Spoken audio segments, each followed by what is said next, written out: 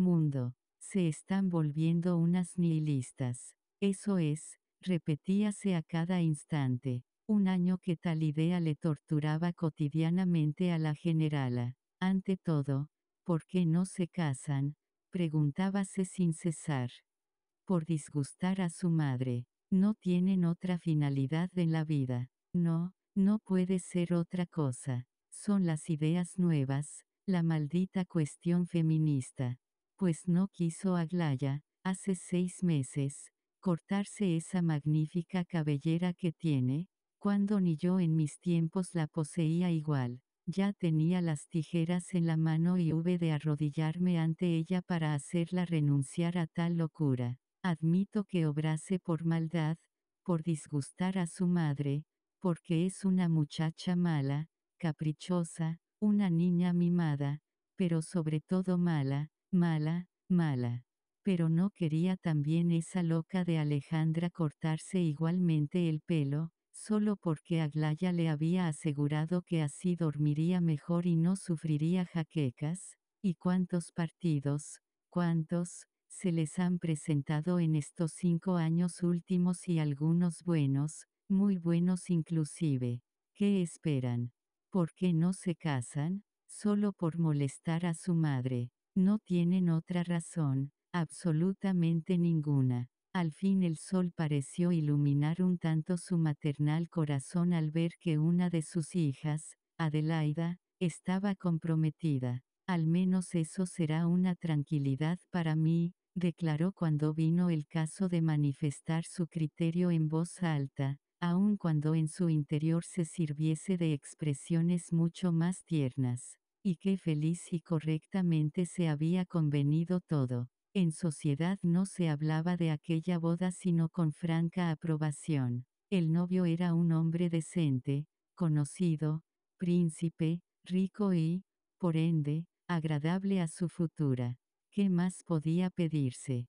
pero Lisabeta Prokofievna se había inquietado siempre menos por Adelaida que por sus otras dos hijas, aunque las inclinaciones artísticas de la joven no dejasen de causarle cierta aprensión. En cambio, tiene buen carácter y muy buen sentido, una muchacha nunca se pierde cuando es así, decíase siempre al final la generala, tranquilizándose con tal reflexión. Lo que la inquietaba más era el porvenir de Aglaya. Respecto a Alejandra, no sabía si preocuparse o no. A veces su hija mayor le parecía un caso desesperado, ya tenía 25 años. Se quedaría para vestir imágenes, y con aquella belleza, la desgraciada madre pasaba las noches llorando, mientras quien motivaba aquellas inquietudes dormía con el más tranquilo de los sueños.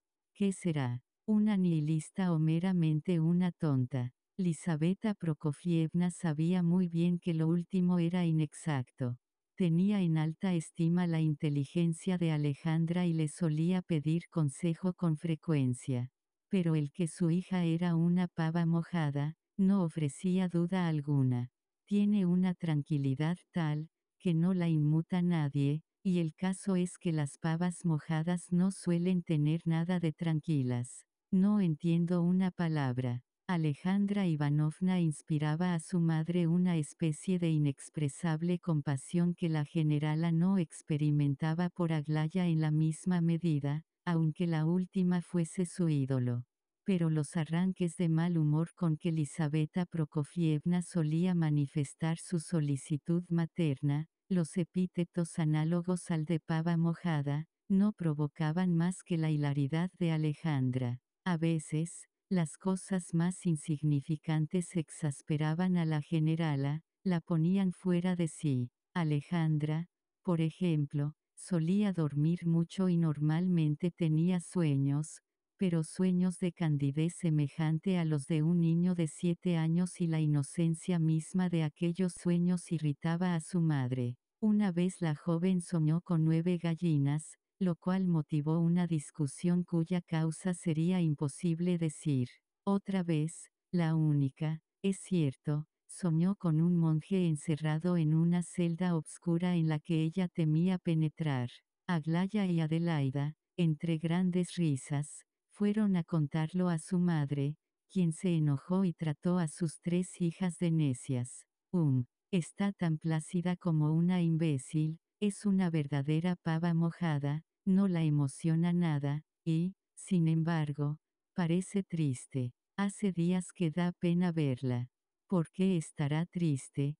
Porque, a veces la generala planteaba la cuestión a su marido, y ello febrilmente, en tono de amenaza, como tenía por costumbre. Iván Fedorovich fruncía el entrecejo, se encogía de hombros, y al fin expresaba su opinión abriendo mucho los brazos y diciendo, necesita un marido. Lisabeta Prokofievna estallaba como una bomba, Dios permita que no sea un hombre como tú, Iván Fedorovich, con sentimientos tan groseros como los tuyos Iván Fedorovich. El general se iba y Lisabeta, tras aquella explosión, se calmaba. Aquella misma tarde mostrábase ya extraordinariamente solícita, dulce y afable con Iván Fedorovich. Porque no había dejado de quererle, estaba realmente enamorada de él, y él por su parte estimaba mucho a Lisabeta Prokofievna. El mayor tormento de la madre, y un tormento continuo, lo constituía Aglaya. Es como yo, mi vivo retrato, decía la generala, un diablo despótico y malvado, una nihilista, una original, una insensata, una loca, loca, loca. Oh, Señor, qué desgraciada va a ser. Como dijimos, la seguridad de que Adelaida se casaba fue un bálsamo para Lisabeta Prokofievna. Durante un mes olvidó sus inquietudes. El inmediato casamiento de Adelaida motivó que en sociedad se hablase por entonces bastante de Aglaya y la joven se portaba tan bien, tenía modales tan gratos, una actitud tan inteligente y un encanto tan subyugador. Hasta su orgullo parecía en ella una gracia más. Hacía un mes que se mostraba amable y cortés con la generala, Claro que es preciso tomarse tiempo para conocer mejor a ese Eugenio Pavlovich y estudiarle a fondo. Además, Aglaya no parece mirarle con mejores ojos que a los demás, se decía Lisabeta Prokofievna, lo esencial era el admirable cambio surgido en el carácter de la joven y luego era tan hermosa, tan hermosa. Sí, parece embellecer de un día a otro, Dios mío y ahora. Ahora aquel miserable principillo, aquel idiota, no hacía más que aparecer y lo echaba todo a rodar, trastornando la casa. En realidad, ¿qué había sucedido? Para otras personas, nada seguramente pero Lisabeta Prokofievna tenía la peculiaridad de descubrir en las circunstancias más comunes de la vida detalles y concatenaciones que la atemorizaban al punto de hacerla casi enfermar. Júzguese lo que debió sentir cuando, en medio de sus inquietudes quiméricas, vio producirse un incidente de real gravedad y justificativo de serias preocupaciones. ¿Quién y cómo se habrá atrevido a escribirme esa maldita carta anónima en que se me dice que aquella mujerzuela está en relación con Aglaya? Pensaba la generala por el camino, arrastrando a Michkin con ella y cuando, llegada a su casa, hizo sentar al príncipe ante la mesa redonda en torno a la cual se reunía toda la familia, Lisabeta Prokofievna recayó en sus reflexiones, ¿Cómo se habrán atrevido a eso? Me moriría de vergüenza si creyese una sola palabra de esa carta o si la enseñase a Aglaya. ¿Cómo se burla la gente de nuestra familia y la culpa de todo, de todo, la tiene Iván Fedorovich? ¿Por qué nos iríamos de Elagin? Bien lo propuse yo. Quizás haya sido Varia quien escribió la carta, o tal vez, no sé, pero la culpa de todo la tiene Iván Fedorovich. Tuya es la responsabilidad de esto, Iván Fedorovich. Esa mujer lo ha imaginado todo para burlarse de él. En recuerdo de su antigua relación ha querido ponerle en ridículo, como ya le puso cuando lo de las perlas. Pero también nosotras, tus hijas y yo, estamos mezcladas en esto, Iván Fedorovich. Y son señoritas de la mejor sociedad, muchachas casaderas y estuvieron allí, se quedaron allí, lo oyeron todo, se enteraron de la historia de aquellos mozalbetes. Vamos, Iván Fedorovich, ya puedes estar satisfecho. Estaban allí y se enteraron de todo. No se lo perdono a ese principillo, no se lo perdonaré jamás. ¿Y por qué tiene Aglaya desde hace tres días tanta excitación nerviosa? ¿Por qué ha reñido con sus hermanas, incluso con Alejandra, a quien besaba a diario con tanto respeto como si fuese su propia madre? ¿Por qué hace tres días que se muestra como un enigma para todos? ¿Y qué tiene que ver Gabriel Ardalionovich con esto? ¿Por qué estuvo ayer Aglaya hablando también de él, y por qué lloró luego? ¿Por qué se habla en el anónimo de ese maldito hidalgo pobre? ¿Y por qué Aglaya no enseñó a sus hermanas la carta recibida del príncipe? ¿Y por qué por qué he corrido a casa de él como una loca y le he arrastrado conmigo? ¿Qué de tonterías acabo de hacer? Estoy loca, señor. Hablar a un hombre joven de los secretos de mi hija y, además, de secretos que en cierto modo se refieren a él mismo. Dios mío, menos mal que es de confianza e idiota. ¿Es posible que Aglaya se interese por cretino semejante? ¿En qué pienso, señor? ¿Qué tipos los de esta familia, empezando por mí? Se nos podía poner bajo un fanal y exhibirnos por diez copex. No te lo perdonaré nunca, Iván Fedorovich, no te lo perdonaré nunca. ¿Y por qué Aglaya no se burla de ese idiota? Había prometido burlarse de él y no lo hace. ¿Con qué atención le mira? Qué pálido está. Y ese maldito charlatán de Eugenio Pavlovich, que no para de hablar un momento, no deja meter la cuchara a nadie, monopoliza la conversación. En cuanto consiga hacerles cambiar de tema, lo sabré todo. El príncipe, en efecto, estaba muy pálido. Parecía muy a disgusto y, sin embargo, había momentos en que un éxtasis inefable e incomprensible se adueñaba de su alma. Cómo temía mirar cierto rincón desde donde le contemplaban los ojos negros, tan conocidos. A la vez se sentía feliz de encontrarse en medio de aquella familia y oír aquella voz, pese a lo que se le escribiera. ¿Qué se le ocurriría a Aglaya decirle ahora? En cuanto a él, atento a las ocurrencias de Eugenio Pavlovich, no había proferido una sola palabra. Pocas veces había parecido Radomsky más satisfecho y elocuente que aquella tarde. Michkin le escuchaba, es cierto, pero pasó bastante tiempo antes de que entendiese lo que el joven decía. Toda la familia estaba presente, excepto el general, que no había vuelto aún de San Petersburgo. El príncipe CH se hallaba también en la casa. Sin duda la reunión se proponía ir a oír música antes del té. A poco, surgió Colia en la terraza, de modo que continúan recibiéndole, se dijo Michkin. La casa de los Epanchin era una hermosa villa con aspecto de chalet suizo. Se veían flores y verdor por doquier. Un jardín, pequeño pero bien cuidado, rodeaba el edificio. Como en casa del príncipe, todos estaban sentados en la terraza, que era mayor y ofrecía una perspectiva más bella. Al llegar Michkin, la conversación versaba sobre un tema que parecía desagradar a algunos. Notábase que acababa de tener lugar una viva discusión. Todos hubiesen preferido hablar de otra cosa, pero Eugenio Pavlovich, en su vehemencia, no lo advertía, y aún se animó más cuando apareció Michkin. Lisabeta Prokofievna arrugó el entrecejo, si bien aún no sabía de qué se trataba. Aglaya, algo aparte, no se retiró. Escuchaba, encerrándose en un obstinado silencio.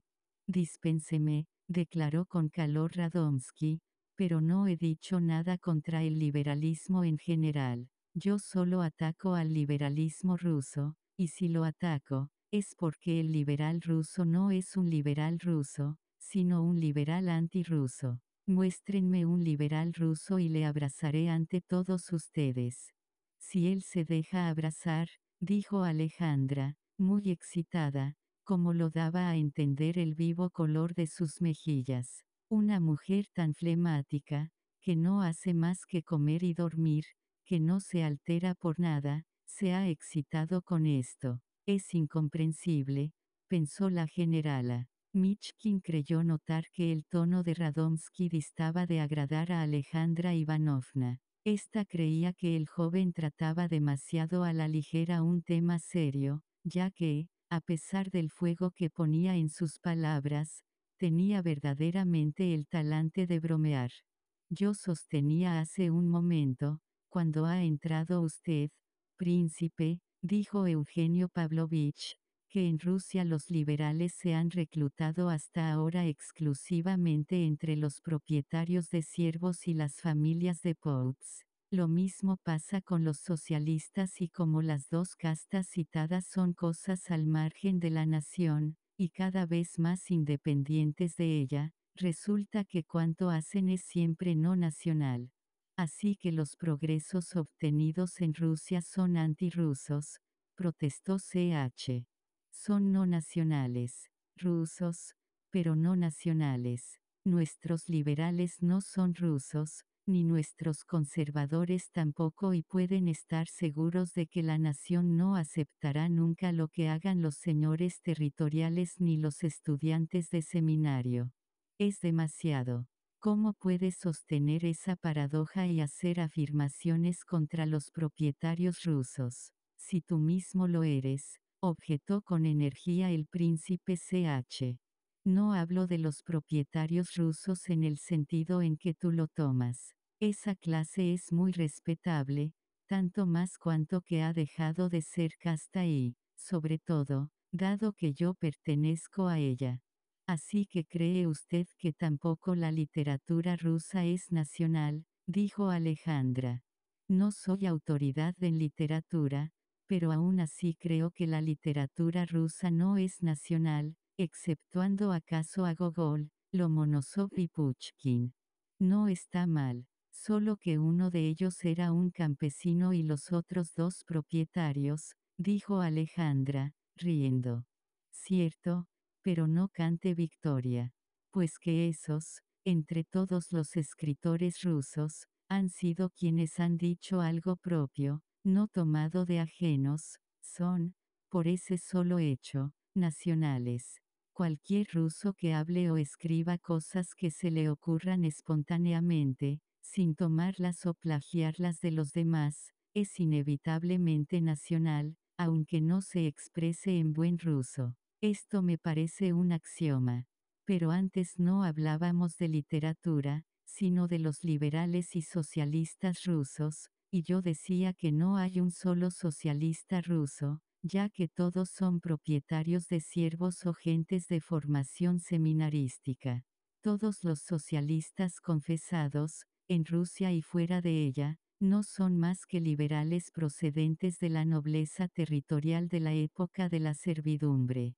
¿Por qué se ríen? Muéstrenme sus libros, teorías y tratados y, aunque no soy un crítico literario, les haré la crítica literaria más acabadamente demostratoria de que cada página de sus libros, libelos y memorias, ha sido escrita por un propietario ruso al antiguo estilo. Sus iras, sus protestas, su humorismo, son típicas de los de su clase y anteriores a la época de Famusov.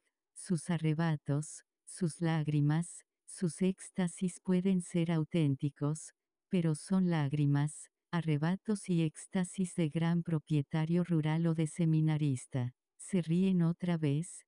También usted, príncipe, no está de acuerdo conmigo. En realidad las palabras de Radomsky habían provocado la hilaridad general. El mismo Michkin sonreía.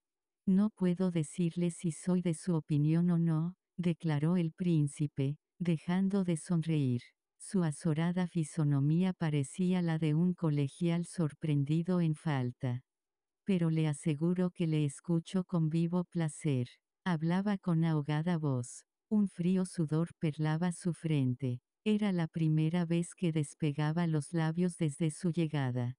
Quiso mirar en torno, pero no se atrevió. Eugenio Pavlovich, notándolo, esbozó una sonrisa. Voy a citarles un hecho, señores, continuó Radomski con aquella mezcla de acaloramiento y expresión risueña que siempre hacían presumir irónicas sus palabras, por sinceras que pareciesen. Un hecho cuyo descubrimiento tengo el honor de reivindicar para mí, a menos nadie, que yo sepa, lo ha descubierto antes. En él se revela todo el fondo del liberalismo ruso a que me refiero, que es, hablando en general, el liberalismo sino un ataque que tenga razón o no es cosa distinta, al orden de cosas establecido. ¿Es eso? No. Pues el descubrimiento realizado por mí consiste en que el liberalismo ruso no es un ataque al estado de cosas existentes, sino a las cosas mismas, es decir, al país. El liberal que yo considero es un ser que odia a Rusia, que maltrata, pues, a su madre. Toda desgracia de Rusia le embriaga de júbilo. Odia las costumbres nacionales, la historia rusa, todo. Su excusa, si alguna tiene, es que no sabe lo que hace y que su aversión a Rusia le parece la más profunda muestra de liberalismo. Aquí encontrarán ustedes con frecuencia liberales a quienes aplauden los reaccionarios y que son, sin saberlo, los conservadores más absurdos, obtusos y peligrosos de todos. Algunos de nuestros liberales confundían hasta hace poco el odio a Rusia con el verdadero amor a la patria y se jactaban de comprender ese sentimiento mejor que los demás. Pero ahora son más francos, la mera palabra patriotismo los avergüenza, y rechazan el concepto como molesto y despreciable. Trátase de un fenómeno de que ninguna época ni país ha proporcionado ejemplo. ¿Cómo se produce entre nosotros? Por la razón que he dado antes, la de que el liberal ruso es un liberal no ruso. A mi juicio no hay otra explicación. Todo lo que has dicho es una broma, Eugenio Pavlovich, repuso, con gravedad, el príncipe CH. No he tratado a todos los liberales y no puedo juzgarlos, añadió Alejandra Ivanovna, pero me indigna oírle. Toma usted un caso particular y lo erige en norma general, de modo que su acusación es calumniosa. Un caso particular, ya se ha pronunciado la palabra. ¿Qué le parece, príncipe? Lo que afirmo, ¿se refiere o no a un caso particular? Debo decirle, repuso Michkin, que he tratado y visto pocos liberales, pero creo que puede usted tener razón en parte y que ese liberalismo ruso de que usted habla se inclina, en cierta medida, a odiar a Rusia y no solo a sus instituciones. Pero ello, por supuesto, solo es verdad en un sentido, y no resultaría justo extender tal juicio a todos. Se interrumpió, confuso. Su turbación no le vedaba sentir un gran interés en lo que se discutía. Una de las peculiaridades de Michkin, era la extraordinaria y cándida atención con que prestaba oído a cuanto le interesaba, así como la seriedad con que respondía si se le preguntaba en aquellos casos. Su expresión, su aspecto eran el de un hombre de buena fe incapaz de suponerse objeto de burla. Eugenio Pavlovich, que hasta entonces sonriera de un modo particular mirando al príncipe, quedó sorprendidísimo de su contestación y le examinó con gravedad. ¿Cómo? ¿Qué decía? ¿Me ha contestado en serio, príncipe? ¿Acaso no me ha interrogado usted en serio? dijo Michkin, con extrañeza. Todos rompieron a reír. No le haga caso, intervino Adelaida Ivanovna. Eugenio Pavlovich tiene la costumbre de burlarse de la gente. Si supiese las cosas que cuenta a veces con la mayor seriedad. Opino que esta conversación es desagradable y habría valido más no comenzarla, observó Alejandra, con acritud. Se había hablado de dar un paseo. Vayamos a darlo, convino Eugenio Pavlovich. Pero para probarles que esta vez he hablado con seriedad y para probarlo sobre todo al príncipe, porque me ha interesado usted mucho, príncipe, y le juro que, aunque frívolo, no lo soy tanto como debo parecerle, para probarlo, digo, haré, señores, si me lo permiten, una última pregunta al príncipe y con eso concluiremos. Se trata de una mera curiosidad privada. Esa pregunta se me ha ocurrido mentalmente como a propósito, ya ve, príncipe, que también pienso a veces en cosas serias, y la he contestado, pero me gustaría saber la opinión del príncipe. Hace un momento hablábamos del caso particular. Esas dos palabritas suenan muy a menudo en Rusia. Últimamente la prensa y el público se han ocupado en ese horrendo asesinato de seis personas por un joven, y del curioso discurso del defensor, quien dijo, entre otras cosas, que, dada su pobreza, el inculpado debía sentir naturalmente el impulso de cometer seis asesinatos. La frase literal del abogado no fue esa, pero el sentido sí. A mi juicio, al hablar de tal modo, el defensor estaba convencido de pronunciar las palabras más progresistas, liberales y humanitarias que se puedan decir en nuestra época. ¿Qué le parece, pues, esa perversión de ideas y convicciones, la posibilidad de un modo de ver las cosas tan notoriamente falso, es un caso particular o general? Siguió un nuevo estallido de hilaridad. Particular, por supuesto, dijeron, riendo, Alejandra y Adelaida. Permíteme recordarte, Eugenio Pavlovich, dijo el príncipe CH, que esa broma está ya muy gastada. ¿Cuál es su opinión, príncipe? insistió Radomsky, sin hacerle caso, al sentir fija en él la mirada seria de León Nikolayevich. ¿Es un caso particular o genera? Confieso que me lo he preguntado acordándome de usted. No, no es un caso particular, repuso Michkin, en voz baja pero firme. Por Dios, León Nikolayevich, exclamó, casi enojado, el príncipe CH. ¿No ve que la pregunta es un ardid que le tienden? Michkin se sonrojó. Creí que Eugenio Pavlovich hablaba en serio, dijo, bajando la vista. Acuérdese, querido príncipe, continuó CH, de la conversación que usted y yo tuvimos hace tres meses nos referíamos precisamente al gran número de abogados distinguidos con que cuenta el foro desde la reforma de los tribunales y citamos varios prudentes veredictos emitidos por nuestros jurados. Cuánto celebraba usted tal estado de cosas y qué satisfacción me causaba su alegría. Decíamos ambos que ello justificaba un orgullo legítimo. Esa torpe defensa, ese argumento absurdo no es más que una casualidad, una excepción entre miles de ejemplos contrarios. Michkin reflexionó unos instantes, y luego, con aspecto de honda convicción, aunque en voz baja y casi tímida, repuso, solo quería decir que la perversión de las ideas, para emplear la expresión de Eugenio Pavlovich, se encuentra muy a menudo, siendo, desgraciadamente, un caso mucho más general que particular. De no estar tan difundida esa perversión no se verían crímenes tan increíbles como crímenes increíbles, yo le aseguro que crímenes así y todavía más espantosos, sucedían también antes, y han sucedido siempre, no solo en Rusia, sino en todas partes, y, a mi juicio, seguirán sucediendo durante mucho tiempo. Pero antes no existían nuestros medios de publicidad y hoy la gente se ocupa de los criminales, comenta sus hechos y gestos con la pluma o de palabra, y por ello los delitos así parecen constituir un hecho nuevo en la sociedad.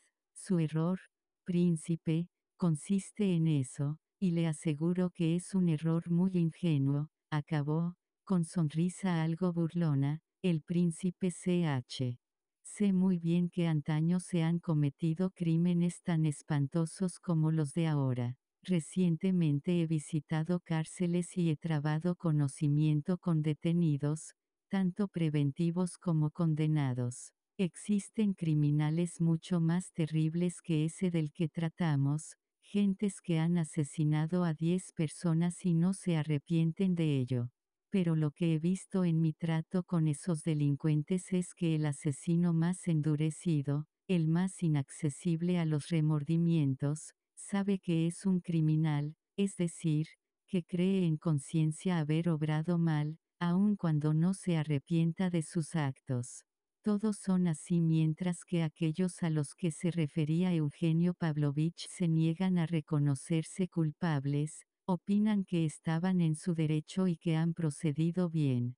Tal es, poco más o menos, su convicción. Eso, a mi criterio, representa una diferencia terrible y observé que todos son jóvenes, o sea que están en la edad en que la perversión de ideas se produce más fácilmente. El príncipe CH, dejando de reír, miró a Michkin con sorpresa. Alejandra Ivanovna, que desde bastante rato atrás se proponía hacer una observación, guardaba silencio y parecía tener un motivo particular para callarse. Eugenio Pavlovich, francamente extrañado, miraba al príncipe, y esta vez su rostro no mostraba huellas de burla. ¿Por qué le mira con ese asombro? exclamó Lisabeta Prokofievna. No le creía tan inteligente como usted, ¿verdad? ¿Le juzgaba incapaz de razonar?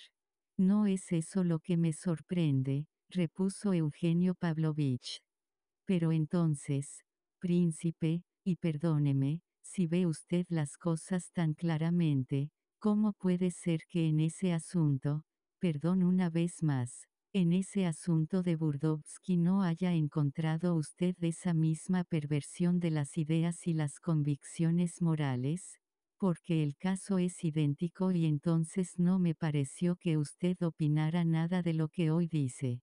Vamos, padrecito, interrumpió la generala, todos hemos notado lo mismo y no alardeamos de nuestra sagacidad ante el príncipe pero éste ha recibido hoy una carta de uno de aquellos individuos, el principal, el del rostro granujiento, ¿te acuerdas, Alejandra? Ese hombre, en su carta al príncipe, le pide perdón, claro que a su manera, y dice que disiente de aquel otro compañero.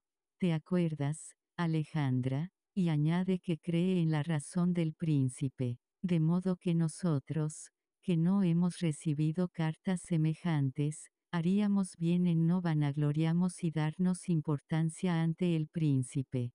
Hipólito ha venido ya a vivir al campo, con nosotros, anunció Colia en aquel momento.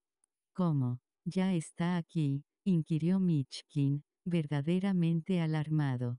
Llegó conmigo en el momento en que acababa usted de salir con Lisabeta Prokofievna. Apuesto, dijo con súbita ira la generala, olvidando que un momento antes había tomado la defensa de Michkin, apuesto a que el príncipe ha ido a buscar a ese miserable mozo en su chiribitil. Le ha pedido perdón de rodillas y le ha suplicado que se trasladase aquí. ¿Le has visitado ayer? ¿Le visitaste ayer? Confiésalo. ¿Es verdad? ¿Te has arrodillado ante él? Nada de eso, intervino Colia. Al contrario, Hipólito, ayer, tomó la mano del príncipe y la besó por dos veces. Yo he sido testigo. A eso se limitó toda la explicación, aparte que el príncipe le dijo sencillamente que estaría mejor en el campo. Hipólito contestó que iría cuando su estado se lo permitiera. Hace usted mal en contar todo eso, Colia, exclamó Michkin levantándose y cogiendo su sombrero. ¿A dónde vas? Preguntó la generala. No se moleste, príncipe, dijo Colia con vehemencia. Hipólito está descansando de la molestia del viaje y creo que su presencia le turbaría más que otra cosa. Mañana le verá. Esta mañana me ha dicho que hace seis meses que no se sentía tan bien y tan fuerte y en realidad tose tres veces menos. Michkin notó que Aglaya, abandonando su lugar anterior, se acercaba a la mesa. No osó dirigirle la mirada, pero adivinaba que ella le estaba mirando, acaso con talante amenazador, y que seguramente los ojos negros de la joven relampagueaban y su rostro estaba cubierto de púrpura.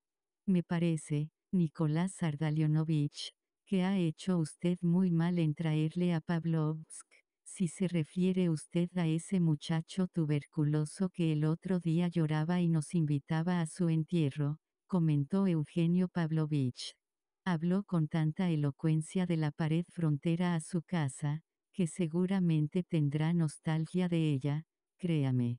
Eso es cierto, disputará contigo, te armará un escándalo y se irá. Eso es lo que te espera y sin hacer caso de que todos se habían levantado ya para salir de paseo, Lisabeta Prokofievna, con digno ademán, atrajo hacia sí la cesta que contenía su labor.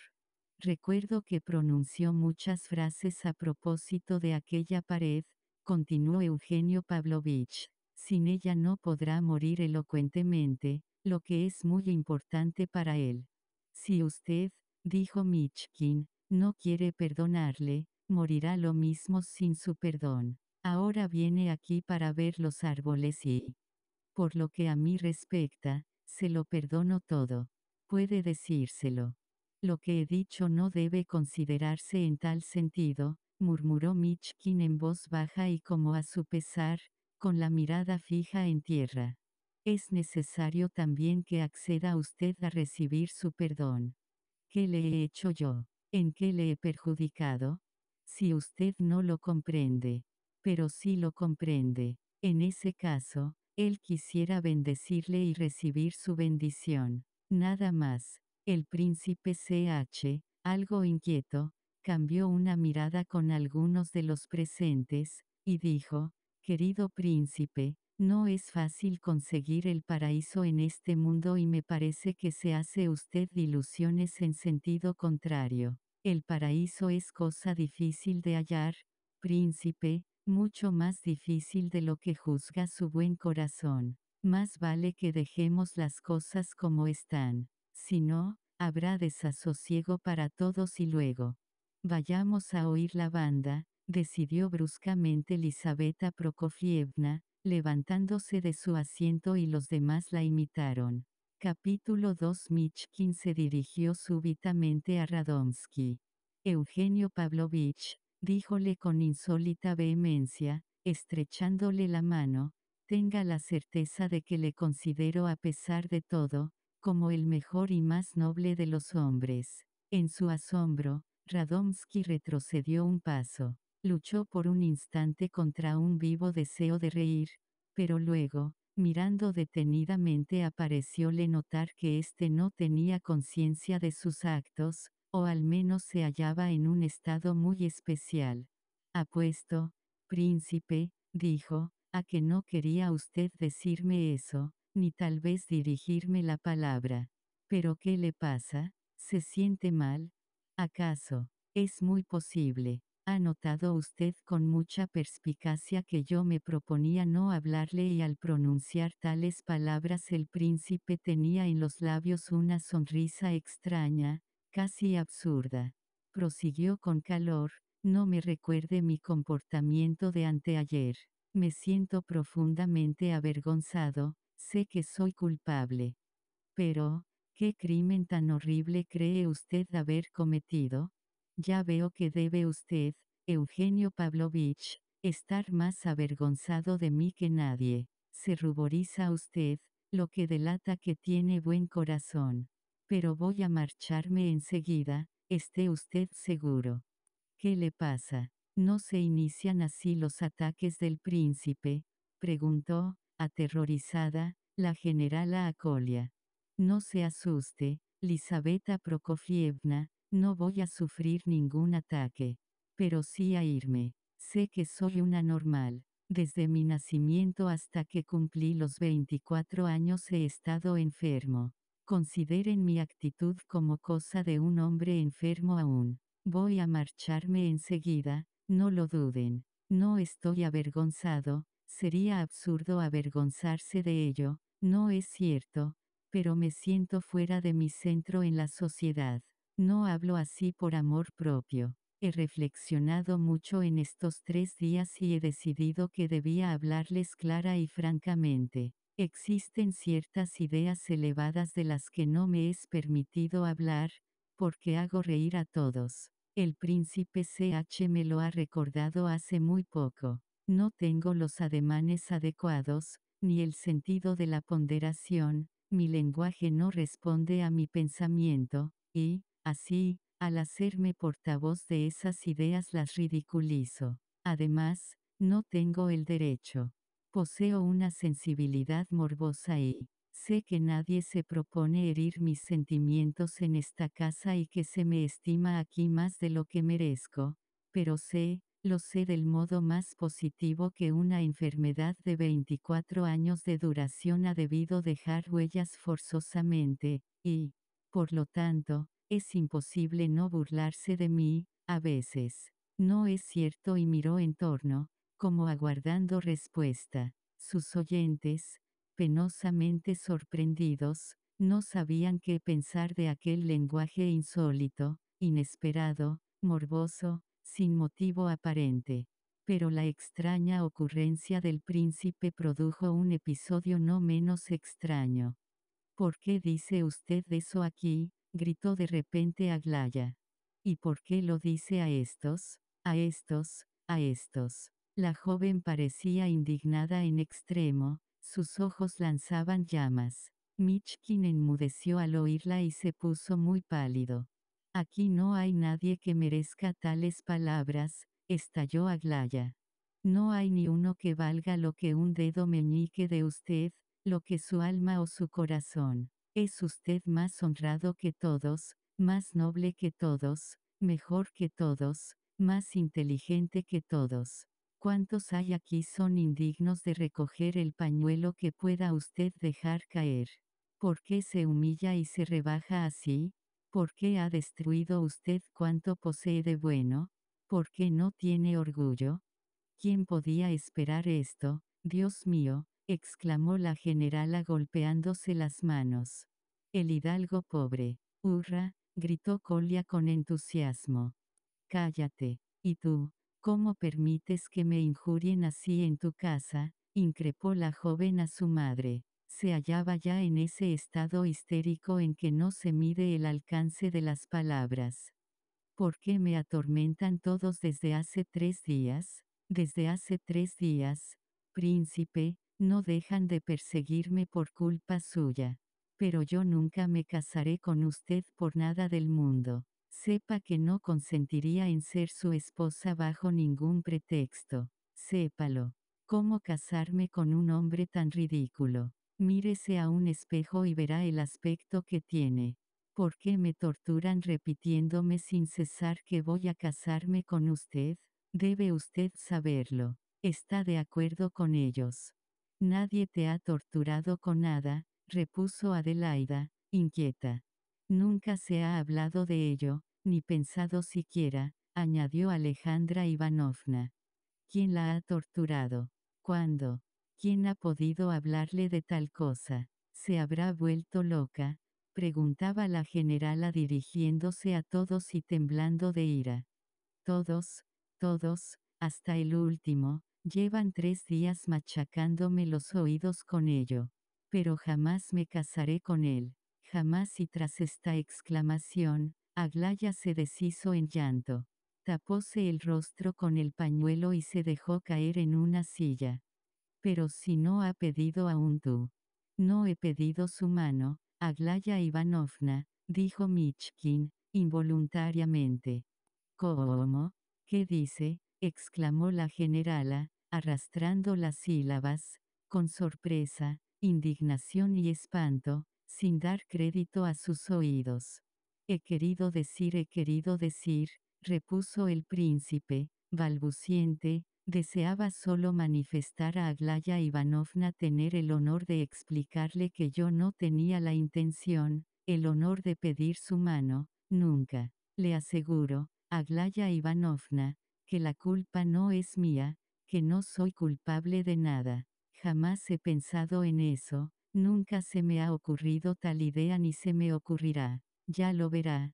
Puede usted estar segura. Sin duda me ha calumniado ante usted algún malvado. Tranquilícese y diciendo esto se acercó a Aglaya. Ella retiró el pañuelo con que se había cubierto la cara, miró a Michkin, que parecía profundamente inquieto, recordó las palabras que acababa de dirigirle y rompió repentinamente a reír.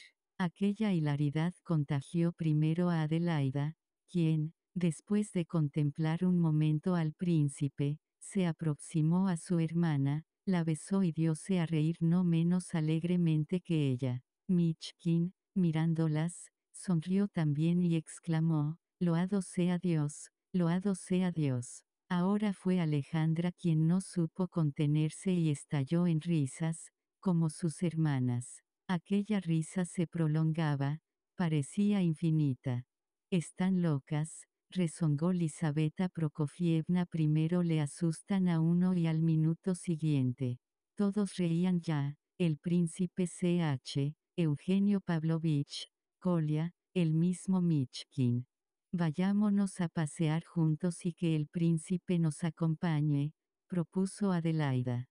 No tiene razón alguna para negarnos su compañía, amigo mío. ¿Verdad que es muy simpático, Aglaya? ¿Verdad, Maman? No tengo más remedio que besarle para... para recompensar su explicación con Aglaya hace un momento. Querida Maman, ¿me permite besarle? ¿Me permites, Aglaya, besar a tu príncipe y hablando así aproximóse a Michkin y le besó en la frente. Él le tomó la mano, apretóla hasta casi arrancar a la joven un grito de dolor, la contempló con inmensa alegría y luego, con rápido movimiento, llevóse aquella mano a los labios y la besó tres veces. Vamos, dijo Aglaya. Usted me acompañará, príncipe. ¿Qué te parece, Maman, un acompañante que no quiere nada conmigo. Porque ha rehusado usted a mi mano en definitiva, ¿verdad, príncipe? Pero no se da así el brazo a una dama. ¿No sabe usted cómo? Ea, así. Vamos, vamos. Nosotros los primeros. ¿No le gusta ir de este modo? Tete a tete. Hablaba sin interrumpirse, riendo nerviosamente. Alabado sea Dios, alabado sea Dios, repetía Lisabeta Prokofievna, sin saber a punto fijo de qué se regocijaba. Esta gente es muy curiosa, pensaba el príncipe CH, acaso por centésima vez desde que conocía a los Epanchin. Pero, curiosa o no, aquella gente le agradaba. No nos atreveríamos a afirmar que sintiese lo mismo respecto a Michkin. Cuando emprendieron el paseo, CH parecía algo preocupado y sombrío, Eugenio Pavlovich parecía de muy buen humor. Durante todo el camino hasta la estación del ferrocarril habló alegremente con Alejandra y Adelaida, quienes reían de tal modo oyendo su charla, que él llegó a pensar que no le escuchaban siquiera. Tal pensamiento, sin que él mismo supiera explicarse por qué seguramente porque tal era su carácter, hízole reír a su vez. Las dos jóvenes no separaban los ojos de Aglaya y Michkin, que marchaban delante. Era notorio que las desconcertaba el modo de proceder de su hermana menor. El príncipe CH, acaso para cambiar el curso de la conversación, esforzábase en hablar de cosas triviales con la generala, sin otro resultado que aburrirla lo indecible. Lisabeta Prokofievna parecía desconcertada, contestando las preguntas sin interés y a veces de ningún modo. Aglaya, por su parte, planteó más enigmas aún durante aquel día. El último estuvo reservado a Michkin. Cuando se hallaban a cien pasos de la casa, la joven dijo a su compañero, que no pronunciaba palabra, Mire a la derecha. Él volvió los ojos en aquella dirección. Mire más atentamente. Ve aquel banco verde, junto a esos tres árboles grandes. El príncipe dijo que sí. ¿Le gusta el lugar? Pues a veces, a las siete de la mañana, mientras todos duermen, yo voy ahí y me siento, sola. Mitchkin balbució que el lugar le encantaba. Ahora déjeme, suélteme el brazo. Oh, si no, siga dándomelo, pero no hable. No quiero que turbe mis pensamientos. La indicación era, desde luego, superflua, porque para guardar silencio durante todo el paseo el príncipe no había necesitado que nadie se lo ordenase. Su corazón latió con violencia cuando Aglaya le habló del banco, pero tras un minuto de reflexión alejó de su mente la absurda idea que acababa de ocurrírsele. Sabido es que el público que acude a oír la banda en Pavlovsk los días laborables es más selecto que el de los domingos o días festivos, en los cuales afluyen desde San Petersburgo visitantes de todas clases. Las señoras, los días laborables, aparecen vestidas con elegancia. Se considera distinguido congregarse allí en torno a la música. La banda es acaso la mejor de las de su estilo en Rusia y a menudo toca partituras nuevas. Las leyes de la corrección se observan estrictamente, aunque todos estén allá, en cierto modo, como en familia. Quienes veranean en Pavlovsk van en gran número a oír la música, pero no tanto por la música en sí como por encontrar a sus amigos. Son poco frecuentes las escenas desagradables, aunque no dejen de ocurrir alguna vez que otra, incluso los días laborables. Pero eso, ¿quién podría impedirlo? La tarde era magnífica, había mucho público en el parque. Como todos los lugares próximos a la banda estaban ya ocupados, el grupo se sentó a la izquierda de la salida que comunicaba con la estación. La gente, la música distrajeron algo a la generala y a sus hijas, cambiaban miradas con los conocidos, insinuaban desde lejos amables saludos, examinaban los vestidos, descubrían ciertas extravagancias en ellos y las comentaban con sonrisas burlonas. Eugenio Pavlovich saludaba muy a menudo. Varios repararon en Michkin y Aglaya, que continuaban juntos. En breve se acercaron a las epanchinas varias personas de su amistad, y algunas quedáronse para entablar conversación. Todos eran amigos de Eugenio Pavlovich. Entre ellos iba un joven oficial muy gallardo, de muy buen humor y de trato agradable. Este hombre se apresuró a interpelar a Aglaya, haciendo los mayores esfuerzos para cautivar la atención de la joven, quien le correspondió con mucha gentileza. Eugenio Pavlovich indicó al príncipe su deseo de presentarle a aquel amigo, y aunque Michkin apenas se dio cuenta de lo que le decían, se realizó la presentación. Ambos hombres, pues, se estrecharon la mano. El amigo de Radomsky dirigió una pregunta a Michkin, quien masculló unas palabras de modo tan extraño, que el oficial no pudo por menos de examinarle con atención y extrañeza. Después miró a Eugenio Pavlovich, y comprendió por qué Radomsky había querido presentarlos. El oficial sonrió ligeramente y volvió a hablar con Aglaya.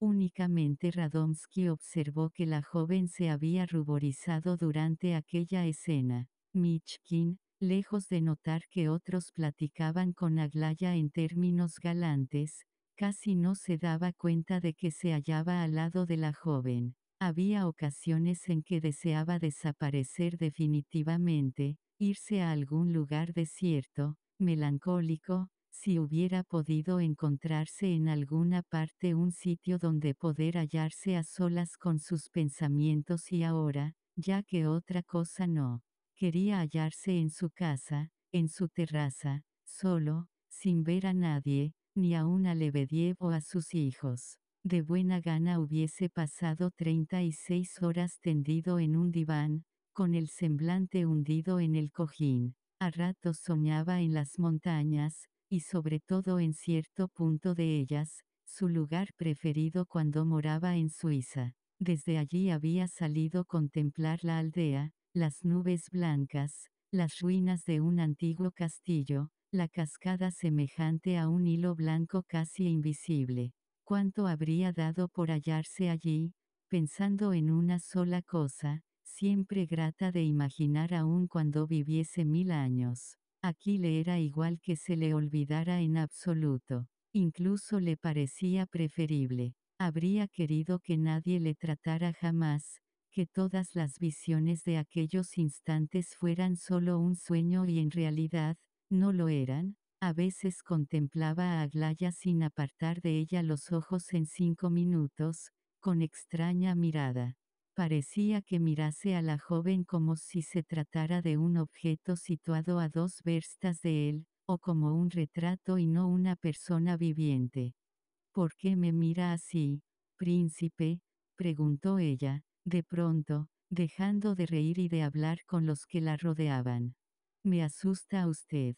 En estos casos pienso siempre que va usted a tender el dedo y tocarme el rostro para convencerse de que soy real. ¿Verdad que lo parece, Eugenio Pavlovich? Michkin, sorprendido de que le hablasen, Escuchó, trató de comprender y no debió conseguirlo, porque no contestó una sola palabra. Pero viendo que Aglaya y los demás reían, abrió la boca y se asoció a la general hilaridad. Ello redobló las risas. El oficial, que debía de ser hombre muy alegre, se contorsionaba. Aglaya, irritada, murmuró para sí, idiota. ¿Es posible que esté enamorada de semejante? Es posible que esté tan rematadamente loca, gruñó la generala. Alejandra se inclinó hacia su madre y le habló al oído.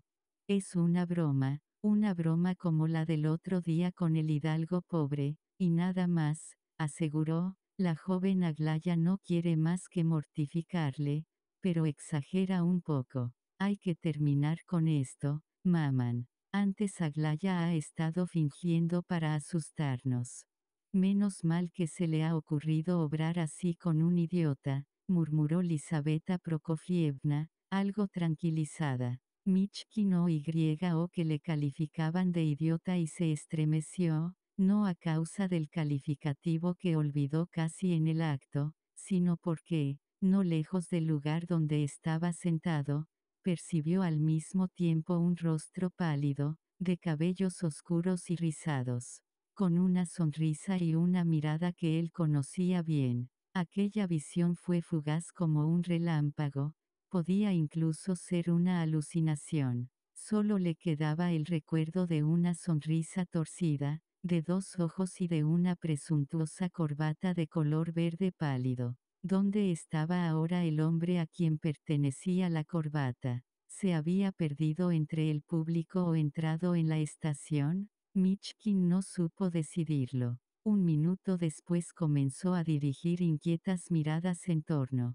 Aquella aparición debía presagiar otra. ¿Cómo no se le había ocurrido la posibilidad de cierto encuentro cuando fue a oír la música con las epanchinas? Cierto que, en su turbación, salió de casa de Elisabetta Prokofievna sin saber a dónde iba. De hallarse en situación de hacer observaciones, hubiese advertido desde 15 minutos antes la inquietud de Aglaya, quien paseaba entre el gentío miradas inquisitivas, como buscando algo o a alguien. A medida que crecía la agitación de Michkin se tornaba más visible también la de la joven y lo que ambos esperaban con tal ansiedad no tardó en producirse. En la entrada junto a la cual se habían acomodado las epanchinas y sus acompañantes, apareció un grupo como de una docena de personas. Delante caminaban tres damas, dos de ellas de notable belleza,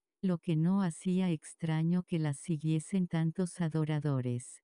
Pero había algo peculiar en el conjunto del grupo, algo que lo diferenciaba de todo el resto de aquel público congregado en torno a la música. La gente reparó en ellos, la mayoría fingió no verles y solo algunos jóvenes cambiaron entre sí sonrisas y palabras a media voz. No obstante, era difícil desentenderse de la presencia de los recién llegados, porque hablaban y reían harto alto y fuerte para poder pasar inadvertidos. Era presumible que entre ellos iban algunos beodos. Aunque ciertos miembros del grupo eran hombres vestidos con elegancia, otros ostentaban trajes de extraña apariencia, tenían un extraño aspecto y mostraban rostros extrañamente excitados. Había entre ellos varios militares y algunos hombres maduros. No faltaban entre los forasteros personas con ropas de excelente corte, anillos y botonaduras soberbias, patillas y cabellos relucientes y bien peinados, y rostros de una dignidad majestuosa.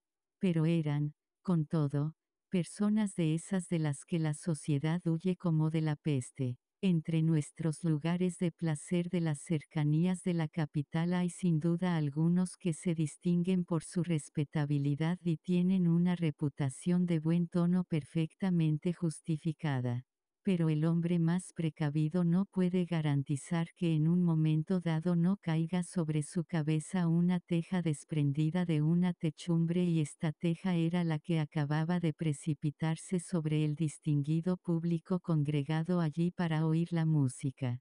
Para pasar de la estación al lugar en que se reunía el auditorio en torno a la orquesta, había que descender tres escalones. Al llegar a estos, el grupo se detuvo y todos titubearon. Una mujer comenzó a bajar y solo dos hombres osaron seguirla. Uno era un caballero maduro, de talante modesto y aspecto bastante bueno en todos los sentidos, si bien parecía una de esas personas que no conocen a nadie y a quienes nadie conoce. El otro audaz era hombre de aspecto equívoco y ropas casi haraposas. A excepción de estos dos fieles, Nadie más siguió a la excéntrica dama, mas ella descendió los peldaños sin mirar atrás, como indiferente a que la acompañasen o no. Como hasta entonces, hablaba y reía en alta voz. Vestía muy bien y con muy buen gusto, si bien con una elegancia algo exagerada. Pasó ante el tablado y se dirigió al extremo del recinto. Se dirigía, sin duda, al carruaje, situado al borde de la calzada. Hacía más de tres meses que Michkin no la había visto. Desde su llegada a San Petersburgo propúsose todos los días ir a visitarla, pero acaso un secreto presentimiento se lo impidió. No sabía prever tampoco lo que podría suceder cuando se encontrase con ella y, a veces, ensayaba, no sin aprensión, el representárselo.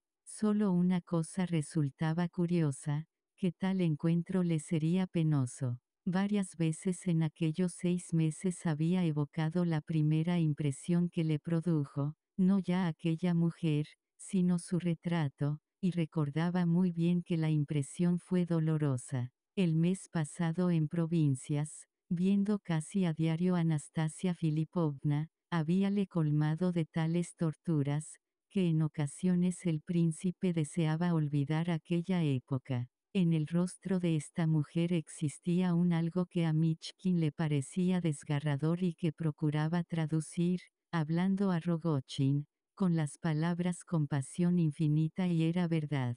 Solo el ver el retrato de Nastasia Filipovna le había henchido el corazón de una piedad rayana en el sufrimiento. Aquella simpatía dolorosa, punzante, persistía aún, más fuerte que nunca. Pero Michkin descubrió ahora una laguna en las palabras que dijera a Rogochin, solo hoy, cuando Nastasia Filipovna aparecía ante él de improviso, advertía acaso, por una intuición inmediata, que no lo había dicho todo a Rogochin. Debía haber añadido que a su compasión se unía el horror. Sí, el horror. En este momento comprendía plenamente, se hallaba seguro, por razones que él conocía, de que Nastasia Filipovna estaba loca. Supóngase que amando a una mujer como a nada en el mundo, se la viese cubierta de cadenas, tras una verja de hierro, bajo el bastón de un celador, y se tendría una idea de las sensaciones que agitaban al príncipe en aquel momento. Aglaya le miró, tocóle ingenuamente el brazo y murmuró con voz rápida, ¿qué le pasa? Mitchkin se volvió a su amiga y advirtió en sus ojos negros una luz cuyo significado no supo comprender. Quiso sonreír a Aglaya, pero de súbito, como olvidando la presencia de la joven, tomó los ojos hacia la derecha, buscando la extraordinaria visión que le fascinaba desde hacía unos instantes. Nastasia Filipovna pasó entonces ante las sillas ocupadas por las jóvenes. Eugenio Pavlovich seguía hablando con mucha volubilidad, contando a Alejandra Ivanovna algo que debía de ser muy divertido e interesante. Michkin recordó después que Aglaya había cuchicheado, Vaya una, reprimiéndose en el acto y dejando sin acabar aquella frase vaga, indefinible. Pero había bastado. Nastasia Filipovna, que avanzara hasta entonces sin fijarse en nadie, se volvió bruscamente hacia las epanchinas y pareció reparar por primera vez en la presencia de Eugenio Pavlovich. Ah, si está aquí, exclamó, deteniéndose. Ya podía una enviarte recados. ¿Cómo iba a encontrársele si está donde menos se esperaba? Yo te creía en casa de tu tío. Eugenio Pavlovich, enrojeciendo, dirigió a Anastasia Filipovna una furiosa mirada. Luego volvió apresuradamente la cabeza. Ella siguió, pero no lo sabes, figúrense, no lo sabe, si se ha matado. Tu tío se ha saltado esta mañana la tapa de los sesos. No lo supe hasta hace dos horas, pero ahora ya lo conoce medio San Petersburgo. Según unos, tu tío deja un descubierto de 350 mil rublos, otros hablan de 500 mil. Yo había esperado siempre que tú heredarías de él una buena fortuna, pero se la ha comido toda. Era un viejo libertino. Ea, adiós, y bon chance. No te vas, has acertado, sin querer, al retirarte a tiempo del servicio. Pero no, es imposible que no lo supieras. Tenías que saberlo, quizá ya desde ayer. No podía caber duda ya de que el proclamar con tan pública insolencia su intimidad con aquel hombre perseguía algún propósito. No obstante, Eugenio Pavlovich se había propuesto al principio no contestar a aquella actitud sino con el desdén. Pero las palabras de Nastasia Filipovna le fulminaron como un rayo. Al oír hablar de la muerte de su tío púsose blanco como una sábana y se volvió hacia su informadora. En aquel momento la generala se levantó con precipitación y, seguida por el grupo que la rodeaba, salió casi a la carrera. Michkin y Eugenio Pavlovich fueron los únicos que no se decidieron a marchar en el acto. El primero parecía irresoluto, el segundo no había recobrado aún su serenidad. Mas apenas las epanchinas habían dado veinte pasos, se produjo una escena escandalosa. El oficial que hablara con Aglaya, y que resultó ser amigo íntimo de Radomsky, quien al parecer le había hecho anteriores confidencias, indignóse en grado extremo y dijo casi a gritos, aquí se impone una buena tanda de latigazos. Sin eso nunca acabaremos con esta individua. Nastasia Filipovna se volvió hacia él con ojos relampagueantes de cólera. A dos pasos de ella estaba un joven a quien no conocía y que tenía un junquillo entre las manos. Nastasia Filipovna se lo arrancó y golpeó con él, con toda su fuerza, el rostro del que la había ofendido. Todo sucedió en un segundo. El oficial, fuera de sí, se precipitó sobre la joven, no protegida ya por ninguno de sus guardias de corps. El hombre maduro se había eclipsado y el andrajoso, apartándose, reía a mandíbula batiente. Sin duda la policía habría intervenido un momento después, pero tarde, de seguro, para evitar a Anastasia Filipovna un duro maltrato, a no haber surgido antes un inesperado socorro. Michkin, que estaba a dos pasos de la joven, asió por detrás los brazos del oficial. Este forcejeó y diole un empujón que hizo retroceder tres pasos al príncipe derribándole sobre una silla. Mas ya surgían nuevos defensores de Nastasia Filipovna. Cuando el oficial iba a lanzarse sobre ella, sobrevino el boxeador que pertenecía a la partida de Rogochin y redactara el artículo sobre el caso Eurdovsky. Keller, ex subteniente del ejército, anunció con serenidad. Si siente usted el deseo de un pugilato, capitán, tendré mucho gusto en sustituir al sexo débil. El boxeo inglés no tiene secretos para mí. No se excite, capitán, me hago cargo de que ha recibido usted una afrenta en público, pero no puedo permitirle que ejercite sus puños con una mujer y ante gente. Si usted, como caballero y hombre de honor, prefiere otro procedimiento, no tengo más que decirle, capitán, ya me comprende. El capitán, dueño ya de sí, no escuchaba a Keller.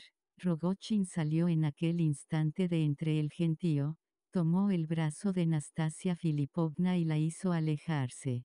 Parfen Semenovich estaba pálido y tembloroso y parecía muy emocionado. Antes de irse se fijó en el rostro del golpeado y exclamó, con risa maligna de plebeyo jubiloso, anda, le ha bañado la cara en sangre, anda. El oficial se había cubierto la cara con un pañuelo. Sereno ya, y comprendiendo bien con quién debía tratar y con quién no, dirigióse cortésmente al príncipe, que acababa de levantarse de la silla en que había caído.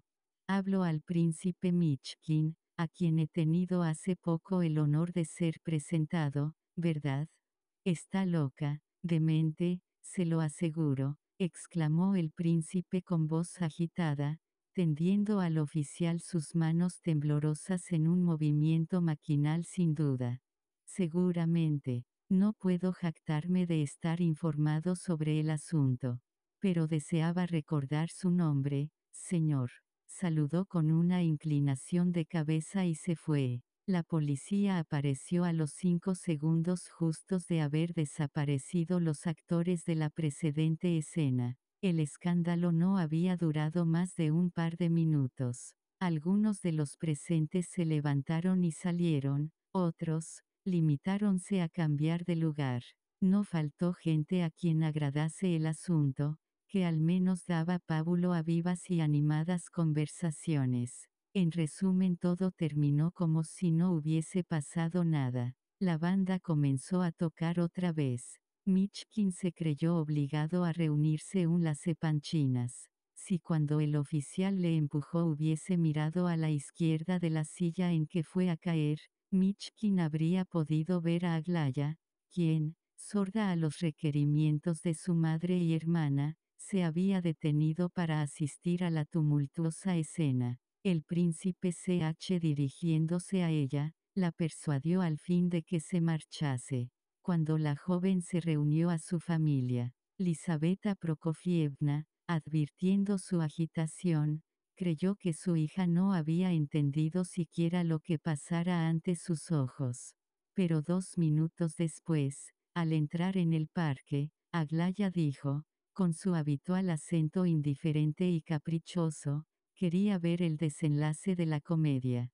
Capítulo 3 Aquel escándalo había casi colmado de terror a la generala y sus hijas. Lisabeta Prokofievna, inquieta y alarmada, volvió a casa con las jóvenes a paso de carrera. De acuerdo con sus nociones e ideas, había pasado algo tan grave y hechose luz sobre tantas cosas, que su cerebro, aún en su turbación, empezaba a formular ciertos pensamientos muy definidos. Las jóvenes comprendían, como su madre, que había ocurrido un hecho importante y que, acaso por fortuna, estaba a punto de descubrirse un grave secreto. Pese a todas las afirmaciones del príncipe CH, Eugenio Pavlovich, ahora, había sido desenmascarado, y quedado públicamente convicto de mantener relaciones con aquella mujer. Así pensaban la generala y sus hijas mayores. Pero ello no aclaraba cosa alguna. Aunque ambas estuviesen un tanto indignadas contra su madre por aquella marcha, tan precipitada que se asemejaba a una huida, no osaron exteriorizar su disgusto, en la turbación de los primeros momentos. Por otra parte, parecíales que su hermana Aglaya estaba mucho más al corriente de la razón de lo ocurrido que todas ellas, incluso su madre. El príncipe CH, sombrío como la noche, parecía absorto en profundos pensamientos. Durante todo el trayecto Lisabeta Prokofievna no le dirigió palabra, sin que él reparase, aparentemente, en el silencio de la generala. Adelaida quiso hacerle hablar. ¿Qué tío es ese del que hablaban y qué ha sucedido en San Petersburgo? Pero él, con rostro enojado, contestó vagamente que urgía hacer averiguaciones y que todo ello debían de ser cosas absurdas. Sin duda, repuso Adelaida, desistiendo de interrogar a su prometido. Aglaya conservaba toda su serenidad. Mientras volvían hizo observar que no era necesario correr tanto. Volviendo la cabeza descubrió a Michkin, que se esforzaba en alcanzarlos. Viendo su precipitación, la joven sonrió con burla y no tornó más la cabeza para mirarle. Cerca ya de la casa, encontraron al general que, llegando de San Petersburgo y no hallando a su familia, había salido a su encuentro. Lo primero que hizo el general fue pedir noticias de Eugenio Pavlovich. Lisabeta Prokofievna, cuyo rostro había adquirido una expresión amenazadora, pasó junto a su marido sin dignarse responderle ni aún mirarle. El aspecto de sus hijas y del príncipe CH, hicieron comprender al general que corrían tiempos tempestuosos. Él mismo parecía víctima de una agitación insólita.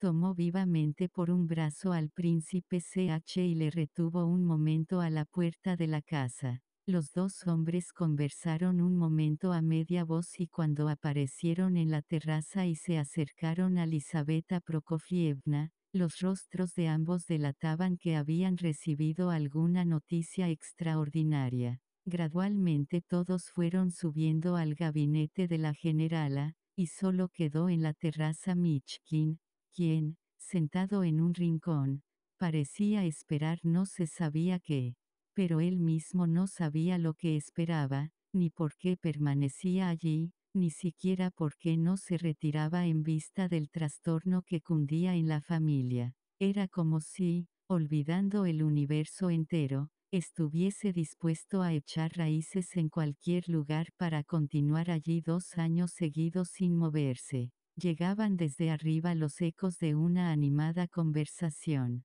¿Cuánto tiempo pasó a solas? Él mismo no habría sabido decirlo. Pero era tarde ya y obscurecía cuando Aglaya compareció en la terraza. La joven parecía tranquila, aunque un tanto pálida. Viendo a Michkin, a quien evidentemente no esperaba hallar en una silla en un rincón de la terraza, sonrió, con cierta perplejidad. ¿Qué hace usted aquí? preguntó acercándose a él. El príncipe, confuso, tartamudeó una turbada respuesta y se incorporó precipitadamente. Pero Aglaya se sentó a su lado y él volvió a instalarse en la silla. Después de contemplarle con atención, la joven miró distraídamente hacia la ventana y volvió a fijar la vista en Michkin. ¿Acaso quiera burlarse de mí? pensó el príncipe. Pero no, lo había hecho ya. Quiere que pida té, dijo ella tras un silencio, no, no sé. ¿Cómo puede no saberlo? Oiga otra cosa, si alguien le provocase a un desafío, ¿qué haría usted? Quería preguntárselo antes, pero... Sí, sí, nadie va a desafiarme. Supongamos que le desafía. ¿Qué haría usted?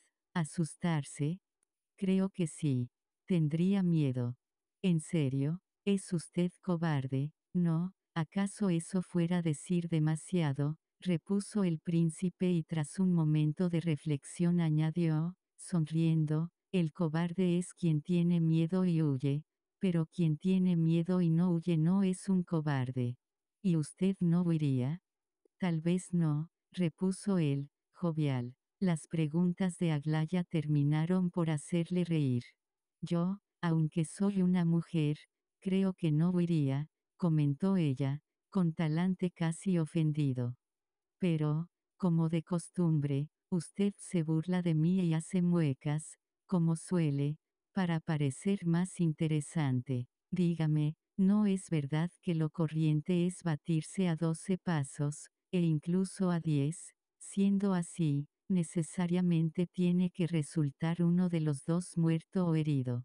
Opino que la gente muere pocas veces en duelo. Sí, ¿y Puchkin? Tal vez una casualidad.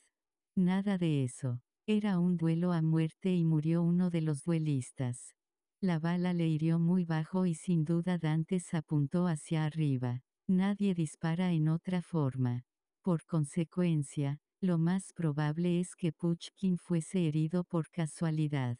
Lógicamente no debió haber sido tocado. Así me lo han dicho personas competentes. Pues a mí, un soldado con quien hablé una vez, me dijo que, según las ordenanzas militares, cuando se despliega en guerrilla hay que apuntar a medio cuerpo. Así me lo dijo, a medio cuerpo, no al pecho ni a la cabeza. Luego pregunté a un oficial y me confirmó lo dicho por el soldado. Pero eso es debido, probablemente, a que en la guerra se dispara a mucha distancia. ¿Sabe usted tirar? No he tirado nunca. Y a lo mejor no sabe usted ni cargar una pistola. En efecto, no lo sé. Es decir, me hago cargo de cómo se hace, pero no he probado jamás.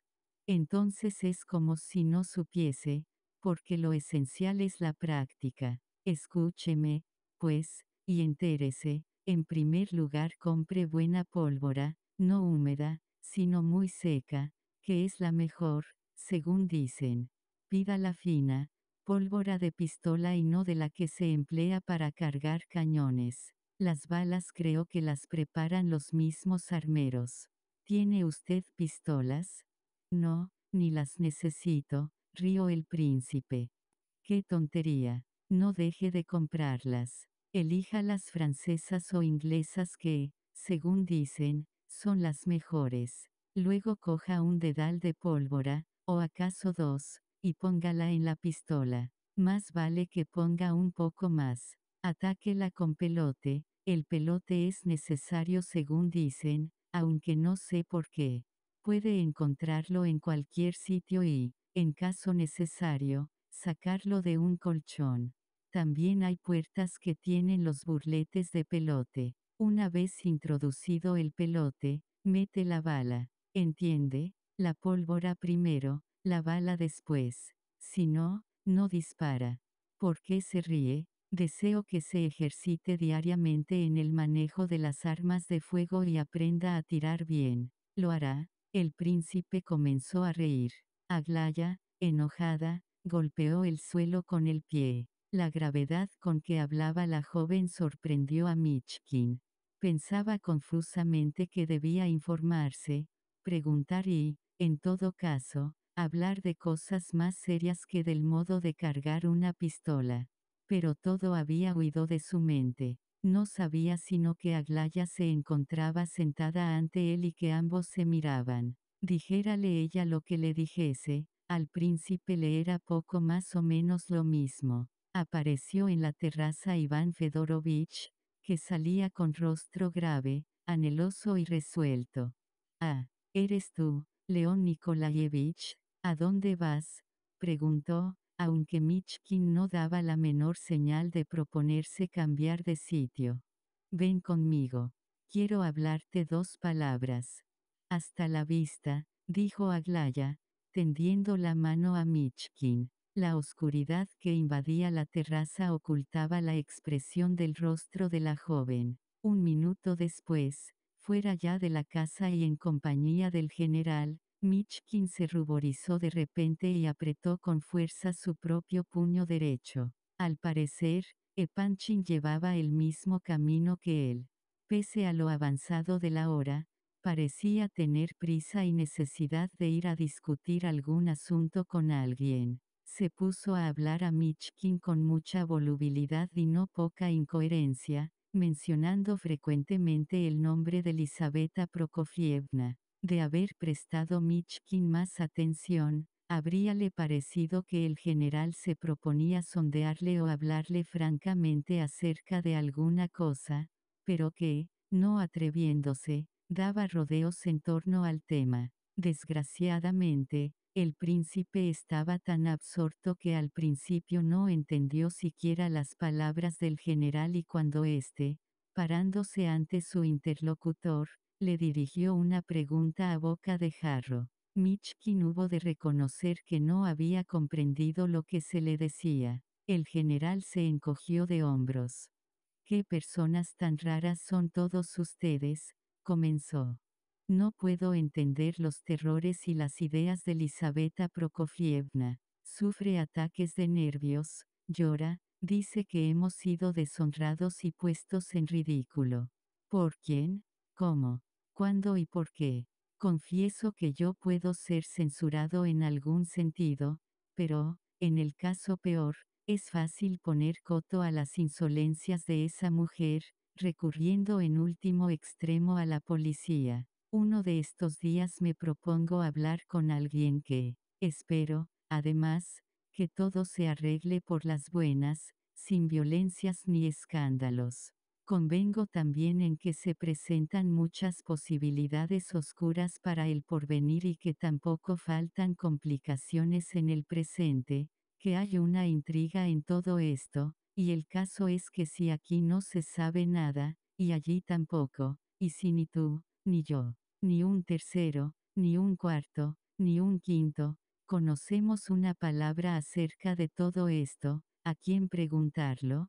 ¿Quieres decírmelo? A no ser que la mitad de ellos sea fantástico, y real, reflejo, como, por ejemplo, la luz de la luna, u otra cosa por el estilo.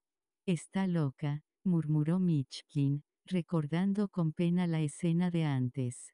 Si te refieres a esa mujer, te diré que yo he tenido la misma idea poco más o menos, y que eso no me quita el sueño ciertamente pero ahora creo que tu apreciación es justa y no insensata. Es una mujer sin sentido común, cierto, pero no una loca. Lo que ha dicho hoy sobre Capitón Alexievich lo acredita. Cierto que lo ha contado, con malignidad, tendiendo a miras particulares.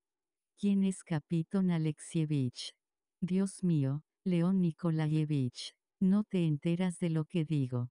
Te he estado hablando de Capitón Alexievich hace un momento. Estoy tan conmovido, que aún me tiemblan los brazos y las piernas. Por eso he venido tan tarde de San Petersburgo. Capitón Alexievich Radomsky, el tío de Eugenio Pavlovich. ¿Qué? preguntó el príncipe.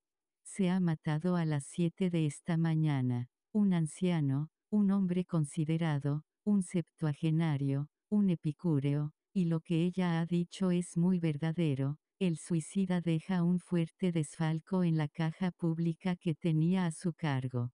¿Y cómo ella?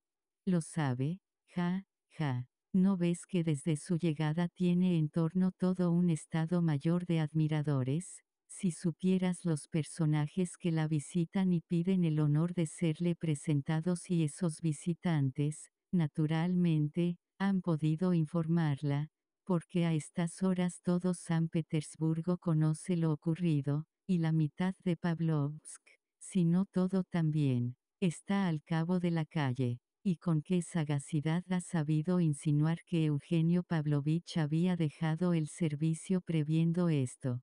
Qué diabólica sugestión. Eso no es muestra de locura. Claro que me niego a creer que Eugenio Pavlovich supiese de antemano que tal día, a las siete.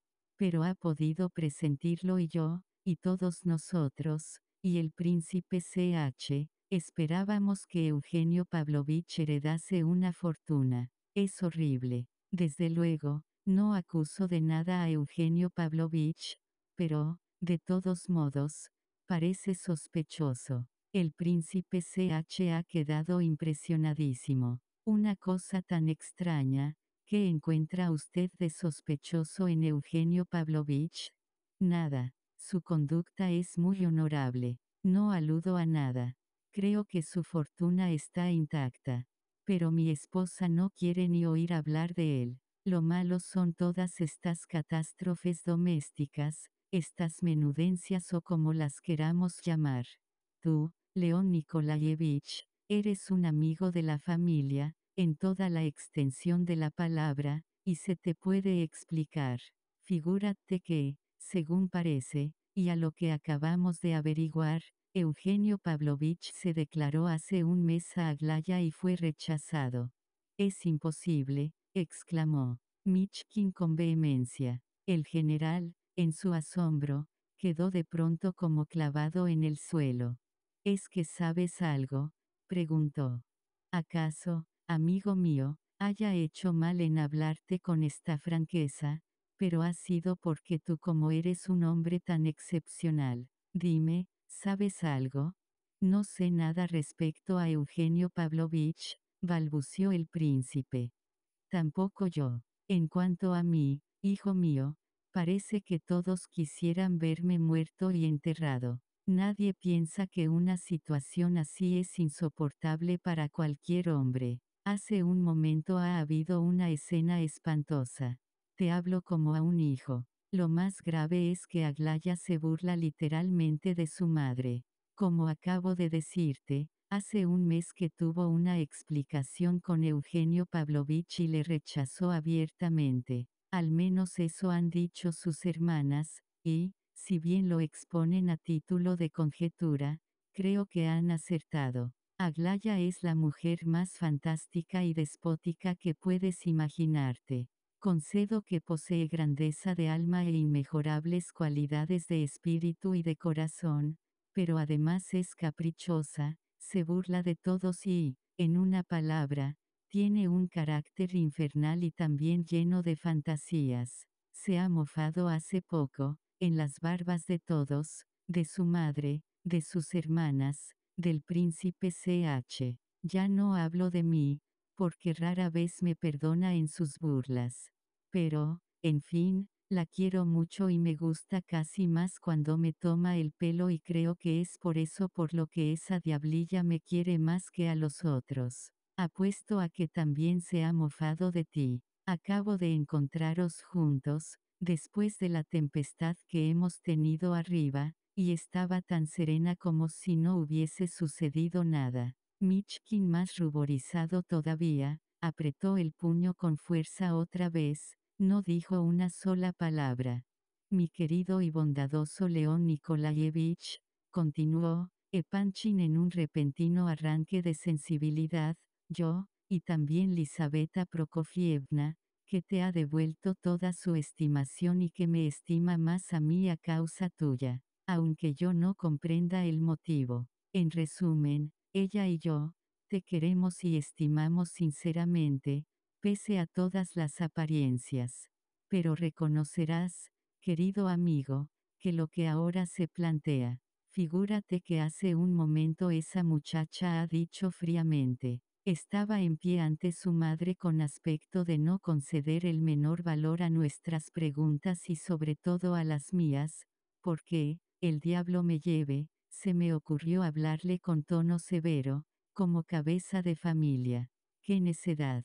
Pues, como te digo, esa brujilla, con la sonrisa en los labios, nos ha dirigido esta insólita tirada, esa loca, me extraña que haya coincidido en esto contigo y lo peor es que luego agregó, ¿cómo no os habíais dado cuenta hasta ahora de que lo está? Esa loca se propone casarme, cueste lo que cueste, con el príncipe León Nikolayevich. No ha dicho más, no ha explicado más, y se ha puesto a reír y mientras nosotros quedábamos con la boca abierta, ha salido dando un portazo. Luego he sido informado de lo que antes pasó entre vosotros dos y, escucha, príncipe, yo, yo creo que tú eres hombre poco susceptible y muy razonable. Bien, Pues me ha parecido, no te ofendas. Me ha parecido que Aglaya se burla de ti. No hay que tomárselo a mal,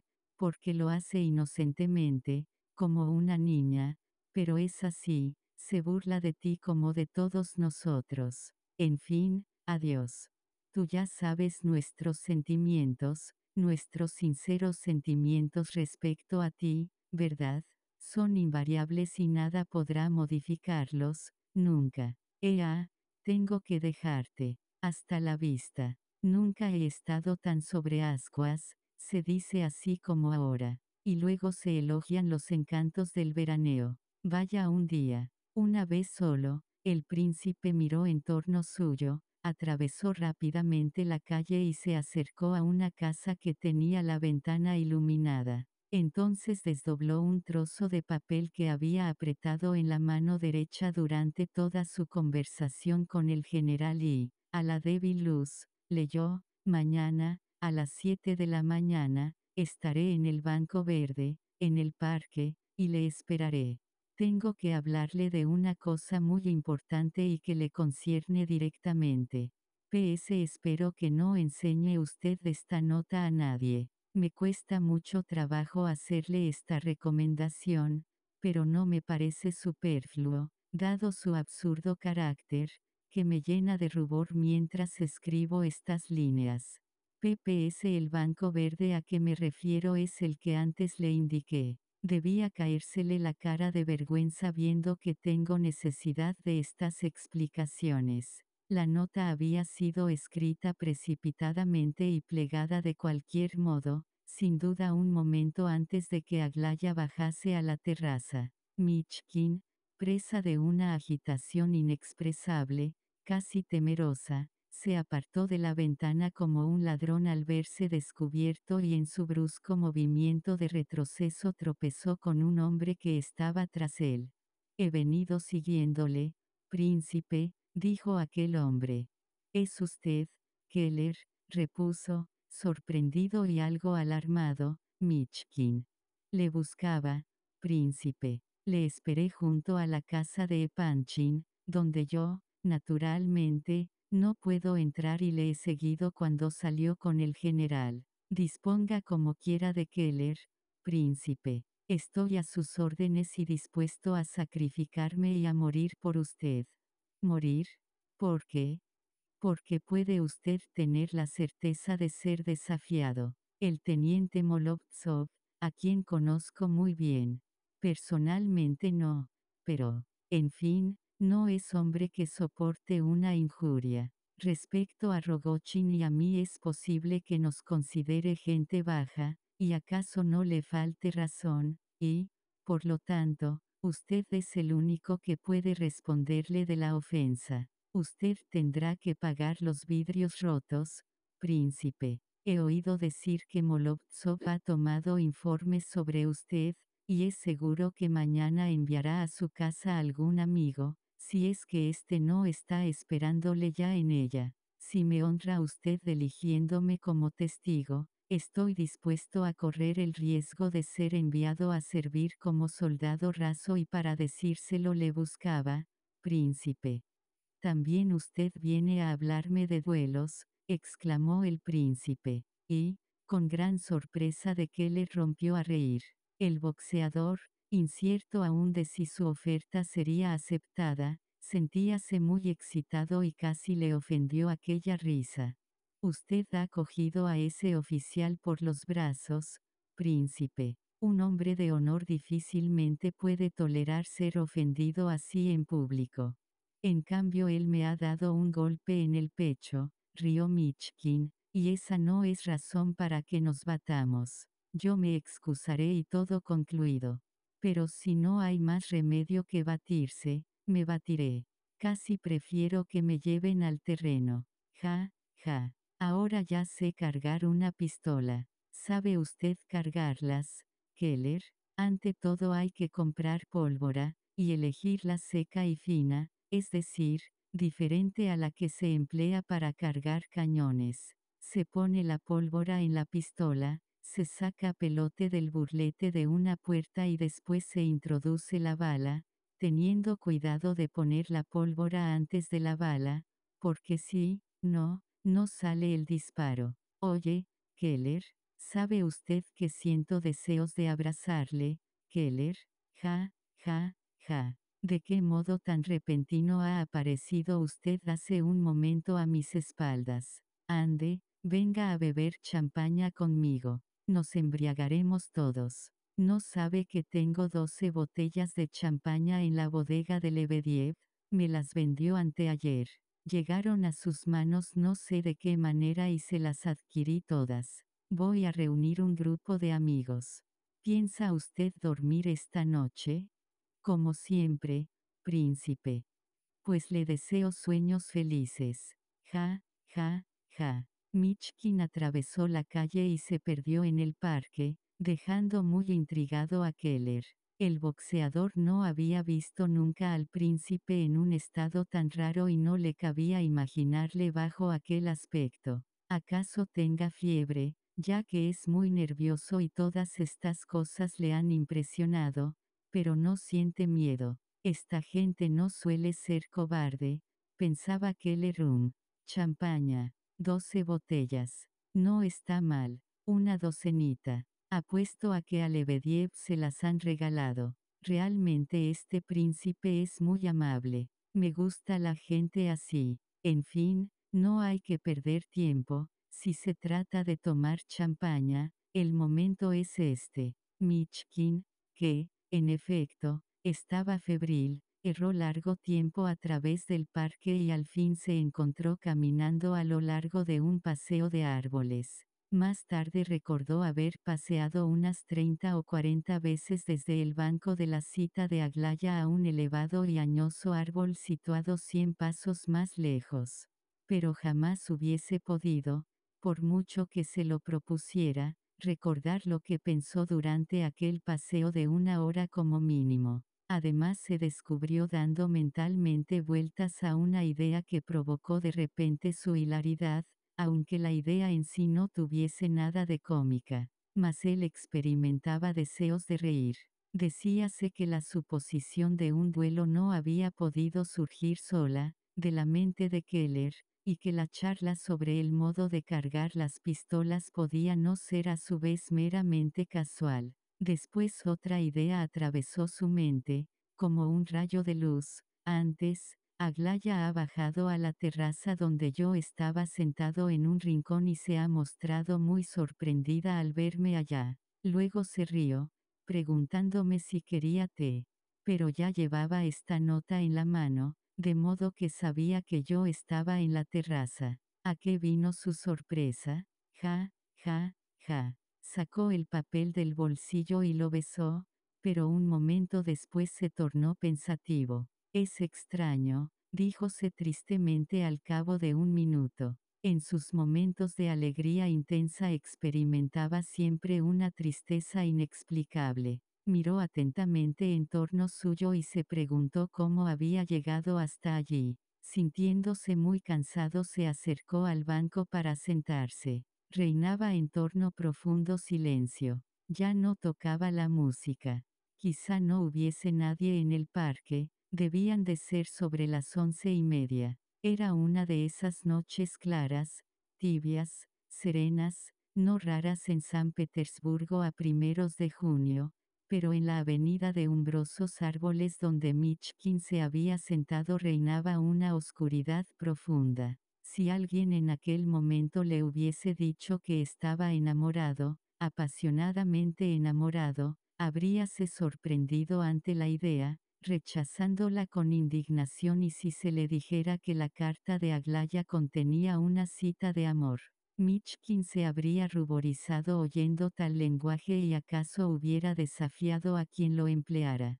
Todo esto era perfectamente sincero. Respecto a ello no experimentaba duda alguna, no admitía ni la más mínima idea mixta acerca de la posibilidad de un amor entre Aglaya Ivanovna y él. Semejante pensamiento, la hipótesis de que un hombre como él pudiese ser amado, se le antojaba monstruosa. De haber algo en aquello debía de ser, según imaginaba, una broma de la joven, no obstante lo cual aceptaba la idea con perfecta indiferencia, como cosa absolutamente normal. Lo que le preocupaba era cuestión muy distinta. Antes el general, en su agitación, había dejado escapar la apreciación de que Aglaya se mofaba de todos y de Michkin en particular y Michkin admitía esta opinión y no se sentía lastimado por ello, así debía ser, a su juicio.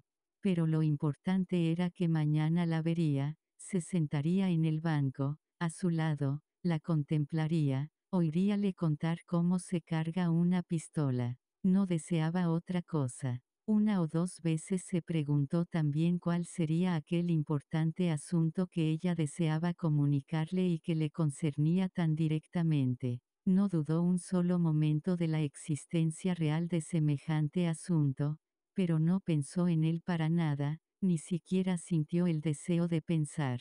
Un rumor de pasos rápidos en la arena le hizo levantar la cabeza. Un hombre, cuyo rostro resultaba impreciso en la oscuridad, Llegó al banco y se sentó junto a Michkin. Este se acercó en brusco movimiento al recién llegado y reconoció el rostro pálido de Parfen Semenovich. Hace tiempo que te buscaba. Ya sabía yo que andarías vagando por algún sitio así, dijo Rogochin, entre dientes. Era la primera vez que se hallaban cara a cara después de su encuentro en el corredor del hotel. Sorprendido por aquella aparición imprevista, Michkin permaneció unos instantes sin poder coordinar sus ideas, mientras una sensación cruel despertaba en su corazón. Rogochin adivinó sin duda el efecto que producía su presencia y, aunque desconcertado al principio, adoptó enseguida un aire desenvuelto que Michkin estimó artificial. Pero pronto notó que no lo era, y que Rogochin no experimentaba realmente embarazo alguno al hablar. Si en sus gritos y palabras había cierta turbación, esta no pasaba de la superficie. Aquel hombre no cambiaba jamás. ¿Cómo me has encontrado aquí? preguntó el príncipe, por decir algo. He ido a tu casa, Keller me ha dicho que estabas paseando por el parque y pensé, bien, lo encontraré allí. Estas palabras inquietaron a Michkin. ¿Qué quieres decir? preguntó con voz alarmada. Rogochin se sonrojó, pero no agregó explicaciones. Recibí tu carta, León Nikolayevich. Todo es inútil. Tiempo perdido. Pero ahora vengo a buscarte de parte de ella. Quiere hablarte por encima de todo, necesita decirte una cosa urgente y me ha ordenado que fuese a tu casa esta noche misma. Iré a verla mañana. Ahora me vuelvo a casa. ¿Quieres venir? ¿Para qué? Ya te he dicho todo lo que tenía que decirte. Adiós. ¿Por qué no vienes? preguntó el príncipe con dulzura. Eres un hombre asombroso, León Nikolayevich. Es imposible no admirarte de verdad, repuso Rogochin con amarga sonrisa. ¿Por qué? ¿Qué motivos tienes ahora para odiarme así? replicó Michkin con entristecido acento. Bien sabes ahora que tus suposiciones son falsas. Desde luego, yo sabía que continuabas odiándome. ¿Y sabes por qué? Precisamente porque quisiste atentar contra mi vida pero te aseguro que el único Parfen Semenovich a quien recuerdo es aquel con quien he fraternizado una vez cambiando nuestras cruces. Ya te decía en mi carta de ayer que no pensases en aquel delirio, y no eludieses mi presencia. ¿Por qué te apartas de mí? ¿Por qué retiras la mano? Te repito que todo aquello es un delirio para mí. Me consta en qué estado te encontrabas aquel día. Lo que te imaginas no existió ni puede existir. ¿Por qué ha de persistir nuestra enemistad? ¿Qué enemistad puede tenerse contigo? contestó Rogochin, pagando con una risotada las afectuosas palabras del príncipe y hablando así, se había retirado, en efecto, dos pasos y mantenía las manos escondidas. Añadió pausadamente, con grave acento, es imposible que yo vaya ahora a tu casa. ¿Tanto me aborreces? No te quiero, León Nikolayevich, esa es la verdad. ¿Para qué? Pues, voy a ir a tu casa. Pareces, príncipe, un niño encaprichado con un juguete. Pero no te haces cargo de las cosas. Lo que me dices, ya lo manifestabas en tu carta, y juzgas que no te creo.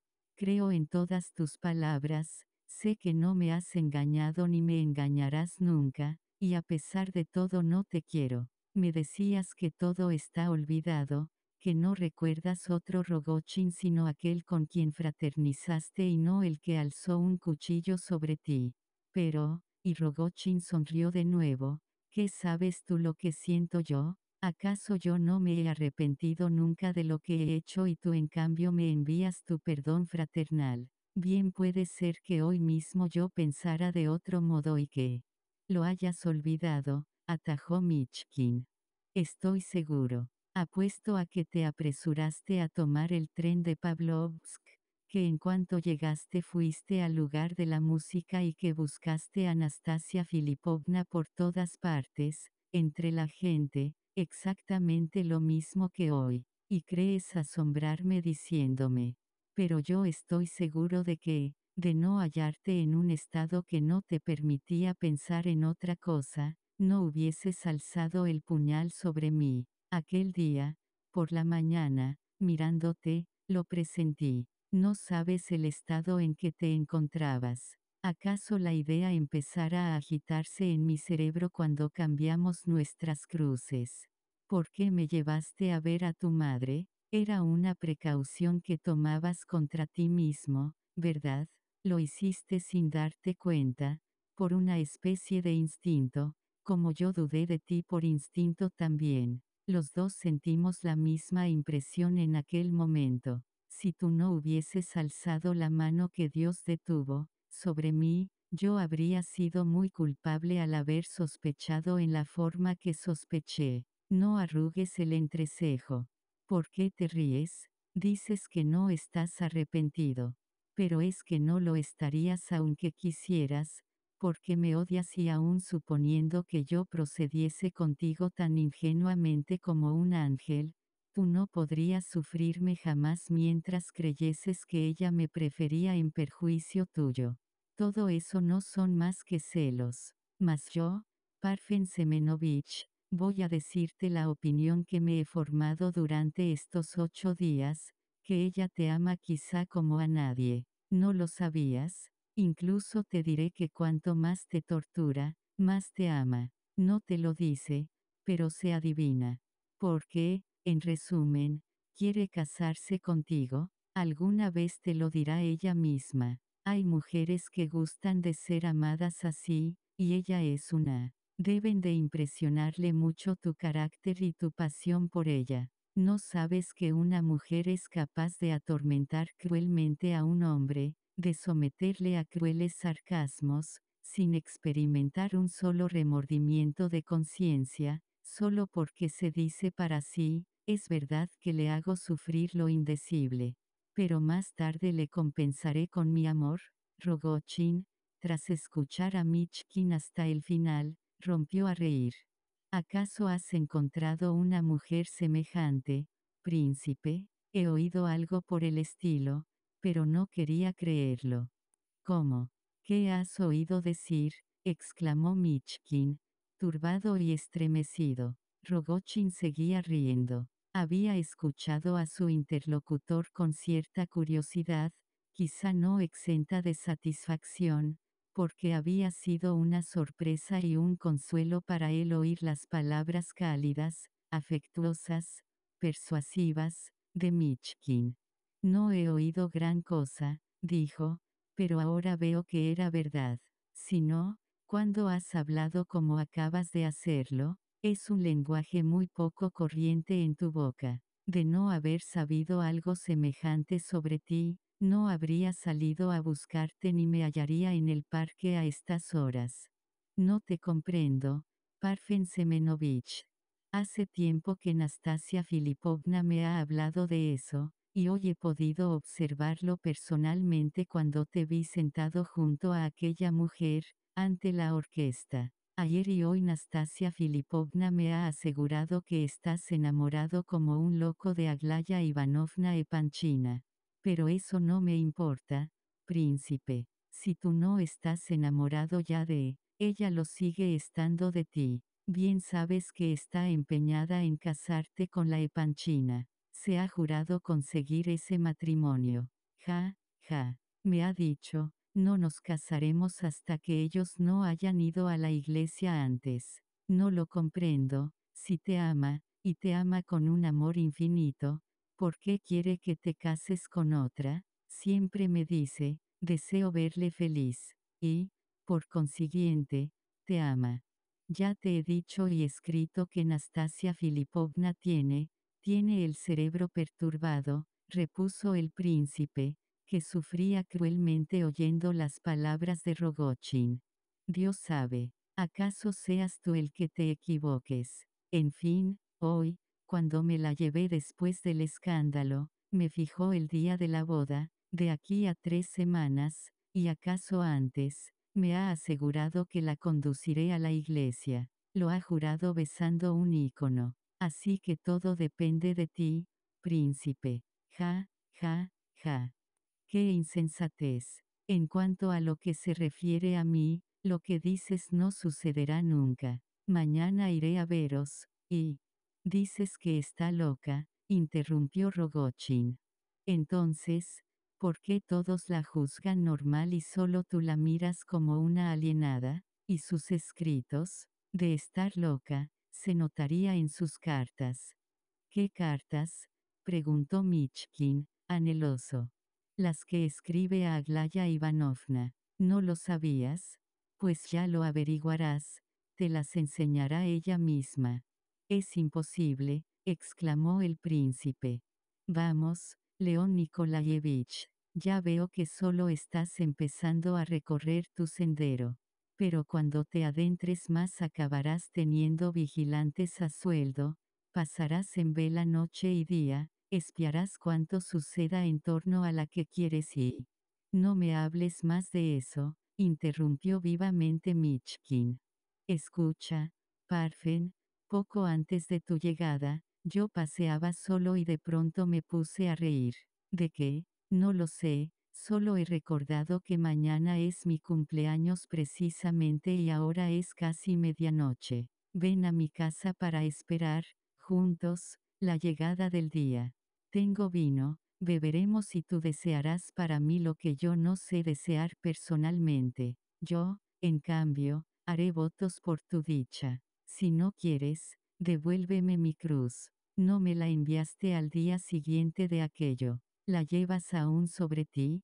Sí, respondió Rogochin. Bueno, acompáñame. Quiero que asistas al principio de mi nueva vida. Porque voy a inaugurar una existencia nueva. ¿No sabes, Parfen, que hoy ha empezado una vida nueva para mí? Lo veo y advierto que ha comenzado. No dejaré de decírselo a ella. No te hallas en tu estado normal, León Nikolayevich. Capítulo 4 Cuando se acercaba a su casa, Michkin quedó no poco maravillado al ver una numerosa y alegre reunión en su terraza, muy iluminada. Sonaban joviales risas, altas voces, incluso se advertían señales de animada discusión. No era difícil comprender que los reunidos pasaban el tiempo de un modo muy agradable. Al subir a la terraza encontraron, en efecto, a todos bebiendo champaña. Algunos estaban ya medio beodos, lo que daba a entender que la orgía había empezado rato atrás. Los circunstantes en su totalidad eran conocidos de Michkin, pero resultaba raro que hubiesen acudido de consuno, ya que él no había invitado a nadie y solo por casualidad recordó poco antes que era el día de su cumpleaños. Has dicho que invitabas a champaña y estos tipos, han acudido en tropel, gruñó Rogochin, mientras ascendían a la terraza. Los conozco. No hay que llamarlos a grandes voces para que aparezcan, añadió con acritud delatora de que recordaba un pasado harto reciente. Michkin fue acogido con gritos y enhorabuenas. Todos, Unos muy vehementes, otros mucho más tranquilos, le rodearon, anhelosos de felicitarle, ya que todos sabían que aquel era el aniversario de su natalicio. La presencia de ciertos visitantes, Burdovsky, sobre todo, asombró a Michkin, pero lo que le maravilló casi hasta el espanto fue ver a Eugenio Pavlovich entre los reunidos. Casi no concedía crédito a sus ojos. Lebediev se apresuró a acercarse al príncipe para darle explicaciones. Estaba muy rojo y no parecía del todo dueño de su serenidad. A través de sus confusas palabras, el príncipe comprendió que aquella gente se había congregado allí del modo más natural que pudiera darse. El primero en llegar, por la tarde, había sido Hipólito, quien, hallándose mucho mejor, resolvió esperar en la terraza, tendido en un diván, el regreso de Michkin. Sucesivamente se habían reunido en torno suyo Lebediev, con toda su familia, el general Ivolgin, Burdovsky, que acompañaba a Hipólito, Gania y Ptitsin, que cruzaron casualmente ante la casa. Su llegada había coincidido con la escena de Nastasia Filipovna y el oficial, Keller, quien manifestó lo del cumpleaños y reclamó el champaña ofrecido, y, en fin, Eugenio Pavlovich, quien solo llevaba allí media hora. Kolia, uniendo sus instancias a las de Keller, había insistido en que se celebrase a toda costa una pequeña fiesta. Lebediev, así apremiado, apresuróse a servir vino. Pero del mío, del mío, aseguraba a Michkin. Yo convido. Además tomaremos un bocado, mi hija lo está preparando ya. ¿Sabe lo que estamos discutiendo, príncipe? Recuerda la frase de Hamlet, ser o no ser, un tema contemporáneo, moderno. Preguntas y contestaciones. El joven Terentiev está muy animado. No quiere acostarse. No ha bebido más que champaña, y eso no puede perjudicarle. Acérquese, príncipe, y corte la discusión. Todos le esperaban, todos echaban de menos su luminosa inteligencia. Michkin percibió la bondadosa y dulce mirada de Vera Lukianovna Lebedieva, que avanzaba hacia él abriéndose camino entre los reunidos, y le tendió la mano antes que a nadie. Ella, enrojeciendo de contento, le deseó una vida feliz a partir de aquel mismo día. Luego corrió hacia la cocina, donde los preparativos de la colación exigían su presencia. Ya desde antes de que llegara Michkin había abandonado la cocina tantas veces como pudo, para escuchar las charlas que tenían lugar en la terraza, aunque en general versasen sobre temas abstractos y harto extraños a la joven. En la habitación contigua, la hermana de Vera dormía sobre un baúl, con la boca abierta. En cambio, el hijo de Lebediev, que se sentaba entre Hipólito y Colia, Habría pasado con gusto dos horas escuchando. La animación de su rostro mostraba su interés en lo que en torno suyo se debatía. Le esperaba con interés y celebro verle llegar tan satisfecho, dijo Hipólito a Michkin, quien, tras recibir la felicitación de Vera, se había aproximado al enfermo para estrecharle la mano. ¿Por qué sabe que estoy tan satisfecho? Preguntó el príncipe. Se le nota en la cara. Salude a esos señores y venga luego a sentarse a mi lado. Le esperaba con especial impaciencia, dijo Hipólito, con acento significativo. Habiendo manifestado Michkin su temor de que una velada tan larga pudiese hacer daño al enfermo, este contestó que le asombraba recordar que tres días antes había deseado morir, y que nunca se había sentido tan bien como esta noche. Burdovsky, incorporándose en su silla, manifestó que solo había venido para acompañar a Hipólito, que en su carta de días atrás reconocía haber escrito muchas necedades, y que ahora se encontraba sencillamente muy contento, y, sin acabar, estrechó con efusión la mano del príncipe y volvió a sentarse. Una vez que hubo cambiado cumplidos con todos, Michkin se acercó a Eugenio Pavlovich,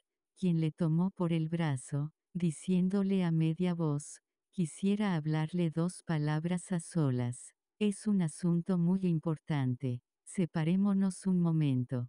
Dos palabras, cuchicheó otra voz al oído de Michkin, mientras otro brazo se deslizaba bajo el que el príncipe conservaba libre. Michkin distinguió, con sorpresa, un rostro muy encarnado, que reía y guiñaba los ojos bajo una despeinada masa de cabellos. Reconoció en el acto a Ferdchenko, el bufón, que surgía ahora de nuevo, Dios sabía de dónde.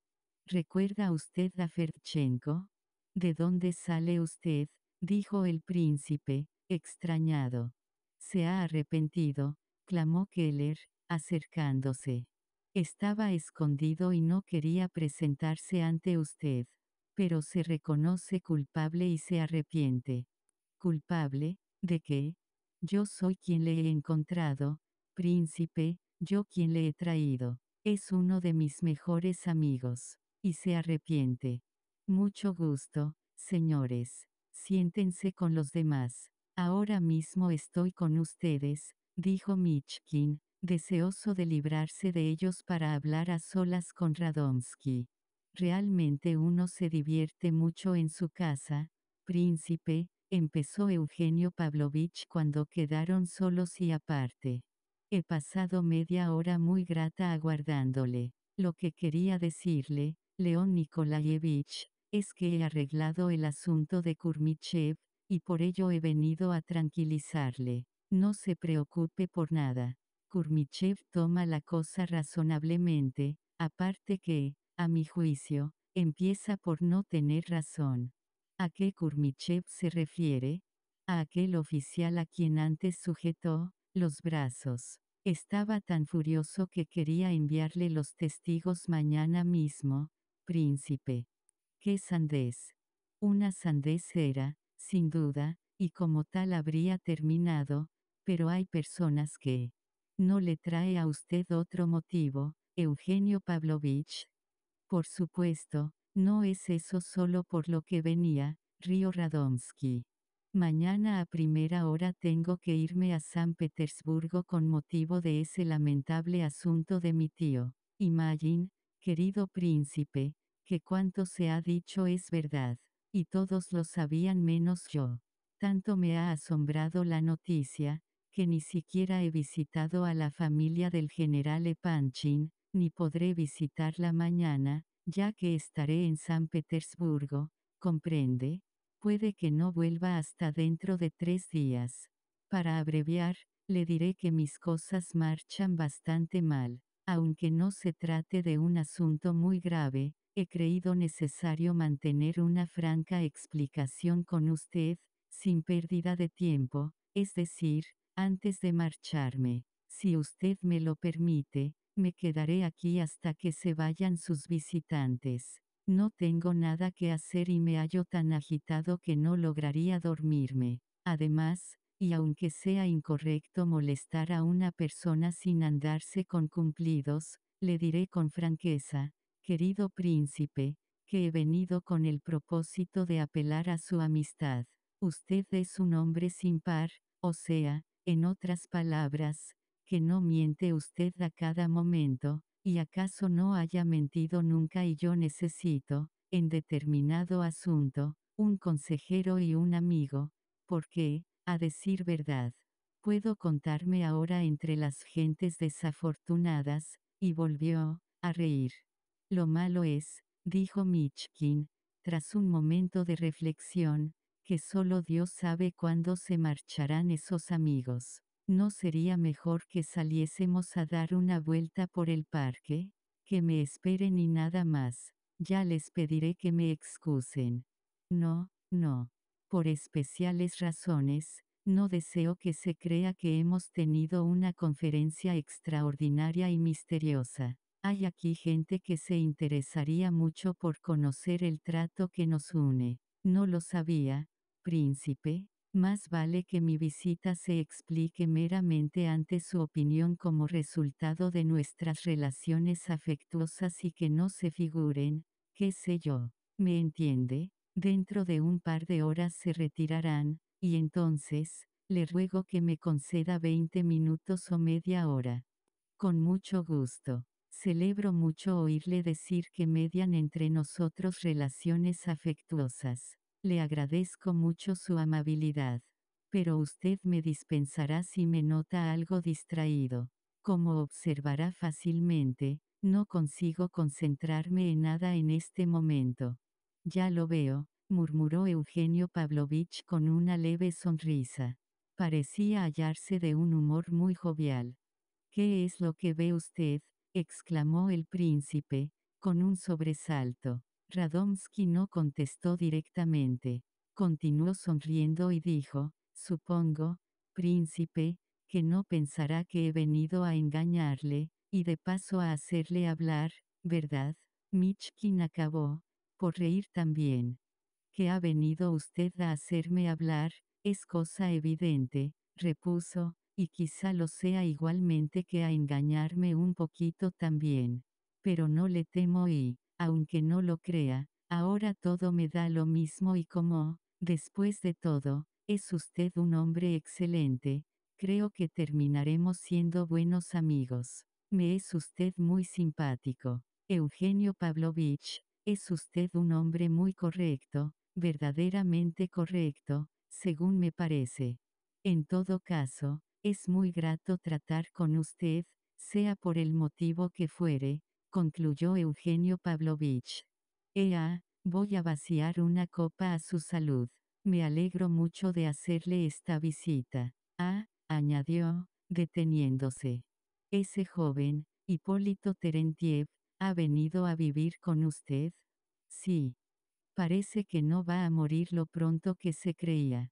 Y, nada, he pasado media hora charlando con él. Mientras ambos hablaban aparte, Hipólito, en espera de Michkin, no había dejado de observar a este y a Eugenio Pavlovich.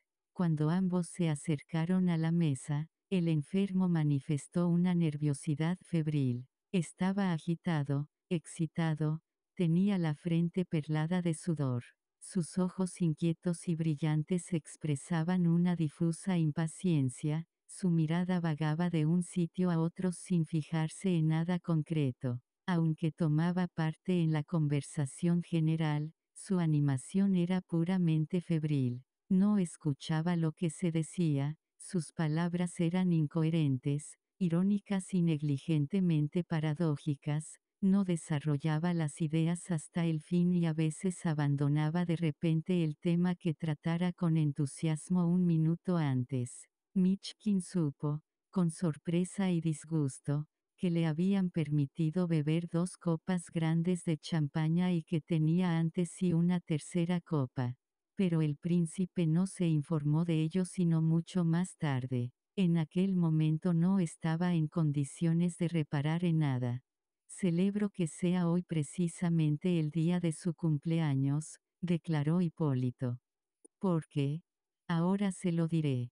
Pero siéntese. En primer lugar, porque toda su gente está reunida aquí. Yo lo esperaba así y, por primera vez en mi vida, no he sido defraudado en mis esperanzas. Pero siento no haber sabido que era su cumpleaños, pues, de saberlo, habría venido con algún regalo, aunque acaso se lo haya traído de todos modos. Ja, ja, ja. ¿Cuánto falta para que amanezca?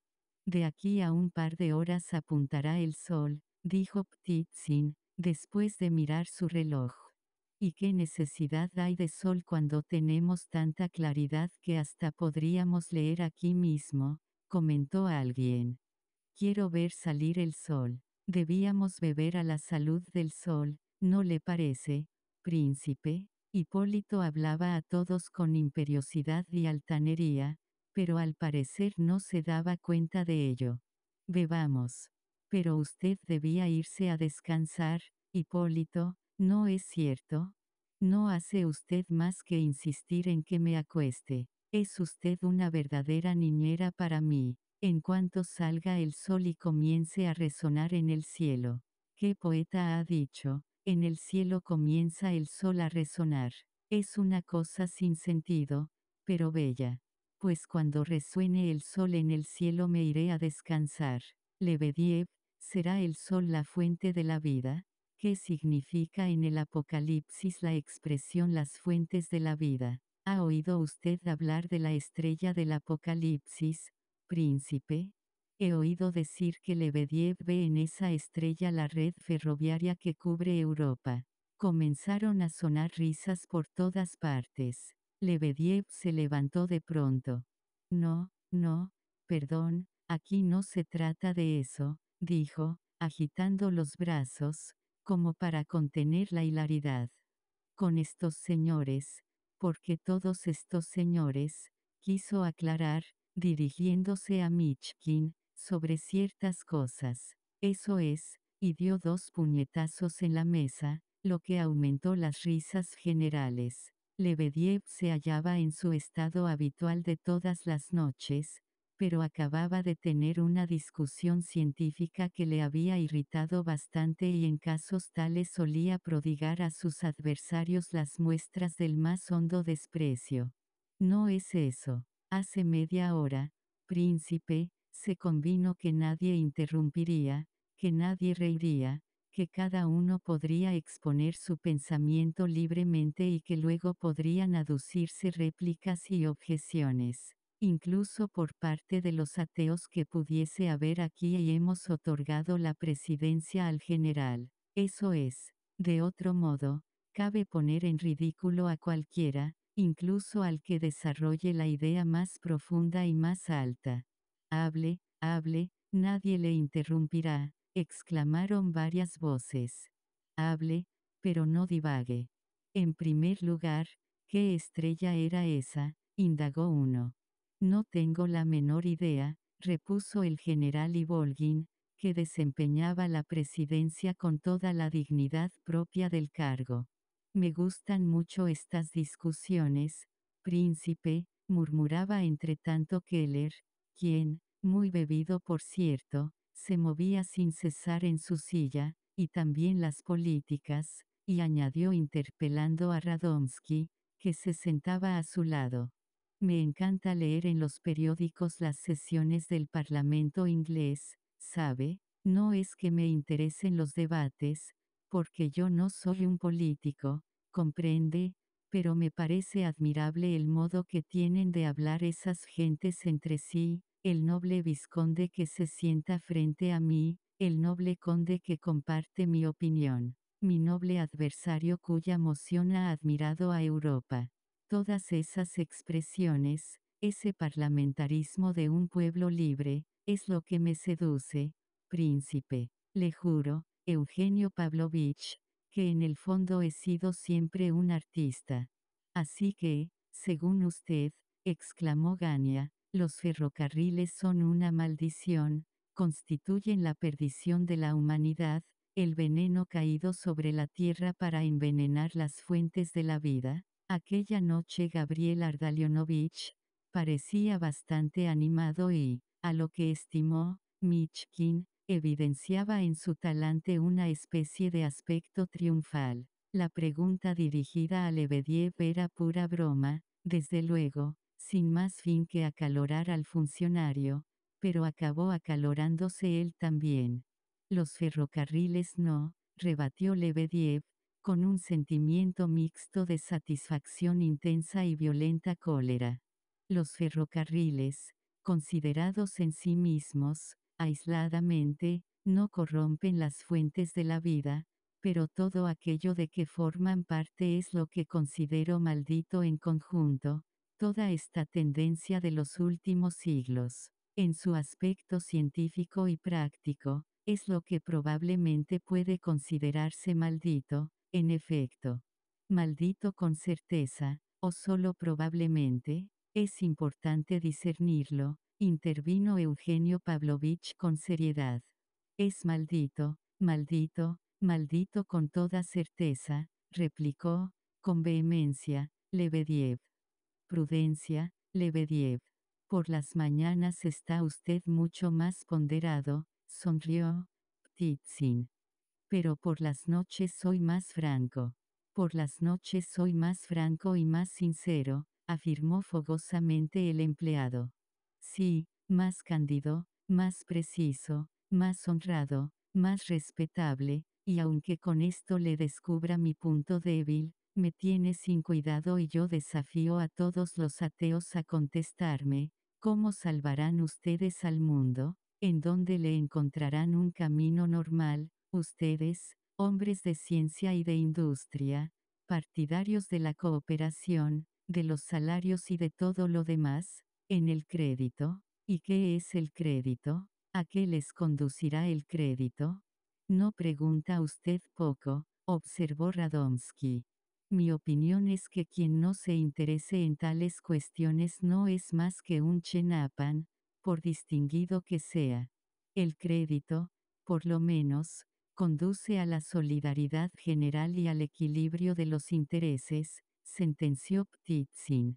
¿Y conseguirá usted eso solo con el crédito, sin recurrir a ningún principio moral? Fundándose exclusivamente en el egoísmo privado y la satisfacción del bienestar material, la paz y la felicidad universales dependen solo de la satisfacción de las necesidades, debo entenderlo así, Señor mío, la necesidad universal de vivir, comer y beber, y la convicción plena y científica de que solo se satisfarán esas necesidades mediante la asociación general y la solidaridad de intereses, es, me parece, una idea lo bastante sólida para ofrecer un punto de apoyo y una fuente de vida a la humanidad en los siglos venideros, dijo Gania, con calor. La necesidad de comer y beber o sea únicamente el instinto normal de conservación. Y no basta, el instinto de conservación personal es la ley común de la humanidad. ¿Quién le ha dicho semejante cosa? intervino súbitamente Eugenio Pavlovich. Esa es una ley, sin duda, pero una ley no más ni menos normal que la de la destrucción, e incluso la de la destrucción personal. ¿Acaso la única ley normal de la humanidad consiste en el instinto de personal conservación? Ah, exclamó Hipólito de repente y contempló a Radomsky con extraña mirada. Pero notando que Radomsky reía, rió él también, tocó a Colia con el codo y le preguntó nuevamente la hora. Después, cogió él mismo el reloj de plata de su amigo y examinó las manecillas con ansiedad. Luego, como olvidándolo todo, Hipólito se tendió en el diván, Púsose las manos cruzadas tras la cabeza y miró al cielo. Medio minuto más tarde se incorporó, sentóse en una silla ante la mesa y prestó oído a las palabras de Lebediev, que rebatía apasionadamente la paradoja de Eugenio Pavlovich. Es una idea pérfida y burlona, una idea insidiosa e hiriente, vociferaba el funcionario. Ha sido lanzada aquí como una manzana de discordia, y, sin embargo, es justa. Usted, oficial de caballería e irónico hombre de mundo, a pesar de lo cual no está desprovisto de inteligencia, no sabe bien lo verdadera y profunda que su idea es. Sí, la ley de conservación personal y la de destrucción personal son igualmente poderosas en el mundo el diablo seguirá conservando su imperio de siempre sobre la humanidad hasta un momento y un límite que no son desconocidos todavía. Se ríe, ¿no cree usted en el diablo? Pues yo le digo que la incredulidad en el diablo es una idea francesa, y un concepto frívolo. ¿Sabe usted quién es el diablo? ¿Sabe cómo se llama? Pues, no obstante, sin saberlo, se burla usted de su forma, a ejemplo de Voltaire, de sus patas ganchudas, de su cola, de sus cuernos, de todo eso que ustedes han inventado. En realidad, el demonio es un espíritu amenazador y potente y no tiene cuernos ni cola, ustedes son quienes le atribuyen esos detalles. Pero ahora no se trata de él. ¿Y, por qué sabe usted que no se trata de él ahora? preguntó Hipólito, con una risa convulsiva. La idea es sutil e invita a pensar, aceptó Lebediev, pero tampoco se trata de eso. Se discutía si hemos debilitado o no las fuentes de la vida con la extensión de los ferrocarriles, sugirió vivamente Colia. No precisamente de los ferrocarriles, impetuoso joven, sino en general con la tendencia de la que los ferrocarriles pueden ser considerados símbolo y expresión. Se nos asegura que ellos, al apresurarse, al precipitarse, al correr, trabajan por la dicha humana. La humanidad es ya demasiado industrial y demasiado agitada, deplora un pensador solitario. Sí, pero el fragor de los vagones que llevan pan a la humanidad hambrienta vale más que la tranquilidad de espíritu, replica triunfalmente otro pensador, del que hallamos ejemplares en todas partes y después continúa su camino, satisfecho. Pero yo, el despreciable Lebediev, no creo en los vagones que transportan pan para la humanidad. Porque, si les falta un principio moral de la acción, los vagones que transportan pan, pueden, fríamente, privar de él a parte de la humanidad, como ya se ha visto que sucede a veces. Son los vagones los que privan fríamente, insinuó uno. Lebediev no se dignó atender la interrupción. Se ha visto ya, repitió. Malthus se consideraba un amigo de la humanidad. Pero, cuando tiene principios morales inciertos, el más amigo de la humanidad es un antropófago, aún prescindiendo de hablar del desprecio con que la mira. Si quieren verlo, hieran la vanidad de uno de esos innumerables filántropos y verán cómo, para vengar su minúsculo amor propio, será capaz de prender fuego al mundo por sus cuatro costados y para ser justos. Hemos de confesar que todos somos lo mismo. Yo personalmente soy el más infecto de todos, sería capaz de acarrear el combustible y huir luego para ponerme a salvo. Pero tampoco se trata de eso. Pues entonces, ¿de qué? Es usted un cargante. Se trata de la anécdota siguiente, una anécdota de antaño, porque creo absolutamente necesario citar una ocurrencia de otros tiempos. En nuestra época, en nuestra patria, que, según creo, señores, ustedes aman tanto como yo, y por la cual, en lo que me concierne, estoy dispuesto a verter hasta la última gota de mi sangre. Al grano, al grano. En nuestra patria, como en Europa, terribles y generales hambres visitan la humanidad a épocas fijas. A lo que puedo recordar, ahora no se presentan sino cada cuarto de siglo, o, en otros términos, una vez cada 25 años. No discuto la exactitud absoluta de la cifra, lo esencial es que esas hambres son relativamente raras. Relativamente, ¿a qué? A las del siglo XII y a los anteriores y posteriores a él. Porque entonces, según aseguran los historiadores, las grandes escaseces sobrevenían cada dos o tres años, hasta el punto de que, dado tal estado de cosas, el hombre solía recurrir hasta la antropofagia, si bien, eso es cierto, a escondidas. Pues bien, uno de esos caníbales, al llegar a una edad avanzada, declaró espontáneamente y sin que le obligasen, que en el curso de su larga y mísera vida había personalmente dado muerte y devorado en el más profundo secreto a 60 monjes y a algunos niños seglares. El número de estos no pasaba de seis, es decir, que resultaba insignificante en comparación al enorme número de eclesiásticos consumidos por aquel hombre. Respecto a los adultos seglares, se supo que no los tocaba jamás. Es imposible que eso sea cierto, exclamó el general, casi enojado. Suelo discutir con Lebediev a menudo, señores, y siempre sobre cosas de ese jaez, y no hace nunca sino contar absurdidades que molestan a todos los oídos. Lo que ha dicho no tiene la menor apariencia de verdad. Pues, y tu asedio de Kars, general y ustedes señores, deben saber que mi anécdota es rigurosamente verídica. Quiero advertirles, de paso, que la realidad, aunque sometida a leyes invariables, casi siempre parece inverosímil. A veces una cosa es tanto más real cuanto más inverosímil parece.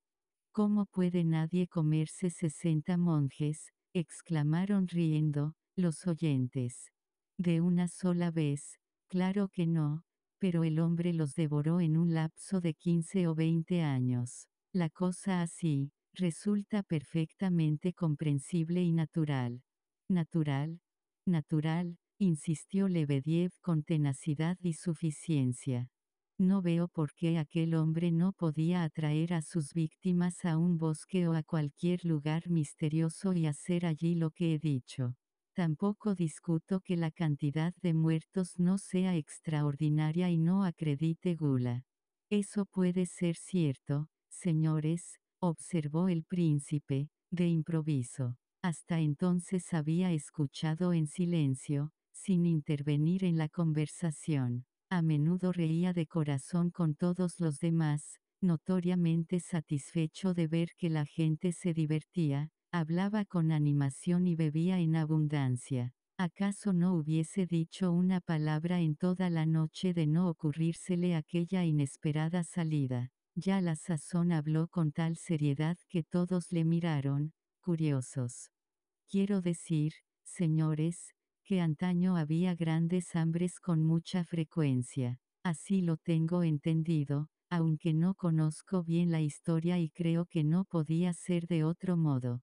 Cuando yo vivía en Suiza miraba con estupor las ruinas de antiguos castillos feudales encaramados sobre rocas escarpadas, a media versta de altura como mínimo en línea vertical lo que significa varias millas de senderos tortuosos para llegar hasta ellos. Ya saben lo que es un castillo, una montaña de piedras, un trabajo tremendo, increíble. Los que los construían eran los siervos. Además, debían pagar toda clase de impuestos y mantener a sus señores. ¿De qué vivirían? Pues, y cuándo encontrarían tiempo para dedicarse a las labores de la tierra en provecho propio, es seguro que pocos debían cultivarla y que los más debían perecer de hambre. Lo que yo me pregunto con frecuencia es cómo la gente ha podido resistir, sin ser aniquilada, tanta miseria. Lebediev no se ha engañado ciertamente al decir que entonces debía de haber antropófagos, y en gran número. Pero, esto admitido, quiero preguntarle, ¿cuál es su conclusión? Lebediev, hablaba con seriedad al dirigirse al funcionario, de quien todos se mofaban, y su tono, exento de toda ironía, contrastaba cómicamente con el de los demás. De seguir así, corría el riesgo de que incluso se burlasen de él, mas no lo advertía. Radomski se inclinó hacia Michkin y le cuchicheó al oído, ¿no ve usted que ese hombre está loco, príncipe? Antes me ha dicho que le atrae la profesión forense y que piensa examinarse de abogado. Habrá que verlo. Mi conclusión, dijo Lebediev, con voz tonante, contiene la respuesta a uno de los mayores problemas de antaño y de hogaño. El culpable concluyó entregándose a las autoridades. Dadas las costumbres de entonces, qué torturas no le esperaban, qué instrumentos de suplicio no se ofrecían ante él, qué le impulsó a denunciarse. ¿Por qué no se detuvo meramente en la cifra de 60 víctimas, ocultando el secreto hasta la hora de su muerte? no podía dejar en paz a los monjes e ir a hacer penitencia en un desierto, pero esta es la clave del enigma. Para él había algo más fuerte que los suplicios, la rueda, el fuego, el potro, algo más fuerte que una costumbre de 20 años, un sentimiento íntimo más poderoso que todas las calamidades de entonces como el hambre, las torturas, la lepra, una idea que, guiando los corazones y ampliando las fuentes de la vida, hacía soportable a la humanidad aquel infierno.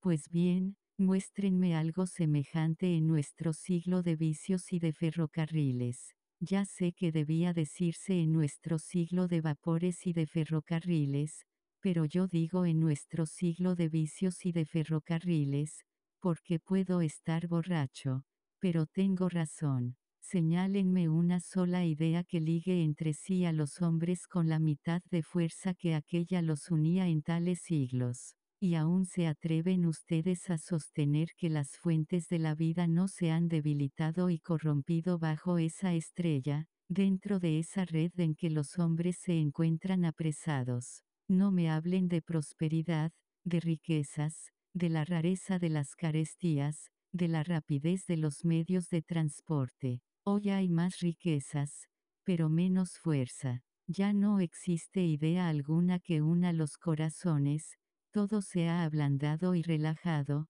todo está lisiado y nosotros también. Todo, todos. Pero en fin, no se trata tampoco de eso, respetable príncipe.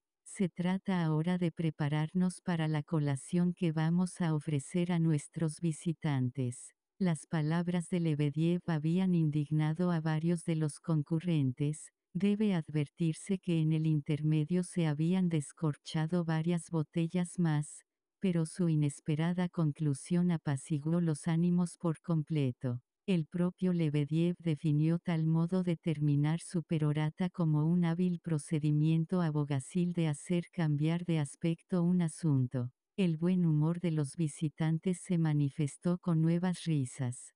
Todos, levantándose, comenzaron a pasear por la terraza para desentumecer los miembros. Solo Keller se manifestó descontento y extremadamente agitado cuando Lebediev acabó su discurso. Iba de uno a otro, exclamando con fuerte voz, es monstruoso. Ataca la cultura, elogia el atraso del siglo XII, hace espavientos a todo y, sin embargo, es un hombre puro, ¿Quieren decirme cómo se ha arreglado para comprar esta casa? En otro rincón, el general Ivolgin peroraba ante un grupo de oyentes, dirigiéndose en particular a Ptitsin, a quien había cogido por un botón de la levita. He conocido, decía, a un verdadero intérprete del Apocalipsis, el difunto Gregorio Semenovich Burmistrov. Era un hombre que traspasaba los corazones como un dardo de fuego. Poníase lentes, abría un enorme libro encuadernado en negro, y ello, y su barba blanca, y las dos medallas que pregonaban sus actos caritativos, añadían más prestigio a su persona. Comenzaba a hablar en tono severo. Los generales se inclinaban ante él, las damas se desmayaban. Pero este tipo concluye su discurso con el anuncio de un ágape. Eso rebasa todos los límites. Ptitsin, cuando cayó el general, hizo ademán de buscar su sombrero, pero, si había pensado marcharse ello fue una idea fugaz, ya que no la llevó a efecto. Antes de que los reunidos se levantaran de la mesa, Gania había dejado de beber y apartado su vaso. Una sombra se extendía sobre su rostro. Luego, levantándose también, fue a sentarse junto a Rogochin. Dijérase que existían entre los dos las más amistosas relaciones. Rogochin, que al principio había estado a punto de marcharse sin que los demás lo notaran, permanecía ahora sentado, inmóvil, con la cabeza baja, olvidado de su proyecto de irse. Durante toda la velada no bebió una gota de vino y se le veía sumido en hondas reflexiones. Solo de cuando en cuando alzaba la vista y examinaba a los presentes. Parecía como si esperase algo muy importante para él y dijérase que únicamente tal espera le había decidido a no retirarse. Mitchkin solo había bebido dos o tres vasos de champaña y en consecuencia no se encontraba sino muy moderadamente alegre. Al levantarse de la mesa sus ojos hallaron los de Radomsky, y, recordando la explicación que debía tener con él, sonrió con gentileza. Eugenio Pavlovich hízole una indicación con la cabeza, mostrándole a Hipólito que dormía tendido en el diván. Dígame, Príncipe, ¿por qué este condenado mozo ha venido a su casa? preguntó Radomski, con evidente malicia. Apuesto a que trama alguna cosa. He observado, o al menos creído observar, repuso Michkin, que usted, hoy, se preocupa mucho de Hipólito. Es así, Eugenio Pavlovich. A lo que puede añadirse que, dada mi situación personal, debía preocuparme de otras cosas. Yo mismo me extraño de que esa desagradable fisonomía atraiga invenciblemente mi atención desde el principio de la noche. Yo opino que tiene una cabeza muy hermosa. Mire, mire, exclamó Radomski, haciendo el brazo del príncipe. Mire, Michkin examinó a su interlocutor con redoblada extrañeza. Capítulo B. Chica Hipólito, que se había dormido cuando Lebediev llegaba al fin de su discurso, despertó de pronto como si alguien le hubiese descargado un golpe en el pecho. Se estremeció, incorporóse, miró en torno suyo y palideció. Sus ojos se pasearon por los rostros de los circunstantes con cierta expresión de inquietud, y cuando la memoria y la reflexión volvieron a su mente, no fue ya inquietud, sino terror, lo que reflejó su semblante.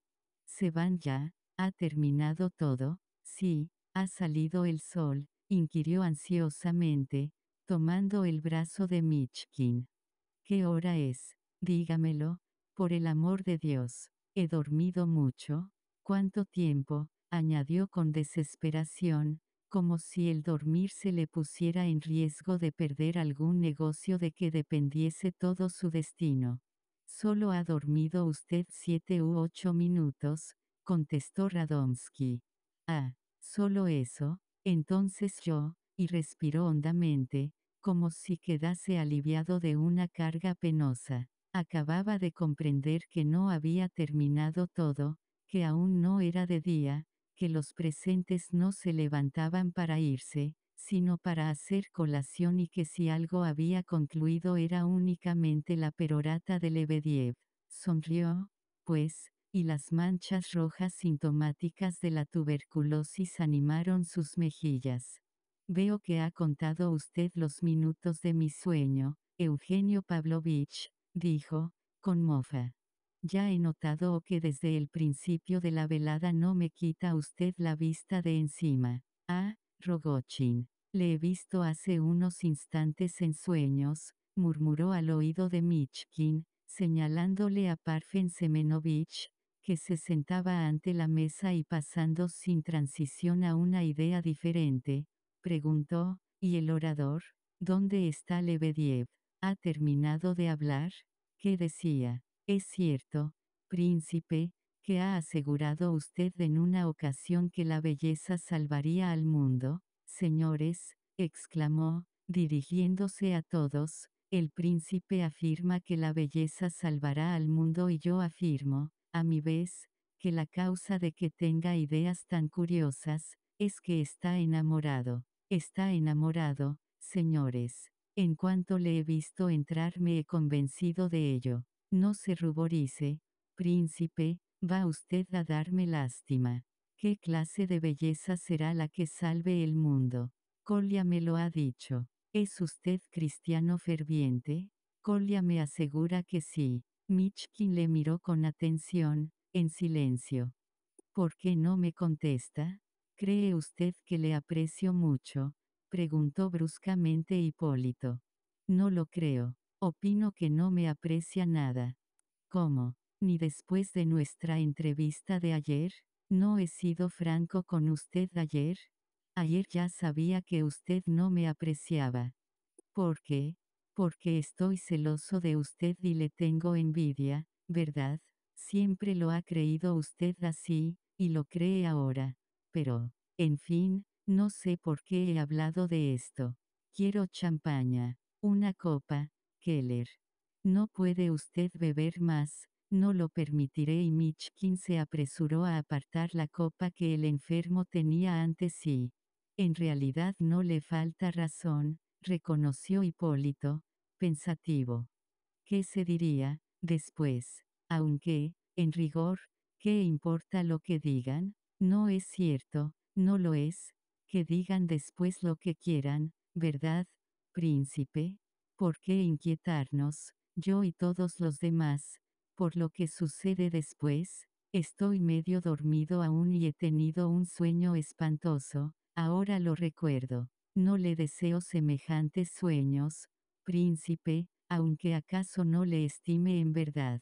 Pero que no se estime a un hombre no es razón para desearle mal, ¿eh? ¿Y por qué haré estas preguntas? Me paso la vida preguntando. Deme la mano, quiero estrechársela con calor, así. Me ha tendido usted la mano, de modo que sabía que yo iba a estrechársela sinceramente. Bien, no beberé más. ¿Qué hora es? Pero no es preciso que me lo digan, bien sé la hora que es. Ha llegado la hora. Este es el momento. ¿Van a servir la comida en aquel rincón? ¿Queda libre esta mesa? Muy bien, señores, yo. Veo que no escuchan. Me proponía leerles una cosa, príncipe. La comida es sin duda muy interesante, pero, y de pronto, entre la sorpresa general, Hipólito sacó del bolsillo de su levita un fajo de papel, cerrado con un enorme sello rojo y lo puso en la mesa, ante sí. Aquella insólita circunstancia produjo mucho efecto. Los reunidos esperaban algo raro, pero no de tal estilo. Eugenio Pavlovich se agitó en su silla. Gania se precipité hacia la mesa y Rogochin hizo lo mismo, con una expresión como de airado enojo, tal que si le constara la finalidad de la escena. Lebediev, que estaba junto a Hipólito, se acercó más, mirando el fajo de papel con sus ojillos curiosos, cual si quisiera adivinar de qué se trataba. ¿Qué le pasa? preguntó Michkin al joven, con inquietud. Cuando salga el sol descansaré, príncipe, ya lo he dicho. Palabra de honor, repuso Hipólito. Ya lo verá. Pero es posible que no se me crea capaz ni de abrir este paquete, añadió, paseando indistintamente sobre todos una mirada de desafío. Michkin notó que el pobre muchacho estaba algo tembloroso. Ninguno de nosotros lo supone así, manifestó. ¿Cómo se le ocurre una idea tan extraña? ¿Qué sucede, Hipólito? ¿Qué le pasa? ¿Qué ocurre? inquirían los visitantes y todos se acercaron, a pesar de que algunos habían empezado ya a comer. El paquete y su sello rojo parecían ejercer un influjo magnético sobre todos. Yo he escrito esto ayer, después de prometerle venir a su casa, príncipe. Este trabajo me ha ocupado todo el día de ayer y parte de la noche. Lo terminé por la mañana. Me dormí poco antes de alborear, y tuve un sueño. No valdría más dejarlo para mañana, sugirió el príncipe con timidez. Mañana no habrá tiempo, e Hipólito rió histéricamente. Pero no se preocupen, mi lectura solo durará 40 minutos o, a lo sumo, una hora. Fíjense cómo se ha despertado la curiosidad general, todos se acercan, miran el envoltorio. Si yo no hubiese puesto el escrito bajo sobre, el efecto habría sido nulo. Lo que es el misterio. ¿Lo abro o no? Señores? interrogó, riendo como antes. Un secreto, un secreto. Recuerda, príncipe, quien dijo que ya no habría tiempo, lo profetizó en el Apocalipsis un ángel grande y poderoso. Vale más no leer eso, declaró Radomski, con inquieta expresión que extrañó a algunos. No lo lea, apoyó Michkin, poniendo la mano sobre los papeles. No es momento de lecturas, comentó alguien. Ahora vamos a comer. Un artículo destinado a alguna revista, inquirió otro. Seguramente será aburrido, acrecentó un tercero. ¿Pero qué es? preguntaban los demás. La inquietud que revelaba el ademán de Michkin pareció contagiar al propio Hipólito. Así, no leo, dijo al príncipe en voz baja, con una sonrisa forzada que crispó sus labios lívidos. No leo, insistió envolviendo a todos en una mirada donde se leía el ardiente deseo de desahogarse y luego, dirigiéndose otra vez a Michkin, interrogó, ¿tiene usted miedo? ¿De qué? replicó el interrogado, cuya expresión cambió de un modo evidente. Hipólito se alzó bruscamente, como si le hubiesen arrancado de su asiento. Hay quien tenga una pieza de 20 copex, o una moneda pequeña cualquiera, preguntó. Tome, repuso Lebediev, ofreciendo una a Hipólito, y pensando que el joven debía haber enloquecido. Vera Lukianovna, dijo Hipólito con animación, tome esta moneda y arrójela al aire, sobre la mesa. Vamos a decidir a cara o cruz. Si sale cruz, Leo. La joven, alarmada, miró sucesivamente la moneda, a Hipólito y a su padre. Luego hizo lo que le decían, muy turbada y levantando los ojos, como si fuese cosa prohibida mirar la moneda. Esta cayó sobre la mesa, era cruz. La decisión de la suerte pareció consternar a Hipólito. Hay que leer, exclamó, pálido como si acabase de serle notificada su sentencia de muerte. Guardó silencio durante unos segundos y luego, estremeciéndose y mirando con singular expresión de franqueza a quienes le rodeaban, continuó, ¿qué es esto? ¿Es posible que yo acabe de jugar mi suerte a cara o cruz? Es una particularidad psicológica sorprendente, exclamó hablando a Michkin con acento delator de una extrañeza profunda, y, como una persona que recobra la conciencia de sí misma, prosiguió, con animación, es, es inconcebible. Tome nota de esto, príncipe, ya que usted, según me han dicho, recoge datos relativos a la pena de muerte. Ja, ja, ja. Qué absurdo, Dios mío. Se sentó en el diván, acodóse en la mesa y apoyó la cabeza en las manos. Es casi una vergüenza. Pero, ¿qué más da que lo sea? añadió, casi en el acto, levantando el rostro y enseguida, con súbita resolución, anunció, voy a rasgar el sobre, señores. Pero conste que no obligo a nadie a escuchar. Sus manos temblaban de emoción mientras abría el paquete, del que sacó varias hojas pequeñas de papel de cartas cubiertas de una apretada escritura. Una vez puestas ante él, comenzó a ordenarlas. ¿Qué es eso? ¿Qué pasa? ¿Qué va a leernos? murmuraban algunos, malhumorados. Los demás callaban. Todos atendían con curiosidad. ¿Acaso esperasen realmente algo extraordinario? Vera, inmóvil tras la silla de su padre, casi lloraba de temor. Kolya no estaba menos inquieto que la joven Lebediev, que ya se había sentado, incorporóse a medias, y acercó las luces a Hipólito para que leyese mejor. Ahora verán lo que es esto, señores, dijo el muchacho iniciando la lectura, Explicación necesaria lema, après moi le déluge. El diablo me lleve, exclamó vivamente, con un movimiento tal como el que haría de haberse quemado. ¿Es posible que se me haya ocurrido un lema tan tonto? Atención, señores. Les aseguro que, en resumen, puede que esto no sea sino una colección de monstruosas sandeces. Se trata solo de ideas personales. Si creen ustedes que hay aquí algo de misterioso, de, en una palabra, de prohibido. Lee sin más preámbulos, atajó Gania. Cuánta afectación, añadió otro. Demasiadas palabras, apoyó Rogochin, hablando por primera vez en aquella noche. Hipólito le miró.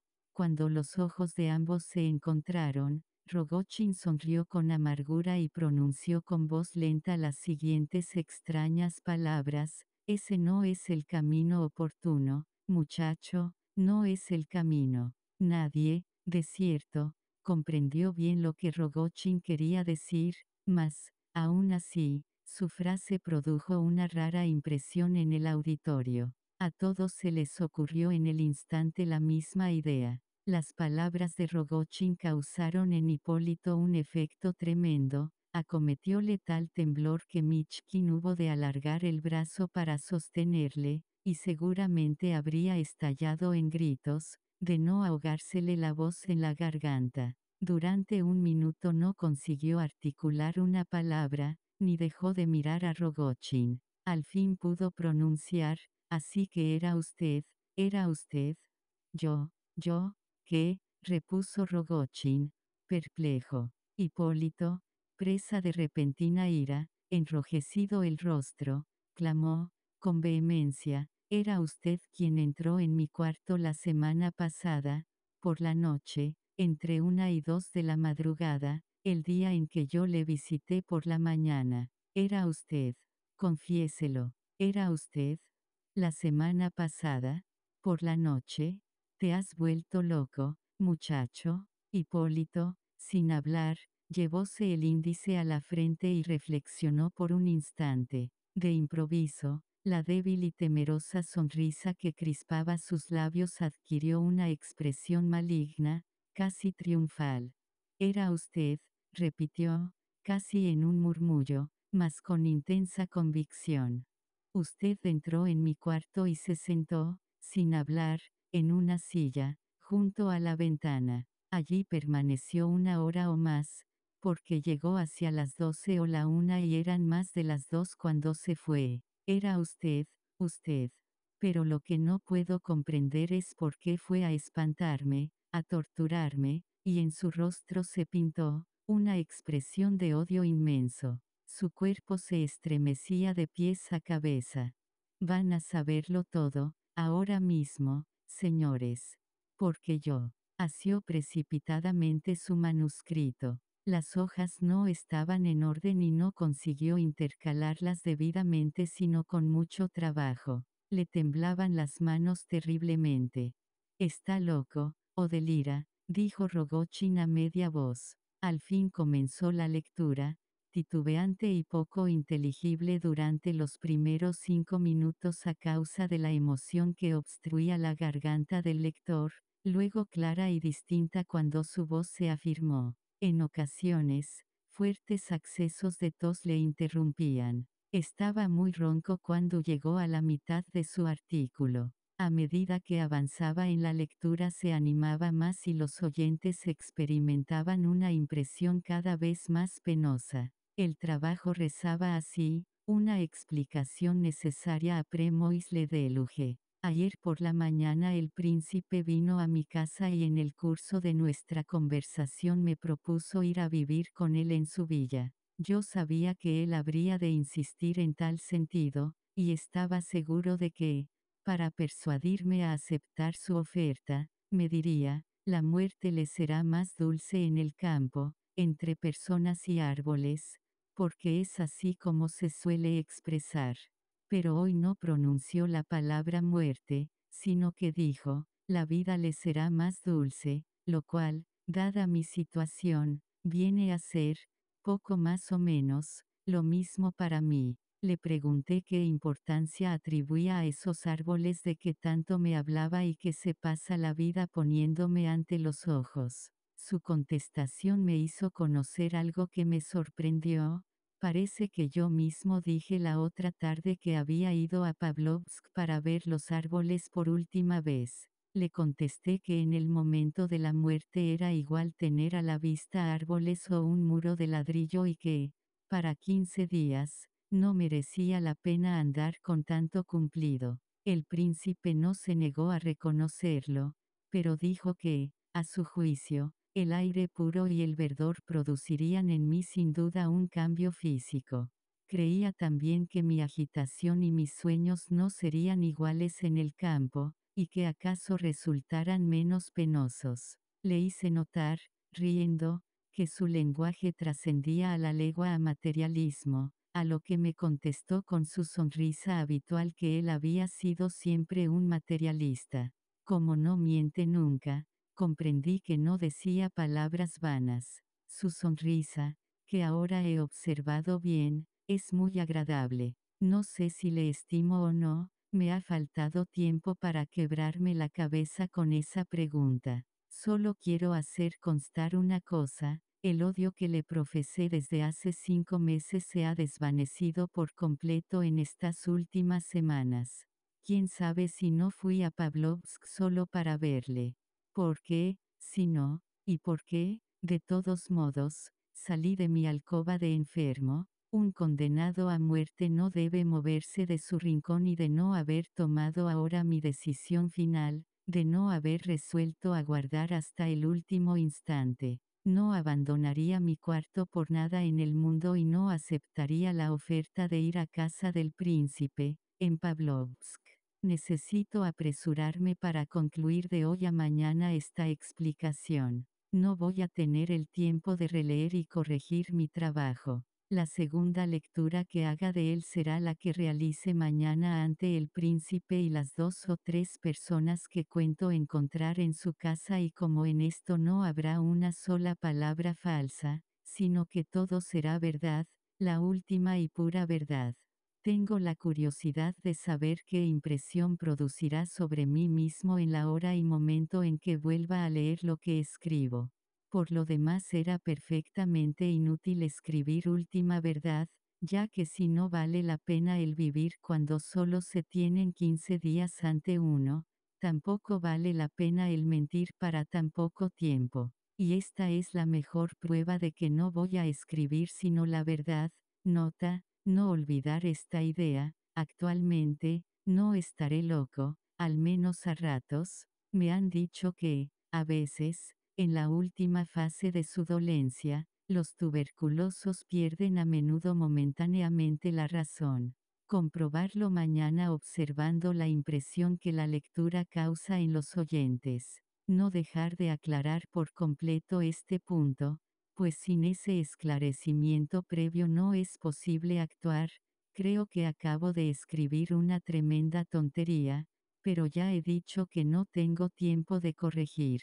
Aunque observe que me contradigo de una línea a otra, no haré la menor corrección. No cambio nada, adrede, porque deseo comprobar mañana si sigo un curso lógico en mis pensamientos y si reparo en mis errores. De ser así, puedo dar por exactas todas las conclusiones que he formulado razonando desde hace seis meses en esta habitación. En otro caso, sabré que no son más que delirios. Si hace dos meses fuera, como ahora, a dejar en definitiva esta habitación y despedirme del muro de Meyer, tengo la certeza de que me habría entristecido. Pero ahora no siento nada, aunque mañana voy a abandonar para siempre la habitación y el muro. Así, pues, mi convicción de que, para dos semanas que faltan, no merece la pena lamentar nada ni entregarse a una impresión cualquiera, ha triunfado de mi carácter y acaso desde ahora domine todos mis sentimientos. Pero ¿es esto verdad? ¿Es cierto que mi carácter y naturaleza están totalmente vencidos? Si en este momento me sometieran a tortura, sin duda comenzaría a gritar en vez de decir que el sufrimiento es insignificante cuando solo quedan 15 días de vida. Ahora bien, ¿es cierto que solo me quedan 15 días de vida? La otra tarde, en Pavlovsk, falté a la verdad. Botkin no me dijo nada, ni me reconoció nunca. Hace una semana me visitó un estudiante de medicina llamado Kislorodov, hombre materialista, nihilista e incrédulo.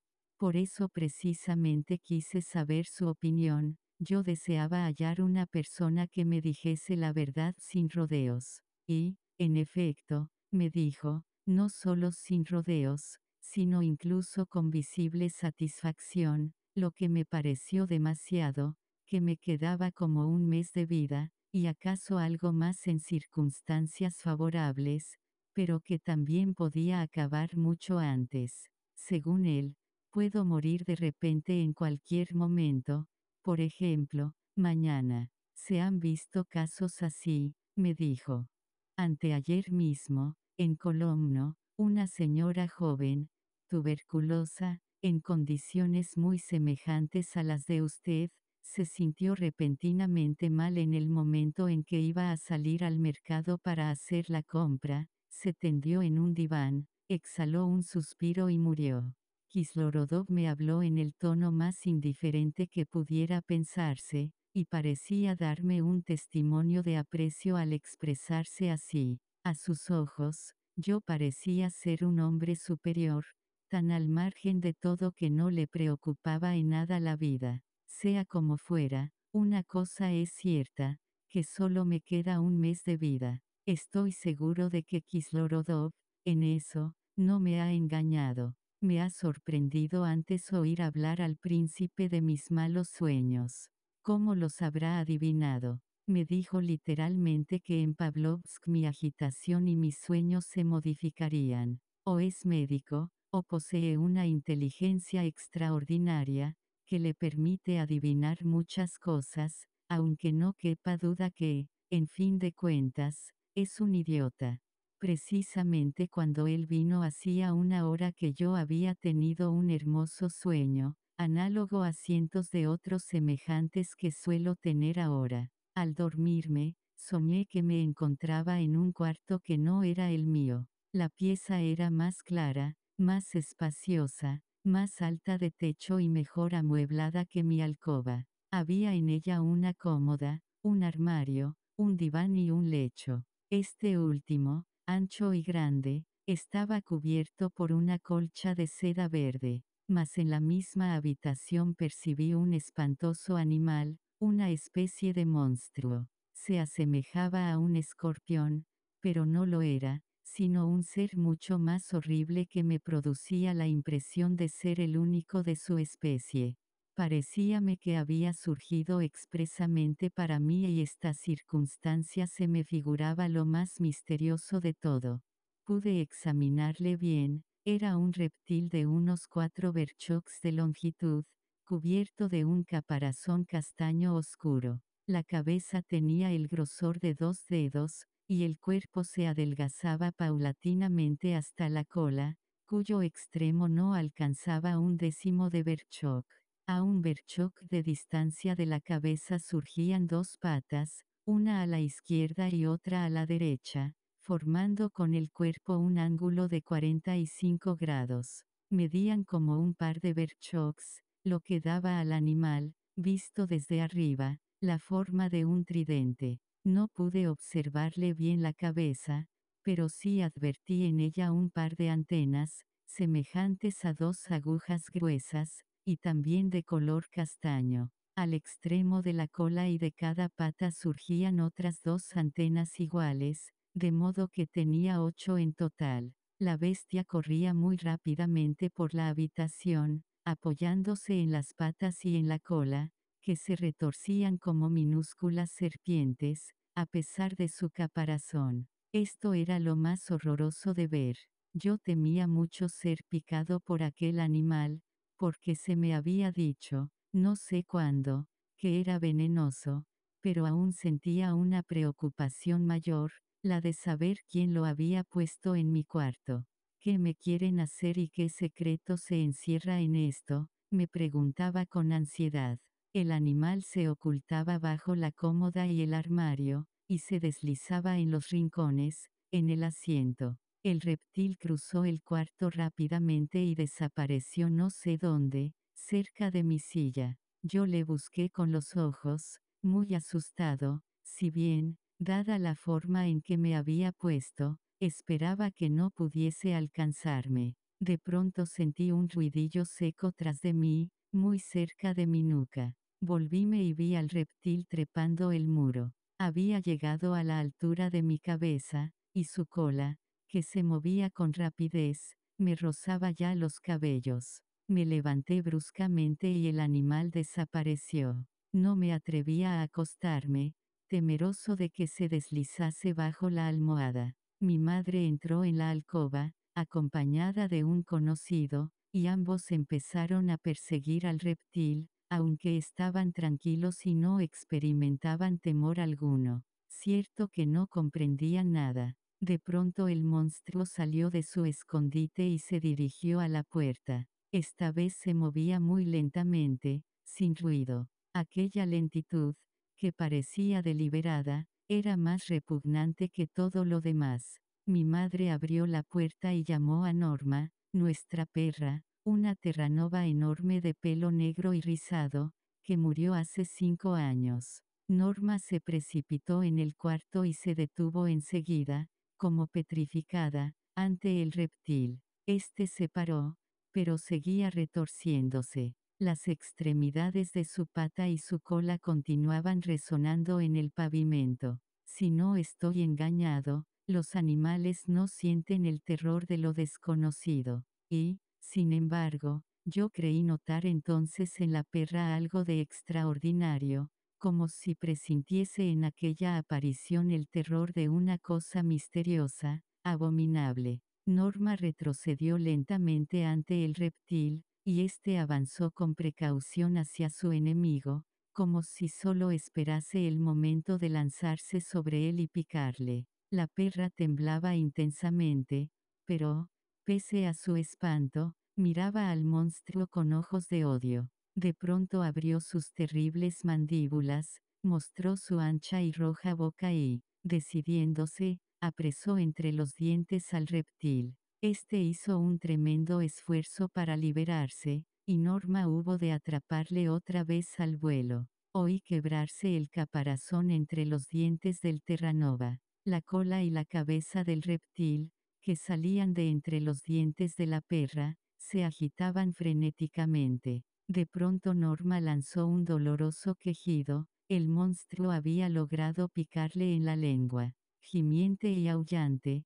la pobre perra abrió las mandíbulas, y vi al reptil que, partido por la mitad, se agitaba aún, vertiendo de su cuerpo roto, sobre la lengua del Terranova, un líquido blanco semejante al que sale de una cucaracha aplastada, entonces me desperté y el príncipe entró. Hipólito, confuso, se interrumpió súbitamente.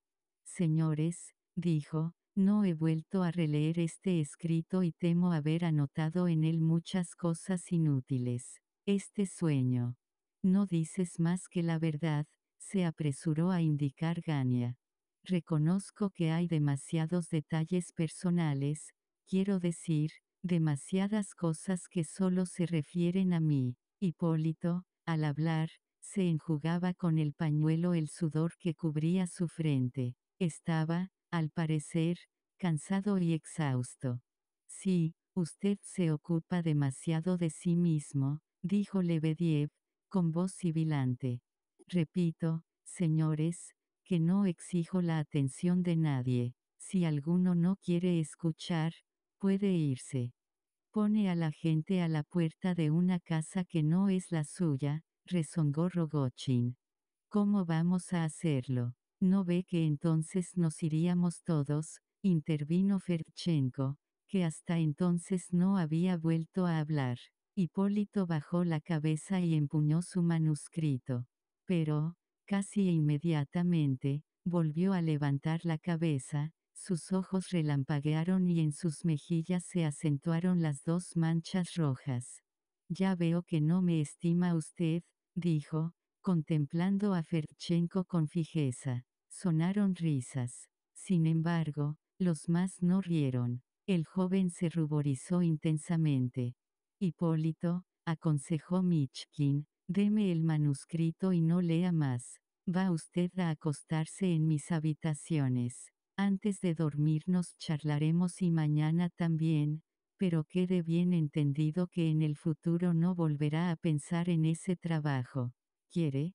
¿Lo cree posible? repuso Hipólito, con aspecto de profunda extrañeza, y añadió, con animación febril, Señores, este ha sido un lance tonto, no he sabido comportarme, no volveré a interrumpir la lectura.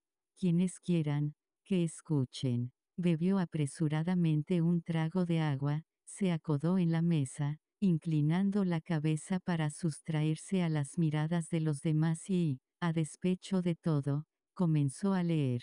Su confusión desapareció enseguida. La idea de que no vale la pena vivir por unas semanas, prosiguió, principió, si no me equivoco, a invadir mi espíritu hace un mes, es decir, cuando me quedaban cuatro semanas de existencia, pero no se adueñó de mí por completo hasta hace tres días, o sea a raíz de la velada transcurrida en Pavlovsk. La primera vez que me sentí plenamente penetrado de ese pensamiento fue en la terraza del príncipe, en el momento en que yo imaginaba hacer un último ensayo de vida. Entonces quise ver gente, mirar los árboles, y hasta parece que lo dije, me acaloré, sostuve el derecho de Burdovsky, soñé con que todos me abrieran sus brazos y me estrecharan contra sus corazones. Imaginé que habría entre ellos y yo no sé qué perdones mutuos, y, en resumen, terminé como un imbécil y en aquellos precisos instantes se produjo también en mí la convicción definitiva. Hoy me pregunto cómo pudo hacerse esperar seis meses enteros. Me sabía positivamente víctima de una dolencia implacable, y no me hacía ilusión alguna, pero experimentaba el deseo de vivir tanto más ardientemente cuanto con más claridad me daba cuenta de mi estado,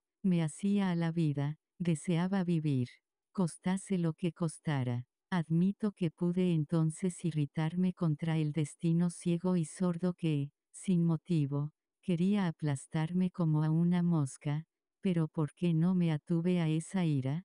¿Por qué comencé a vivir, sabiendo que no valía la pena de comenzar?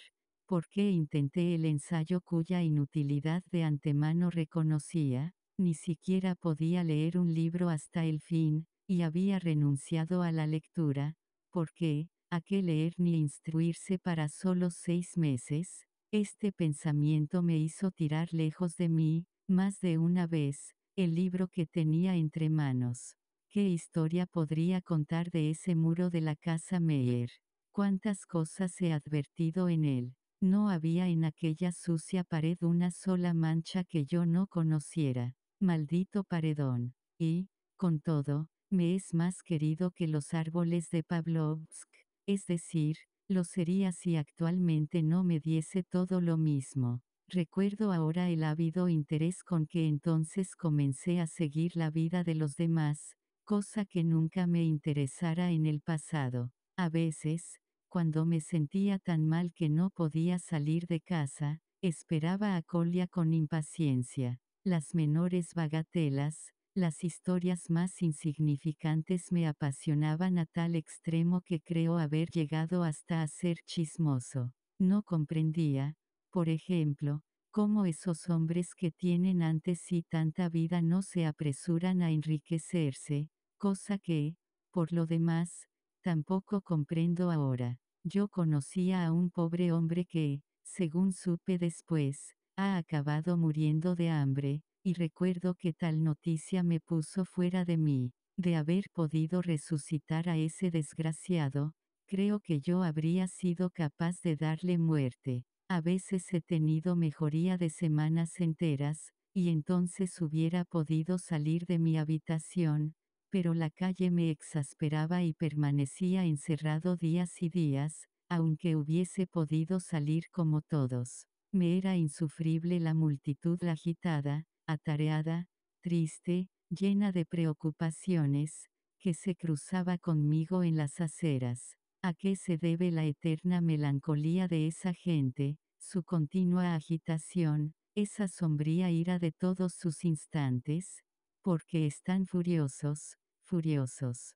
¿Quién tiene la culpa de que sean desgraciados y no sepan vivir cuando les espera una perspectiva de 60 años de vida?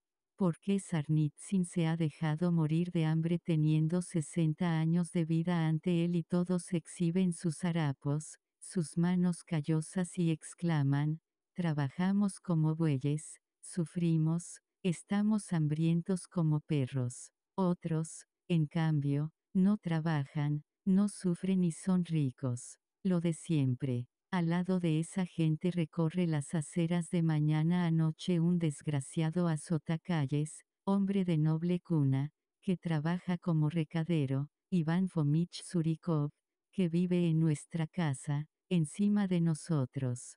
Todo el día anda yendo y viniendo, con los codos rotos y los botones colgando. Si se le habla cuenta que es pobre, mísero, mendigo, que su esposa falleció porque él no tenía para comprarle medicamentos, que su hijo menor murió, helado de frío, este invierno, que su hija mayor es una entretenida, y así se pasa la vida gimiendo y quejándose.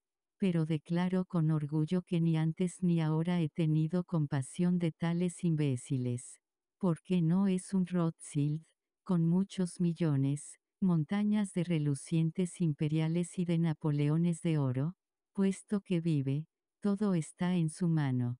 ¿Quién tiene la culpa de que él no lo comprenda? Ahora todo me es igual, y no merece la pena ni siquiera enfadarse, pero entonces me crispaba de ira, y, en mi rabia, mordía la almohada y desgarraba las sábanas con los dientes. ¿Qué sueños tenía entonces? ¿Cómo hubiese deseado verme a los 18 años en plena calle, medio desnudo, sin hogar, sin trabajo, sin pan, sin familia, sin amigos, solo en una inmensa ciudad, hambriento, maltratado, y cuanto más, mejor, siempre que tuviese salud. Porque entonces habría demostrado. ¿Qué habría demostrado? Supongan, si quieren, que ignoro cuánto, sin esa ocurrencia, me he rebajado ya en mi explicación. ¿Quién no me considerará como un chiquillo ignorante de la vida sin pensar que tengo más de 18 años y que en estos seis meses me he convertido en un viejo? Pero pueden mofarse y considerar todo eso como fantasía. De fantasías me he mantenido realmente. Tal era la ocupación de mis noches de insomnios, las recuerdo con toda precisión.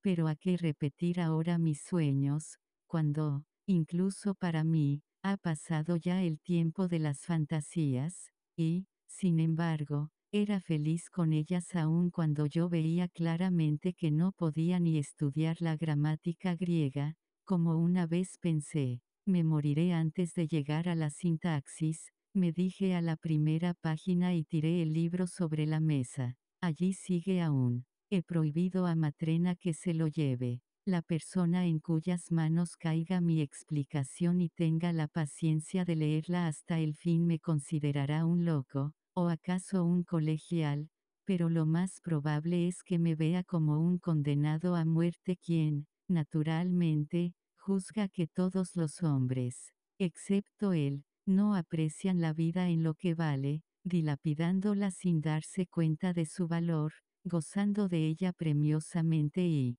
por lo tanto, mostrándose indignos de ella. Pero yo declaro que mi lector se equivoca y que mi situación de condenado a muerte no influye para nada en mi convicción. Preguntad a los hombres únicamente esto, en qué hacen consistir su felicidad, todos ellos, desde el primero al último.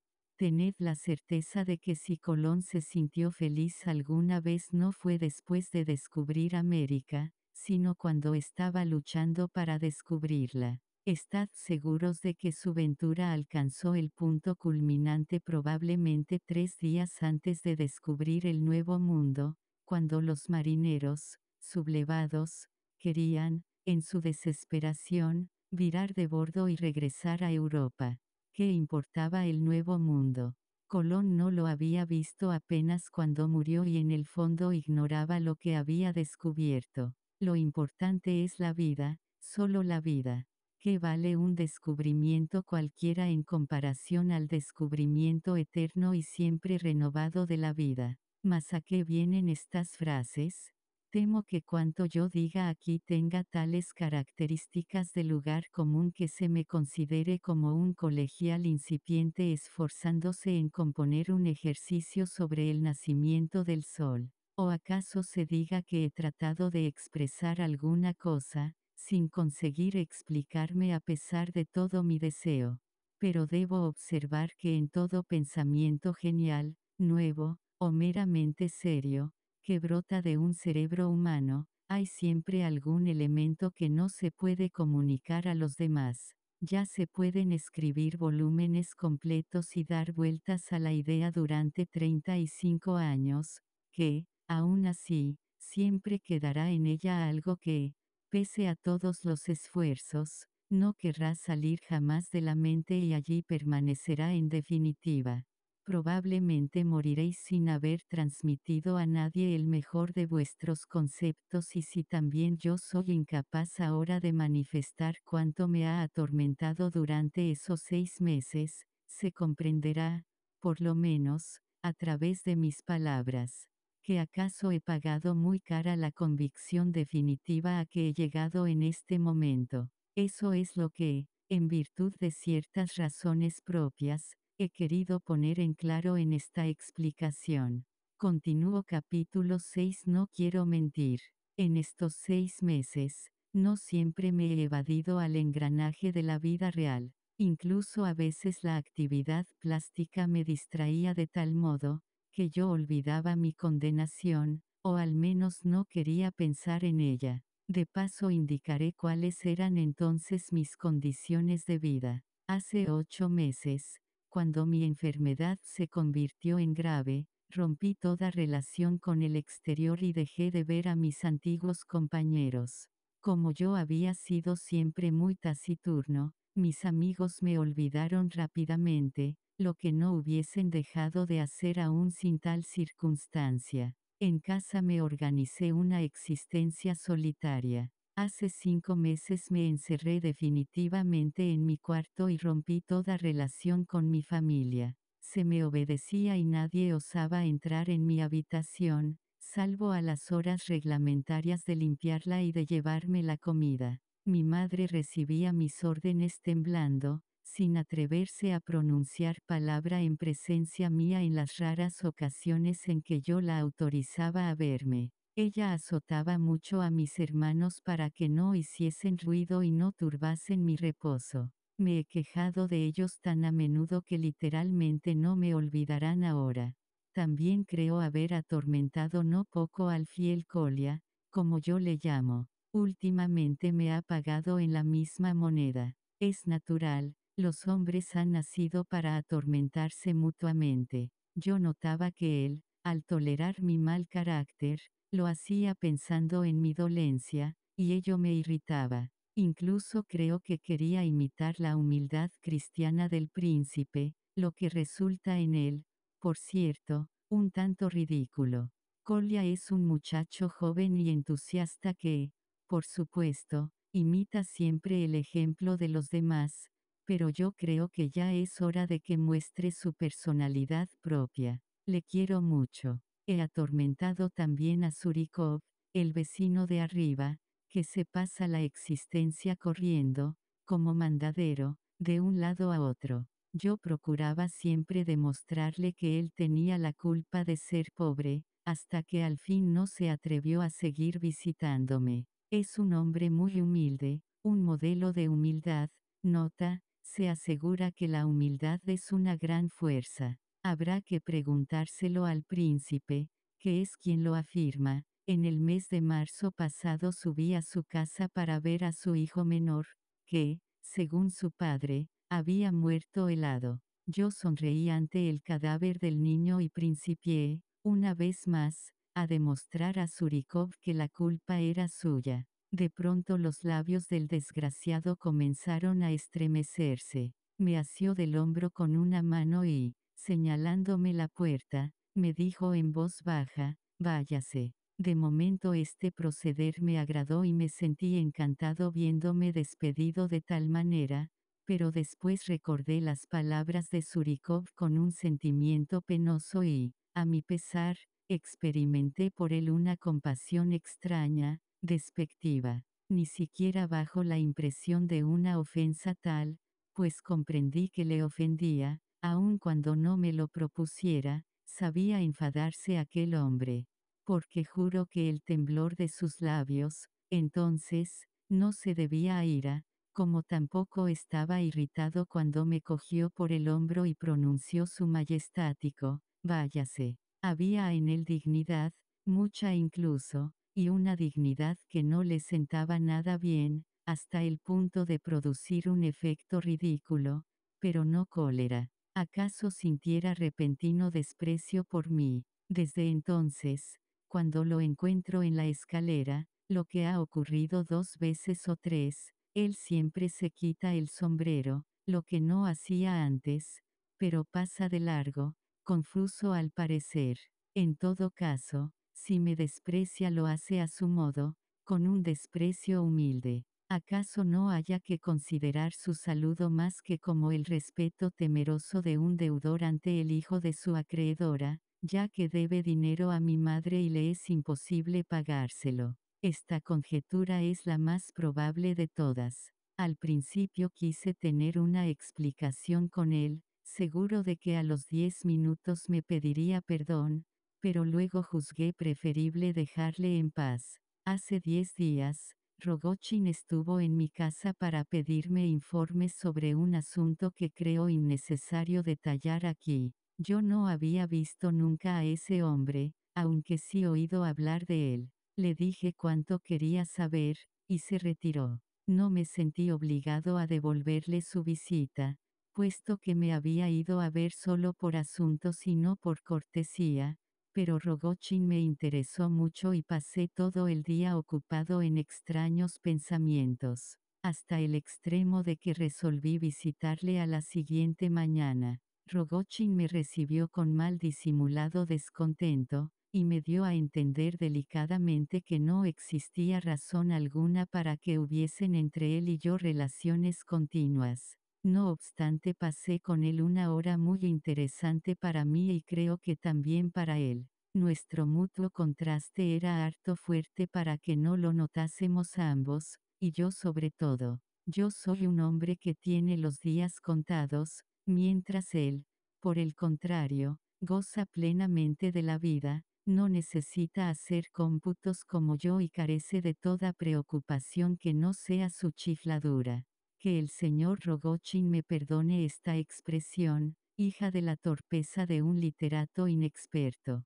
Pese a su poco amable acogida me pareció hombre inteligente y capaz de comprender las cosas bien, aunque no se interese por lo que no le afecta directamente. No le hablé palabras sobre mi convicción definitiva, pero creo que la adivinó solo con oírme. Les extremes touchent, le dije antes de retirarme, añadiendo la traducción del proverbio en ruso, para que Rogochin lo comprendiese, y explicándole que, pese a la diferencia existente entre nosotros, era muy probable que él no estuviese tan lejos de mi convicción definitiva como lo parecía. Me contestó con una mueca agria, fingiendo creer que me marchaba, se levantó, me dio el sombrero y, socapa de acompañarme por cortesía, me puso bonitamente en la puerta de su sombría casa. Dicha casa me asustó, parecíame una tumba.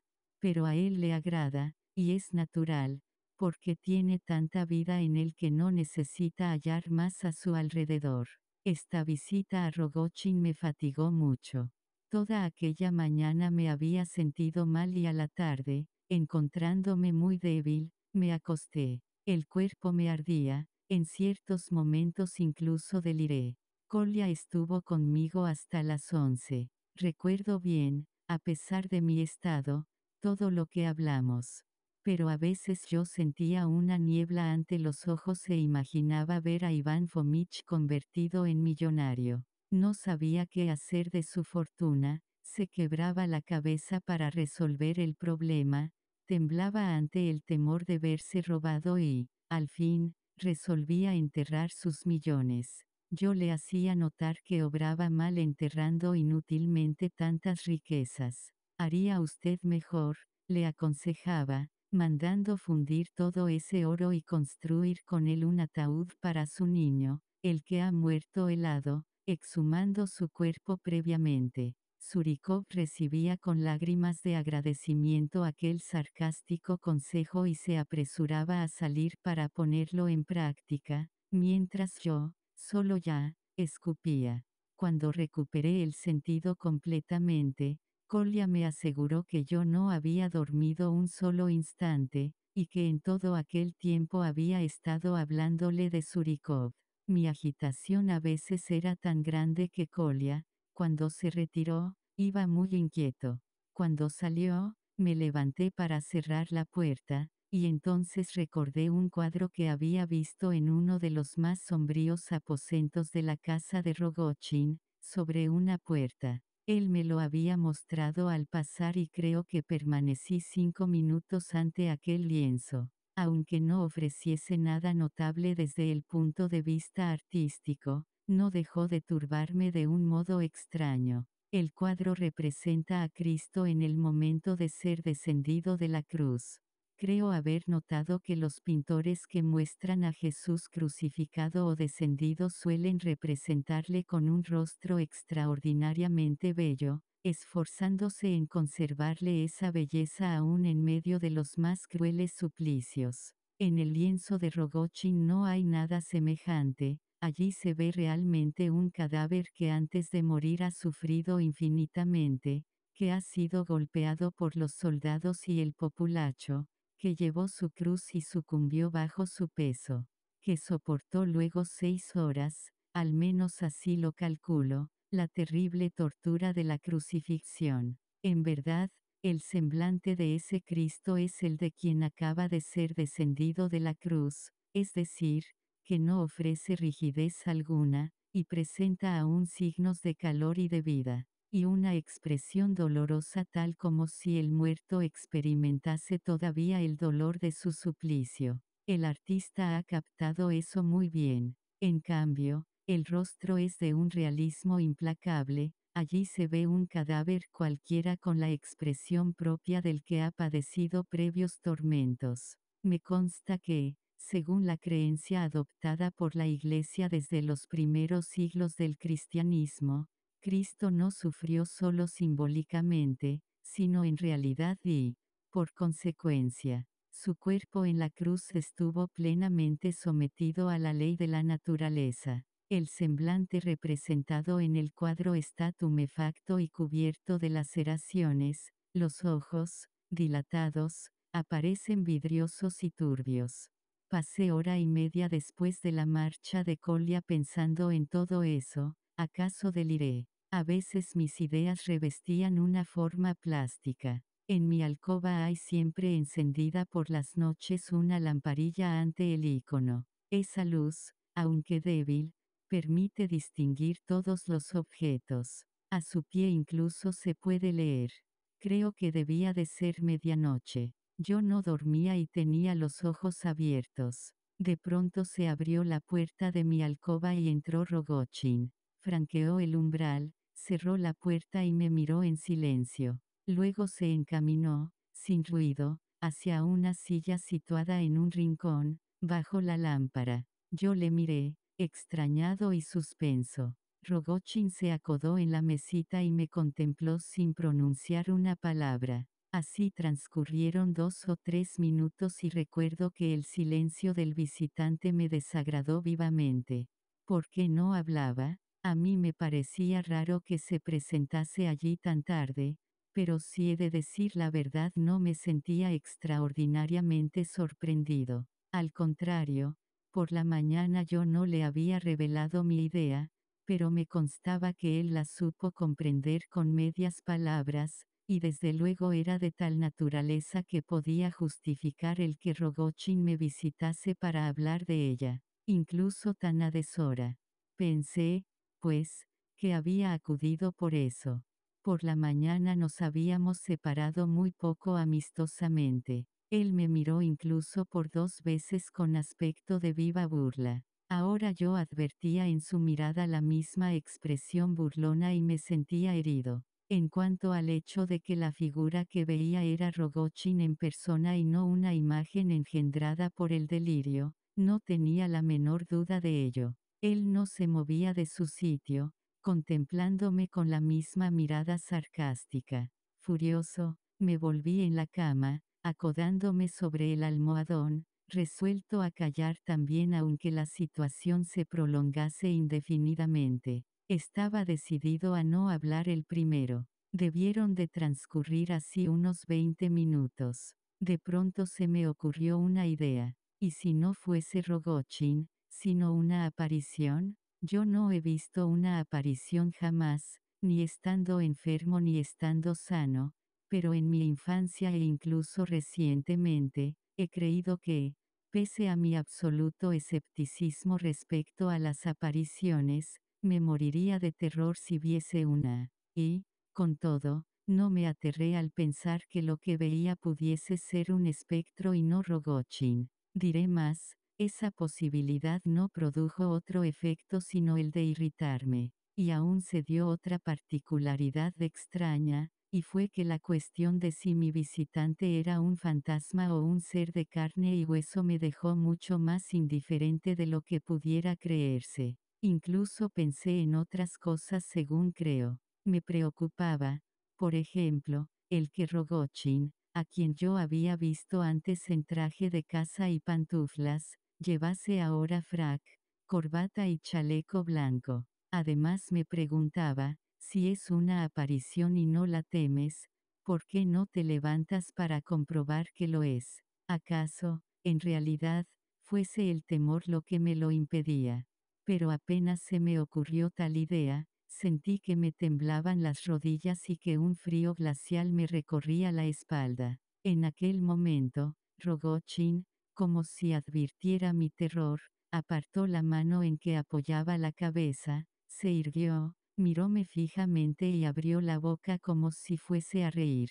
En mi furia, sentí el deseo de arrojarme sobre él, pero, como me había jurado no ser el primero en hablar, me quedé donde estaba. Además continuaba preguntándome interiormente si sería Rogochin o una sombra lo que tenía ante mi vista. No puedo decir cuánto duró esto. Ni siquiera recuerdo si me dormí entonces algún rato. Al cabo, Rogochin se levantó, me contempló larga y atentamente, como hiciera desde su entrada, aunque esta vez sin sonreír, y luego se dirigió lentamente a la puerta, abrióla y salió, cerrándola tras sí. No me levanté, tampoco podría decir cuánto tiempo seguí acostado, con los ojos abiertos, pensando Dios sabe en qué.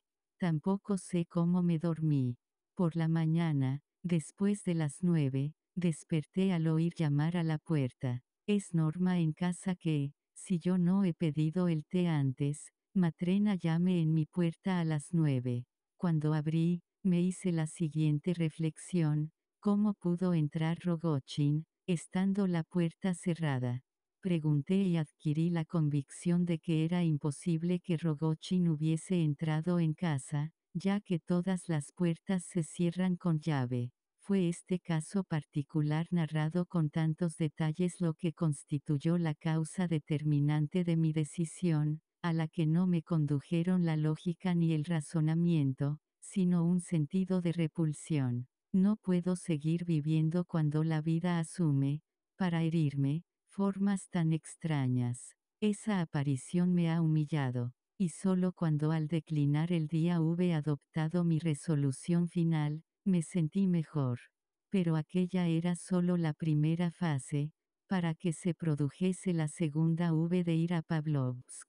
Antes he explicado eso suficientemente. Capítulo 7 Yo poseía una pistolita de bolsillo, que me procuré de niño a esa edad absurda en que se deleita uno con historias de duelos y de salteadores y en que uno imagina que puede ser provocado a desafío y se siente dispuesto a afrontarlo con valentía. Examiné la pistola hace un mes, y vi que se hallaba en buen estado. La caja que la guarda contiene dos balas y un cuernecillo de pólvora con cantidad suficiente para tres cargas. Es un arma deleznable, con la que nunca se hace blanco, ni alcanza a más de 15 pasos, pero útil, sin duda, para saltarse los sesos si se aplica el cañón a la sien. He decidido morir en Pavlovsk, al salir el sol.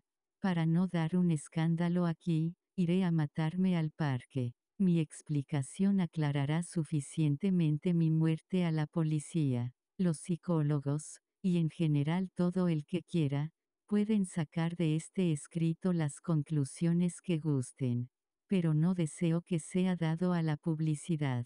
Ruego al príncipe que haga copia de él y la conserve, y que envíe otra a Aglaya Ivanovna. Tal es mi voluntad. Lego mi esqueleto a la Facultad de Medicina en provecho de la ciencia. No reconozco a hombre alguno el derecho a juzgarme y sé que ningún castigo podrá infligírseme. No hace mucho formulé una hipótesis que me divirtió, si ahora se me ocurriese matar a alguien, asesinar, por ejemplo, a 10 personas, cometer el más horrendo crimen del mundo, ¿qué podría hacer, dada la abolición de la tortura? Un tribunal en presencia de un acusado al que solo quedan dos o tres semanas de vida, yo moriría cómodamente en el hospital, donde, bien caliente, atendido por un médico celoso, estaría sin duda mejor que en mi casa. No comprendo cómo no se les ocurre esa idea, al menos en calidad de broma, a las personas que se encuentran en mi situación. Pero acaso la piensen. Hay mucha gente de buen humor, incluso en Rusia. Mas, aunque ningún tribunal pueda nada contra mí ni yo le reconozca tal derecho, sé que se me juzgará cuando solo sea un acusado sordo y mudo. No quiero, pues, irme sin pronunciar unas palabras de defensa, de una defensa voluntaria, no forzada, no tendente a justificarme ni a pedir perdón a nadie, sino debida a que deseo exponerla y nada más y mi última explicación es esta, si muero, no es porque me falten energías para soportar otras tres semanas, me siento bastante fuerte para eso y, de querer, siempre encontraría valor en el sentimiento de la injuria que el destino me hace al forzarme a morir tan joven. Hasta una mosca participa también en el banquete de la vida, concurre al concierto de todas las cosas y es feliz. Solo yo soy un paria. Pero no quiero consolarme de esa manera. En mi acto encuentro un aspecto más seductor, al limitar mi vida a tres semanas, la naturaleza restringe de tal modo mi esfera de acción que acaso el suicidio sea el único acto que mi voluntad pueda presidir íntegramente, del principio al fin y quizá quiera aprovechar esa última posibilidad de acción. A veces una protesta dista mucho de ser un acto minúsculo, había terminado la explicación. Hipólito se interrumpió. En ciertos casos excepcionales, un hombre nervioso, irritado, fuera de sí, llega a tal grado de franqueza cínica que no tiene miedo de nada y produce, incluso con satisfacción, el más monstruoso escándalo. Entonces es capaz de precipitarse sobre cualquiera, albergando en su interior la intención vaga, pero firme, de tirarse un momento después desde lo alto de una torre, substrayéndose así a las consecuencias que su loca conducta pudiera originarle. El agotamiento físico es ordinariamente el signo precursor de tal estado. Hipólito había llegado a él bajo el influjo de la sobreexcitación anormal que le sostuviera hasta entonces. Por sí mismo, aquel mozo de 18 años, extenuado por la enfermedad, parecía tan débil como la hoja que, estremecida, se desprende de un árbol, pero, aún así, cuando, por primera vez después de una hora, miró uno a uno a los presentes, sus ojos y su sonrisa expresaban el más ofensivo y altanero desprecio. Le urgía provocar a sus oyentes. Estos, por su parte, ardían de indignación. Todos se levantaron con un arranque tumultuoso y airado al que el vino, el cansancio y la tensión nerviosa infundían una vehemencia maligna. Hipólito se levantó también, como a impulsos de un resorte. Ha salido el sol, gritó viendo las copas de los árboles bañadas en luz y mostrándolas al príncipe, como si fuesen un portento. Ha salido. Pensaba usted que no saldría, dijo Ferchenko. Creo que va a hacer hoy un calor horrible, bostezó Gania, con acento de despectivo enojo, estirándose y cogiendo el sombrero. Nos vamos, Ptitsin, Hipólito o Y o aquellas palabras con estupefacción profunda.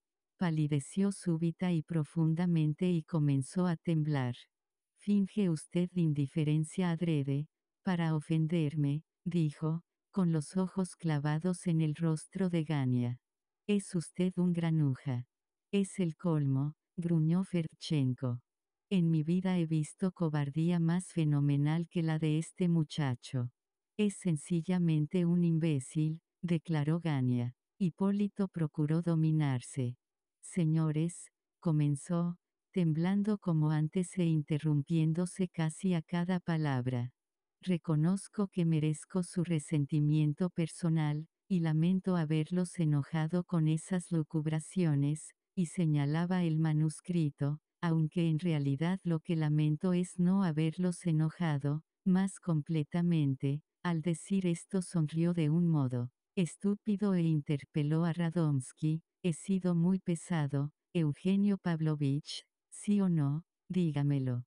El escrito era un poco largo, pero... Dígalo todo. Sea sincero por una vez en su vida, exigió Hipólito, más tembloroso cada vez. Todo ello, a decir verdad, me tiene sin cuidado. Le ruego que me deje en paz, repuso Radomsky, volviéndole la espalda desdeñosamente. Buenas noches, príncipe, dijo Ptitsin a.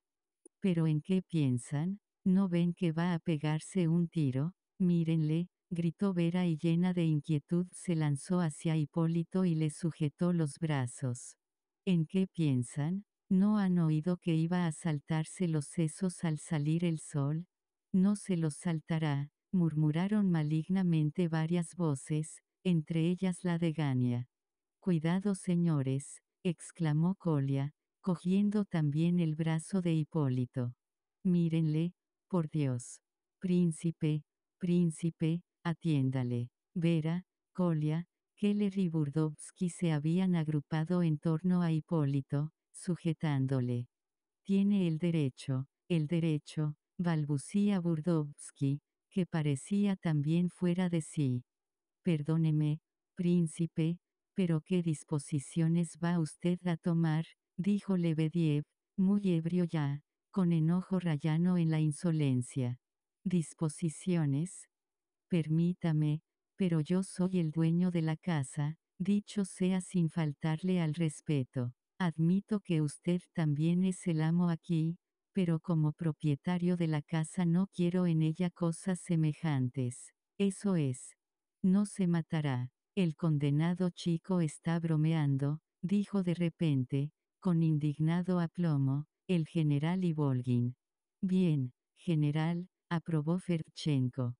Sé que no se matará, general, amado general, pero, no obstante, soy el dueño de la casa, y...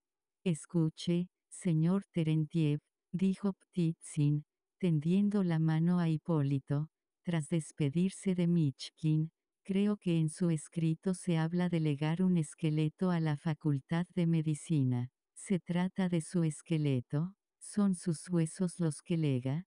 Sí, mis huesos. Entonces, nada. Temía haberme equivocado. Creo haber oído hablar de otro caso semejante. ¿Por qué se burla usted de él? intervino Michkin, vivamente. Le ha hecho llorar, añadió Ferchenko.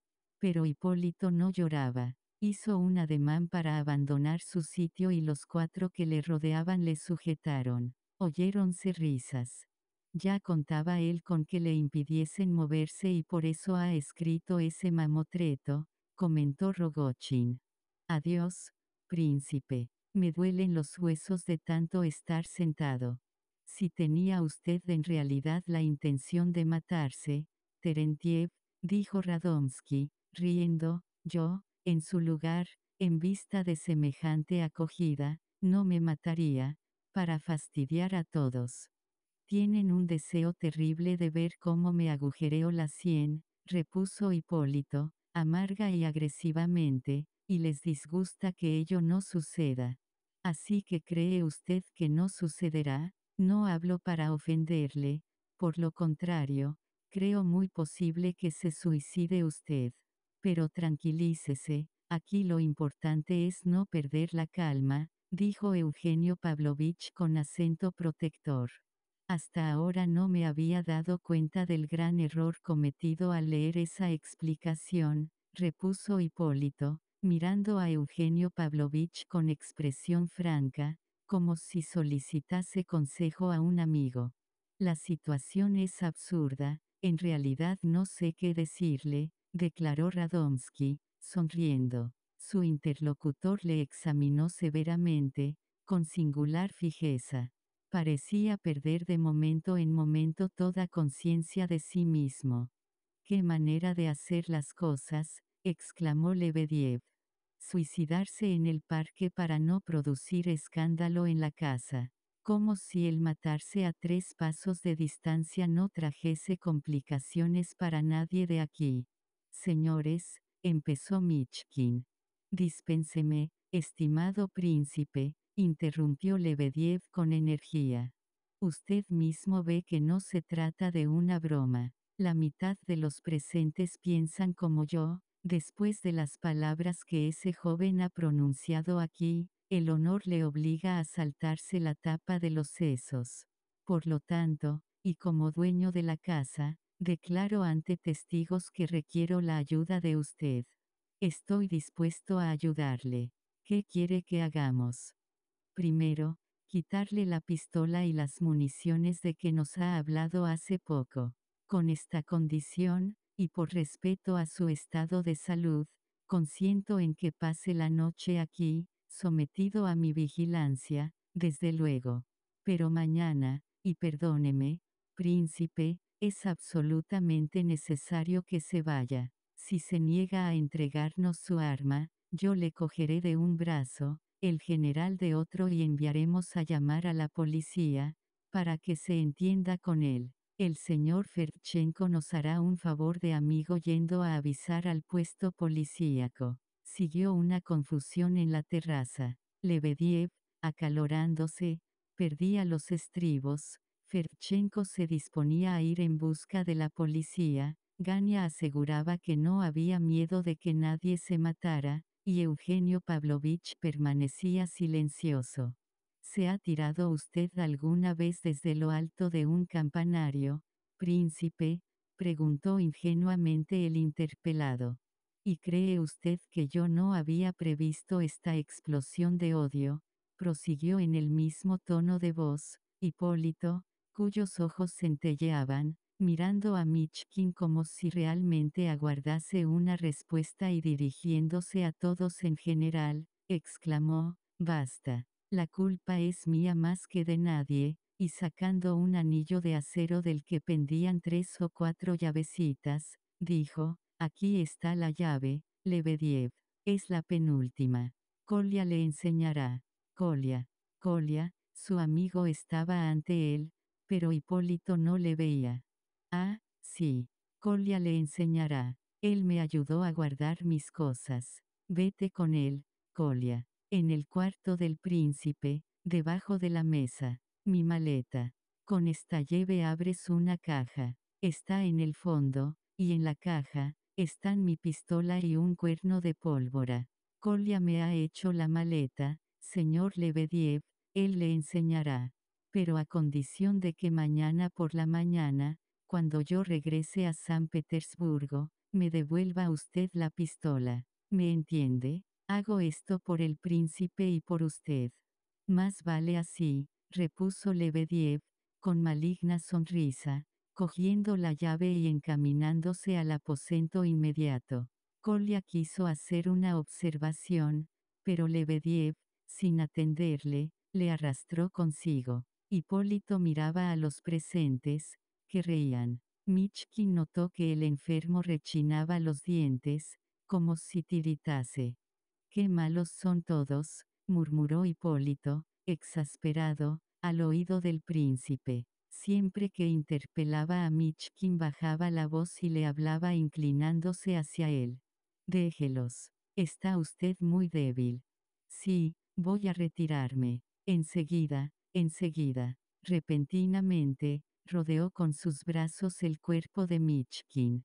¿Acaso me cree usted loco? le preguntó, mirándole y riendo extrañamente. No, pero. Enseguida, enseguida. Ahora cállese, no diga nada. Espere, quiero mirarle a los ojos. Así, quiero mirarle y decir adiós a un hombre y miró, durante diez segundos, inmóvil y silencioso, el rostro de Michkin. El suyo estaba muy pálido, el sudor humedecía sus sienes. Sujetaba reciamente la mano del príncipe, como temeroso de que éste quisiera escapar.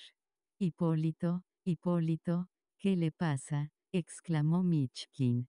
Enseguida. Basta, voy a descansar. Quiero beber una copa a la salud del sol. Lo quiero, lo quiero. Déjeme. Cogió una copa de sobre la mesa, abandonó el lugar en que estaba y se dirigió a la entrada de la terraza. Michkin quiso correr hacia el enfermo, pero en aquel instante, coma adrede, Radomski le tendió la mano para despedirse de él. Transcurrió un segundo. Súbitamente estallaron gritos por todas partes. Siguió un momento de extrema confusión. Había sucedido lo siguiente, Hipólito, parándose junto a la escalera, con la copa de champaña en la mano izquierda, había hundido la derecha en el bolsillo lateral de su levita, a lo que contó después Keller, el muchacho tenía ya la mano en aquel bolsillo durante su conversación con Michkin, a quien había estrechado con su brazo izquierdo, lo que despertó las primeras ligeras sospechas del boxeador, según este, fuese como fuera, una cierta inquietud le hizo correr hacia Hipólito. Pero llegó tarde. Solo vio brillar un objeto en la mano de Hipólito y enseguida percibió una pistolita de bolsillo aplicada a la sien del joven. Keller quiso asirle la mano, pero Hipólito oprimió el disparador. Oyóse el seco chasquido del gatillo en la cazoleta, mas ninguna detonación lo siguió. Keller cogió a Hipólito entre sus brazos y el muchacho se dejó caer en ellos privado de conocimiento, al parecer. ¿Acaso se creyera muerto? Keller aferró la pistola, e hizo sentar a Hipólito en una silla.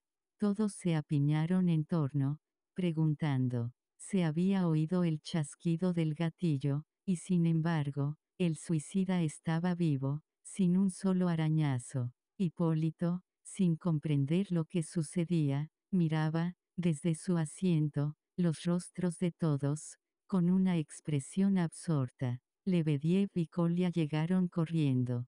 ¿Ha fallado el arma? inquirían algunos. No estaba cargada, sugerían otros.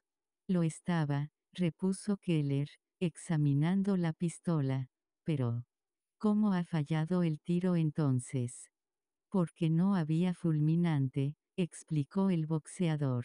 Sería difícil relatar la lamentable escena que se produjo. Al temor del primer momento sucedieron grandes carcajadas. La hilaridad de algunos revelaba cierta aviesa satisfacción. Hipólito, sollozando como en un ataque de nervios, retorciéndose los puños, iba de un lado a otro, se aproximó incluso a Ferchenko, le asió las manos y le juró que había olvidado, olvidado en absoluto, colocar el fulminante que ello era pura inadvertencia y no deliberación, que tenía, y los mostró a todos, diez fulminantes en el bolsillo de su chaleco, que no lo había colocado antes por temor a que la pistola le estallara en el bolsillo y que había contado poner el detonador en el momento necesario, olvidándose de hacerlo a última hora. El joven dio iguales explicaciones a Michkin y a Radomski, y pidió a Keller que le devolviese el arma. Quería probar a todos, y en el acto, que su honor, su honor, ahora estaba deshonrado para siempre. Finalmente se desmayó. Lleváronle al departamento de Michkin, y Lebediev, ya completamente despejado, envió a buscar un médico, y quedó a la cabecera del paciente con su hija, su hijo, Burdovsky y el general. Cuando condujeron a Hipólito desvanecido, Keller, en pie en medio del cuarto, en un ataque de notoria inspiración, declaró en alta voz para que todos pudieran oírlo, recalcando mucho cada palabra, caballeros, Si cualquiera de ustedes se permite insinuar en mi presencia que el fulminante fue olvidado a propósito y que ese desgraciado joven ha querido representar una comedia, el que lo insinúe tendrá que vérselas conmigo. Pero nadie le contestó. Al cabo todos se retiraron casi a la vez. Gania, Ptitsin y Rogochin se fueron juntos. Michkin se extrañó al ver que Eugenio Pavlovich, que había expresado antes el deseo de explicarse con él, se marchaba sin hablarle. ¿No quería usted hablar conmigo cuando se fueran los demás? le preguntó. En efecto, repuso Eugenio Pavlovich, tomando una silla y haciendo sentar a Michkin junto a él. Pero ahora prefiero dejar esa conversación para más adelante. Le confieso que estoy un poco agitado y usted lo está también. Tengo un gran desorden mental. Por otra parte, lo que quiero decirle es muy importante para mí y para usted. Una vez en mi vida, príncipe, he querido realizar una cosa completamente honrada, es decir, sin reservas mentales. Pero creo que ahora no me hallo en condición de hacer una cosa completamente honrada, ¿Y acaso usted tampoco? Aplacemos la explicación. Si esperamos mi regreso de San Petersburgo, será más clara por ambas partes. Voy a la capital ahora y estaré allí hasta pasado mañana y se levantó, aunque solo se hubiese sentado un minuto antes. Michkin creyó advertir que su interlocutor estaba insatisfecho e irritado. En su mirada, muy diversa a la de antes, había una expresión hostil. Y a propósito, ¿va a ir al lado del enfermo? Sí, estoy inquieto por él, dijo Michkin. Tranquilícese, vivirá lo menos seis semanas, y hasta puede que recobre la salud aquí. Pero hará usted bien en ponerle en la puerta mañana mismo. No pudiera ser que yo, con mi silencio, le impulsara a lo que ha hecho, creyendo que yo también dudaba de su decisión? ¿Qué le parece?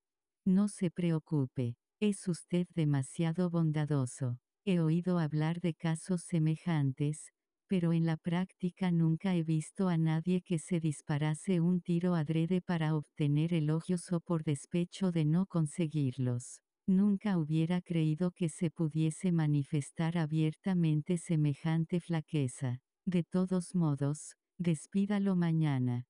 ¿Cree que volverá a intentar matarse? No, no reincidirá. Pero hay que tener cuidado con estos tipos. Es un asesino en ciernes. Le aseguro que el crimen es con frecuencia la salida de estas nulidades ambiciosas, rebeldes e impotentes. ¿Le considera así? Creo que el mozo es de esa manera, aunque tal vez el destino le haya reservado otra misión. Usted verá si ese señor es, o no, capaz de degollar 10 o 12 personas, aunque solo sea por bromear, como decía antes de su explicación. Esas palabras van a quitarme el sueño. ¿Acaso se inquiete usted demasiado? Es usted admirable, príncipe, no creerle capaz de matar 10 personas ahora. No me atrevo a contestarle. Todo esto es muy extraño, pero... Como quiera, como quiera, repuso Radomsky, con cierta irritación. Además, es usted un hombre muy valeroso, con tal de que no sea uno de los diez. Lo más probable es que Hipólito no mate a nadie, dijo Michkin, mirando, pensativo, a Eugenio Pavlovich. Este rió agriamente. Adiós, ya es hora de que me vaya. ¿Ha notado usted que el tipo legaba una copia de su confesión a Aglaya Ivanovna? Sí, lo noté, y he pensado en ello. Claro, eso da que pensar.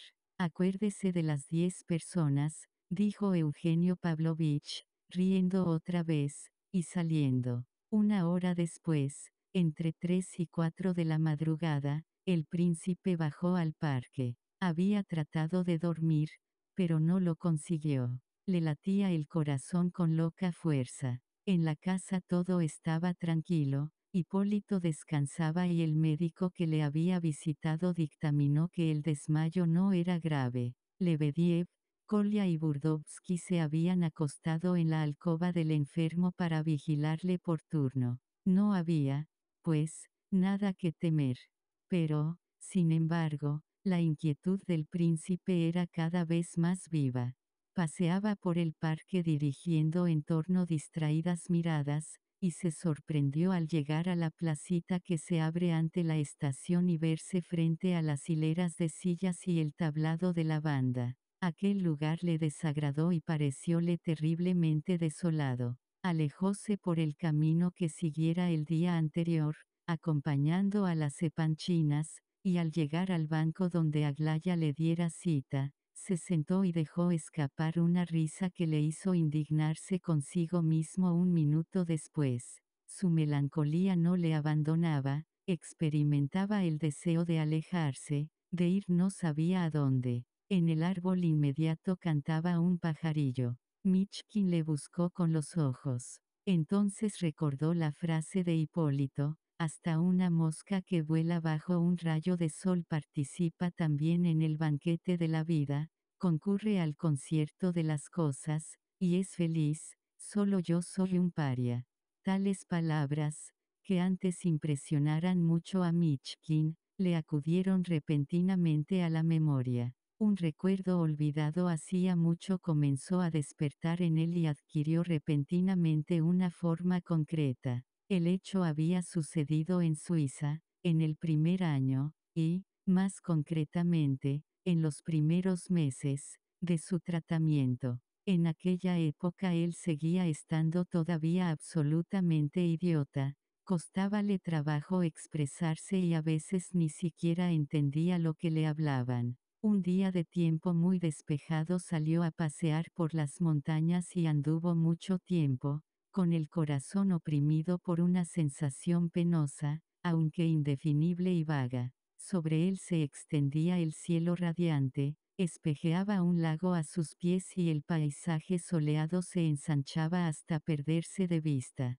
Largo trecho estuvo contemplando el panorama con extraña melancolía. Recordaba muy bien que incluso había llorado y tendido los brazos hacia el infinito azul, torturado por la idea de que para él no existía nada de aquello. Oh, aquel festín universal, aquel interminable regocijo que le atraía desde su infancia, y del que siempre había quedado al margen.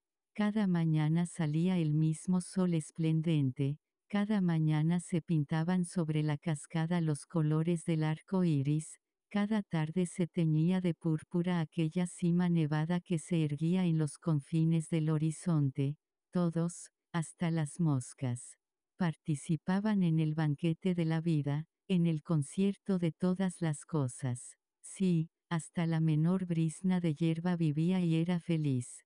Todo ser tenía su camino, lo conocía, lo emprendía y lo concluía cantando con júbilo, mas solo él no sabía nada, no comprendía nada, ni los hombres, ni su lenguaje. Era extraño a todo, era el desecho de la naturaleza. Cierto que entonces el príncipe no había acertado, sin duda, a expresar todas aquellas palabras y su sufrimiento había sido mudo. Pero ahora le parecía haberlas pronunciado textualmente y hasta pensaba que Hipólito había tomado de él su expresión sobre la mosca. Su corazón latió a este pensamiento. Al fin el sueño le sorprendió en el banco, pero no por eso acudió el reposo a su espíritu. Un momento antes de dormirse recordó que, según Radomsky, Hipólito acabaría matando a diez personas, y sonrió, ante idea tan absurda. En torno suyo reinaban la paz y la serenidad. El rumor de las frondas, único que turbaba el silencio, acrecentaba aquella sensación de calma. Michkin soñó mucho. Todos sus sueños fueron inquietantes, algunos incluso le hicieron estremecerse. Al fin soñó que una mujer avanzaba hacia él. La conocía, la conocía bien. Incluso podía designarla por su nombre. Y, sin embargo, Parecíale apreciar en ella un rostro muy diferente al que tenía antes, y Mitchkin solo podía aceptar con gran esfuerzo la noción de que era la misma mujer. Viendo la expresión de terror y arrepentimiento que mostraban las facciones de aquella persona, se la creería culpable de algún crimen horroroso, que acababa de cometer. Una lágrima temblaba en su pálida mejilla. Llamó a Mitchkin con un ademán, y se puso un dedo sobre los labios, como para advertirle que debía acercarse sin ruido. El corazón del príncipe desfallecía.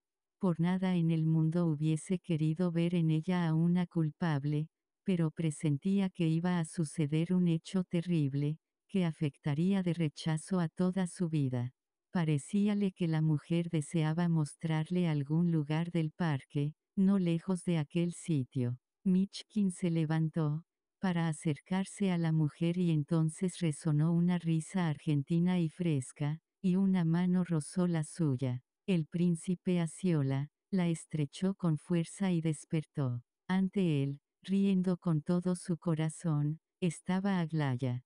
Capítulo 8 Ella, aunque reía, estaba indignada. Dormido. ¿Se había usted dormido? exclamó con despectivo asombro. Sí, repuso Mitchkin, soñoliento aún, reconociendo, con sorpresa, a la joven. Ah, ya, la cita. Me he dormido, sí. Ya lo he visto. ¿No me ha despertado otra persona? ¿Está usted sola? Creía que estaba aquí, otra mujer. ¿Había aquí otra mujer? Las ideas de Mitchkin comenzaron a aclararse. Ha sido un sueño, contestó, pensativo. Es extraño tener en tal momento un sueño así. Siéntese. Tomóla por la mano y la hizo acomodarse en el banco. Él se sentó también y meditó. Aglaya miraba atentamente al príncipe, sin hablar palabra. Él la miraba también, pero a veces parecía no verla. La joven se ruborizó. ¿Sabe? dijo él con un escalofrío, que Hipólito se ha disparado un pistoletazo? ¿Cuándo? En su casa, dijo ella, no testimoniando, sin embargo, una sorpresa excesiva. Porque ayer noche vivía aún, y con súbita vivacidad añadió, ¿y ha podido usted dormirse después de eso? Si no ha muerto, marró el tiro. Instado por Aglaya, el príncipe hubo de contar la historia con bastante detenimiento. La joven parecía tener prisa de ver terminado el relato, pero, pese a sus exhortaciones para que Mitchkin lo abreviase, interrumpíale a cada momento con preguntas casi siempre fuera de lugar. Entre otras cosas, o y o con mucha curiosidad lo referente a las palabras pronunciadas por Eugenio Pavlovich y varias veces hizo preguntas acerca de ellas. Bien, basta. El tiempo apremia, dijo cuando Mitchkin hubo terminado. Solo podemos pasar juntos una hora, ya que a las ocho debo estar en casa para que no sepan que he venido a sentarme aquí. Tengo muchas cosas que contarle.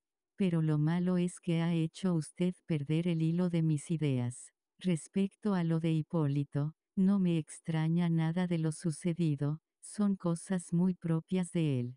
Pero ¿está usted seguro de que quería realmente suicidarse y que no hubo en todo ello una farsa? Absolutamente ninguna.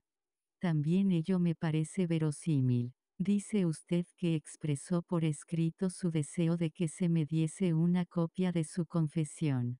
¿Por qué no me la ha traído? Porque no ha muerto. Pero puedo hablarle, para... No necesita pedirle permiso para traérmela. No deje de hacerlo. Seguramente le agradará mucho, porque acaso no haya querido pegarse un tiro, sino para forzarme a leer su confesión. Le ruego que no se ría, León Nikolayevich. Es muy posible que no quisiera suicidarse más que por eso. No me río, con tanta más razón cuanto que estoy seguro de que hay mucha verdad en su conjetura. Aquellas palabras causaron a Aglaya profunda sorpresa. ¿Lo cree así? ¿Es posible que también tenga usted esa idea? preguntó vivamente. Hablaba con cierta brusquedad, rápidamente, formulando interrogaciones que a veces, por turbación al parecer, dejaba sin terminar. A cada instante hacía a Michkin observaciones insistentes y, en resumen, se mostraba poseída de una agitación extraordinaria y dijérase que, a pesar de su talante seguro, casi provocativo, experimentaba cierto temor interno. No había esmerado su atuendo para acudir a la cita, vestía un trajecillo muy modesto, que le sentaba muy bien. Con frecuencia se estremecía y se ruborizaba. Solo apoyaba su cuerpo en el borde del banco. Cuando o a Michkin confirmar su suposición referente al motivo de que Hipólito hubiera querido darse un pistoletazo, quedó muy sorprendida. Aparte de por usted, continuó el príncipe, Hipólito quería despertar también nuestras alabanzas. ¿Sus alabanzas? No lo entiendo. No sé cómo decírselo. Es difícil de explicar. En todo caso, contaba obtener por nuestra parte testimonios de amistad y estima. Creía sin duda que íbamos a rodearle, conmovidos, suplicándole que no se matase. Es muy posible que pensara en usted más que en nadie, puesto que la mencionaba en un momento así pero también puede ser que no se diera cuenta de que pensaba en usted principalmente. No comprendo una palabra. Pensaba en mí sin saberlo, no obstante, se me figura entreverlo todo. ¿Sabe usted que yo, a los 13 años, imaginé más de 30 veces envenenarme y dejar una carta explicando a mis padres los motivos de mi resolución? Yo pensaba también en el efecto que produciría tendida en el ataúd, me figuraba a mis padres inclinados sobre mi cuerpo, deshechos en lágrimas y reprochándose la dureza que habían mostrado conmigo. ¿Por qué vuelve usted a sonreír? preguntó vivamente, arrugando el entrecejo. ¿En qué piensa usted cuando se halla solo? ¿Acaso imagine usted ser mariscal de campo y vencer a Napoleón en batalla? Palabra de honor que es siempre lo que pienso, especialmente cuando estoy dormido, repuso, riendo, Michkin. Pero no bato a Napoleón, sino a los austriacos. No tengo ganas de bromear con usted, León Nikolayevich. Pienso ver a Hipólito y entre tanto ruego a usted que le aconseje bien pero encuentro mal el lenguaje que usted emplea, porque me parece brutal considerar así las cosas y juzgar un alma humana como juzga usted la de Hipólito. No siente usted la ternura, solo siente la justicia, y, por consecuencia, es injusto. Michkin reflexionó. Creo, dijo por fin, que es usted quien me considera injustamente. Yo no reprocho a Hipólito el haber tenido esa idea, porque todos suelen inclinarse a pensar así. Además, ello pudo ser un deseo que tuviese sin confesárselo. Quería tratar una última vez con los hombres, ganar su estima y su afecto. Ello acredita buenos sentimientos, es verdad. Por desgracia, el resultado no ha respondido. La culpa es de la enfermedad y, por añadidura, de otra cosa. Además, hay gentes a quienes todo les sale bien, mientras otras no llegan a conseguir más que tonterías. ¿Piensa usted en sí mismo al decirlo? preguntó Aglaya. En efecto, contestó el príncipe, sin reparar en el sarcasmo de la insinuación. Pues yo, en su lugar, no me habría dormido ahora. Si se duerme usted de ese modo en cualquier sitio, nadie podrá decir que eso es una cosa correcta. Es que no he cerrado los ojos en toda la noche. Después de lo que le he contado, anduve mucho y vine a donde la música, ¿qué música? A donde la música tocaba ayer. Luego seguí hasta este lugar, y mientras reflexionaba, sentado en el banco, el sueño se apoderó de mí. Sí, entonces el caso es más perdonable. ¿Y por qué fue a donde tocaba la orquesta? No lo sé. Por nada. Bueno, bueno, luego me dirá. No hace usted más que interrumpirme. ¿Qué me importa que fuese usted allí o no? ¿Con qué mujer soñaba usted? Con. Usted la ha visto. Comprendo, comprendo, usted la. ¿Cómo la vio en sueños? ¿Qué hacía? Aunque, en realidad, no quiero saber nada de eso, exclamó Aglaya de repente, con enojo. No me interrumpa. Se detuvo por un instante, ya para tomar aliento, ya para dejar a su ira tiempo de calmarse. Luego añadió, le he citado solo para proponerle que seamos amigos. ¿Por qué me mira usted así, Michkin? En efecto, examinaba a la joven con mucha atención, observando que su rostro empezaba a tornarse del color de la púrpura y en los ojos brillantes de Aglaya se leía claramente que cuanto más se ruborizaba más furia sentía contra sí misma. Por regla general, en casos tales solía descargar sobre su interlocutor la indignación que contra sí misma la embargaba. Conocedora de lo fácilmente que perdía la paciencia, Aglaya solía ser más taciturna que sus hermanas, incluso con exceso. Pero cuando no podía callar, se dirigía a sus interlocutores con una arrogancia que parecía desafiar a quien interpelaba. Siempre presentía el momento en que iba a comenzar a ruborizarse. ¿No quiere usted aceptar mi proposición? Preguntó a Michkin con altivo talante. Oh, sí, desde luego.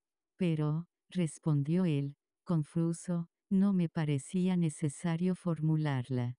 ¿Qué está usted pensando? ¿Por qué cree que le he invitado a venir aquí? ¿Qué se figura? Puede que me considere usted una locuela, como todos los de casa. No sabía que se la considerase de ese modo, y no comparto tal opinión. ¿No la comparte? Eso demuestra mucha inteligencia por su parte y sobre todo lo ha dicho con ingenio. A mi juicio, continuó Michkin, acaso usted sea incluso muy inteligente en ocasiones. Hace unos instantes ha hablado usted en términos muy sensatos. Ha dicho, no siente usted más que la justicia, y por consecuencia es usted injusto. No olvidaré esa frase, he de pensar mucho en ella. Aglaya se ruborizó, ahora de placer. Cambios así se producían en ella de modo tan sincero como repentino. Michkin, satisfecho también, rió alegremente, mirándola. Escuche, dijo la joven, llevo mucho tiempo esperando poder decirle todo esto. Espero desde que me envió aquella carta, e incluso desde mucho antes. Ayer le dije la mitad de lo que quería decirle. Le considero un hombre muy recto y honrado, más honrado y recto que nadie, y aunque se diga que su mente que está enfermo del cerebro, yo juzgo lo contrario, y sostengo mi opinión contra todos. Porque, aun cuando tuviese usted enferma la mente, y le ruego que me perdone, porque solo hablo en un sentido elevado. En cambio la inteligencia esencial está más desarrollada en usted que en el resto de los hombres y la posee usted en grado que los otros no han entrevisto jamás ni aún en sueños. Digo inteligencia esencial, porque hay dos inteligencias, la esencial y la secundaria. ¿No es eso? ¿No lo cree? ¿Acaso pueda ser así? En efecto, logró articular Michkin, cuyo corazón latía con extraordinaria violencia. Ya sabía yo que usted me comprendería, dijo ella con gravedad. El príncipe CH y Eugenio Pavlovich no entienden una palabra respecto a esas dos inteligencias. Alejandra tampoco y en cambio pásmese, mamá sí. Usted se parece mucho a Elisabetta Prokofievna. Es posible, exclamó, con extrañeza, la joven. Se lo aseguro. Gracias, repuso ella, tras un momento de reflexión. Me agrada mucho parecerme a Maman. La aprecia usted mucho, añadió, sin reparar en la ingenuidad de la pregunta. Mucho, y me alegro de que lo haya comprendido usted tan pronto. También me alegro yo, porque he notado, a veces que no falta quien se mofe de ella. Escuche lo más importante de todo, he reflexionado mucho tiempo y al fin mi elección se ha fijado en usted. No quiero que en casa se burlen de mí, que me consideren como una tontuela, que se rían de mis cosas y por pensarlo así, he rechazado de plano a Eugenio Pavlovich. No quiero que mi familia se pase la vida pensando en casarme y quiero, quiero, en fin, quiero huir de casa, y le he elegido a usted para que me ayude. ¿Qué quiere huir de su casa? exclamó Michkin. Sí, sí, huir de mi casa, afirmó la joven airadamente. No quiero, no, no quiero que me hagan ruborizarme a cada momento. No quiero ruborizarme ante mi familia, ni ante el príncipe CH, ni ante Eugenio Pavlovich, ni ante nadie y por eso le he elegido a usted. Quiero poderle decir todo, todo, hablarle incluso de las cosas más importantes cuando se me ocurra. Quiero también que usted no tenga tampoco secretos para mí. Quiero un hombre con el que poder hablar como conmigo misma. Todos han comenzado a decir de repente que yo estaba enamorada de usted, que le esperaba, y ello antes de que usted llegase, y a pesar de que no les había enseñado su carta. Ahora otra vez empiezan, y con más calor. Quiero ser audaz y no temer a nada. No deseo pasar la vida en bailes, como mis hermanas, Quiero ser una mujer útil. Hace mucho que sueño en huir. Veinte años hace que vivo encerrada, sin que se piense en otra cosa que en casarme. A los 14 años, por boba que yo fuese entonces, ya tenía la idea de huir. Ahora lo he calculado todo y deseo pedirle informes sobre los países extranjeros. No he visto una sola catedral gótica, y me propongo ir a Roma, visitar los centros culturales, seguir cursos en París. Durante un año he leído multitud de libros, especialmente los prohibidos. Alejandra y Adelaida pueden leer todo lo que se les antoja y a mí, en cambio, aún me vigilan las lecturas. No quiero disputar con mis hermanas, pero hace tiempo ya que declaré a mis padres mi propósito de cambiar de condición social. He resuelto ocuparme en cuestiones de educación y me he interesado en hablar con usted, porque sé cuánto ama a los niños. No podríamos dedicarnos ambos a la enseñanza, sino ahora mismo, en el porvenir, unidos, podemos ser útiles. No quiero seguir siendo una joven ociosa, de buena familia. Dígame, ¿es usted muy culto? Nada de eso. Es lástima. Yo le creía muy instruido. ¿Cómo se me habrá puesto esa idea en la cabeza? Pero no importa, usted me guiará, ya que le he elegido. Pero eso es absurdo, Aglaya Ivanovna. Quiero huir de casa. Lo quiero, replicó ella con vehemencia, relampagueantes los ojos. Si no consiente en eso, me casaré con Gabriel Ardalionovich. No quiero que en casa me consideren una mala mujer y me acusen de Dios sabe qué cosas. Está usted loca, exclamó Michkin, a quien, en su emoción, le faltó poco para dar un salto. ¿De qué le acusan? ¿Quién le acusa? Todos, mi madre, mis hermanos, mi padre, el príncipe CH, hasta ese odioso Colia. Si no lo dicen francamente, al menos lo piensan y yo lo he dicho así a todos, lo he declarado en la cara a mi padre y a mi madre. Mamá ha estado mala todo el día, al siguiente Alejandra y papá me dijeron que yo no sabía el significado de las palabras que empleaba. Le contesté que lo comprendía muy bien y que no era ninguna niña pequeña. Y añadí, hace dos años ya que leí dos novelas de Paul de Kock, precisamente para comprenderlo todo. Maman, al oír esto, estuvo a punto de desmayarse. A Michkin se le ocurrió de súbito una idea extraña. Miró a Aglaya y sonrió. Parecíale increíble que la mujer que estaba ante él fuese la misma orgullosa joven que leyera con tanto desprecio la carta de Gania, de modo que aquella altanera belleza era tal vez una niña que no sabía el significado de las palabras que empleaba, no lo sabría quizá ni siquiera ahora. ¿Ha vivido usted siempre en su casa, Aglaya Ivanovna? preguntó. Quiero decir si no ha estado alguna vez en un colegio, en un internado. Yo no he ido nunca a ningún sitio, he estado siempre metida en casa, como en una redoma, y estaba destinada a pasar directamente de la redoma al matrimonio. ¿Por qué se ríe? Me parece que usted se burla también de mí y se pone en contra mía, añadió la joven, con acento amenazador, frunciendo las cejas. No me encolerice, bastante irritada estoy ya. Estoy segura de que ha acudido usted aquí en la certeza de que le amaba y le había dado una cita de amor, acabó, enojada. Ayer, confesó cándidamente el príncipe, no poco confuso, lo temía, pero hoy me he persuadido de que. ¿Cómo? exclamó Aglaya, cuyo labio inferior comenzó a temblar repentinamente.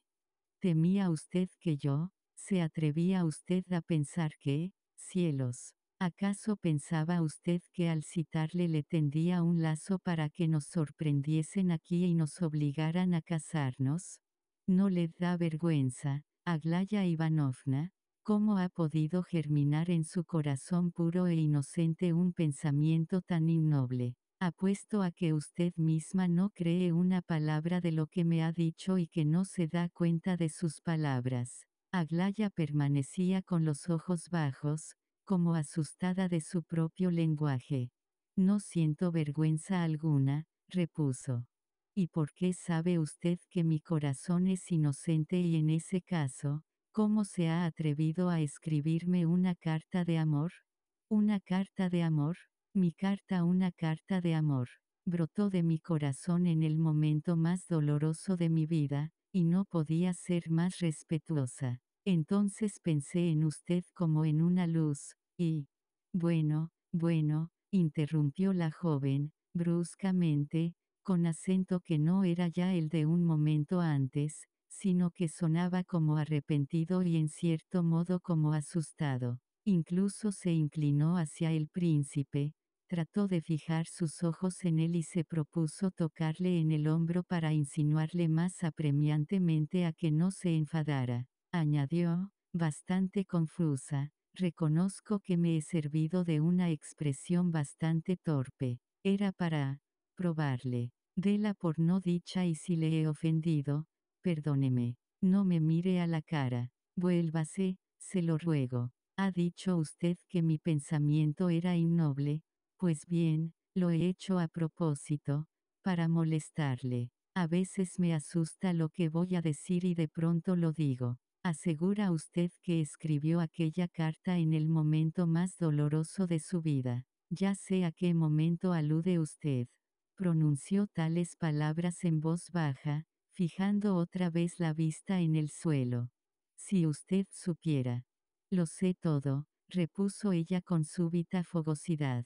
Sé que ha vivido usted un mes entero al lado de esa mala mujer con la que huyó. Al hablar así Aglaya, de roja que estaba, se había vuelto lívida. Levantóse de improviso con movimiento que parecía maquinal y casi enseguida, recuperando la conciencia de sí misma, volvió a sentarse. Su labio siguió temblando durante largo tiempo. Hubo unos instantes de silencio. El insólito arranque de la joven dejó atónito a Michkin, que no sabía a qué atribuirlo. Constele que no le amo, declaró ella bruscamente. Michkin no contestó. Se produjo otro silencio de un minuto. Amo a Gabriel Ardalionovich, dijo Aglaya con voz casi ininteligible, inclinando aún más la cabeza. No es verdad, repuso Michkin, bajando también la voz.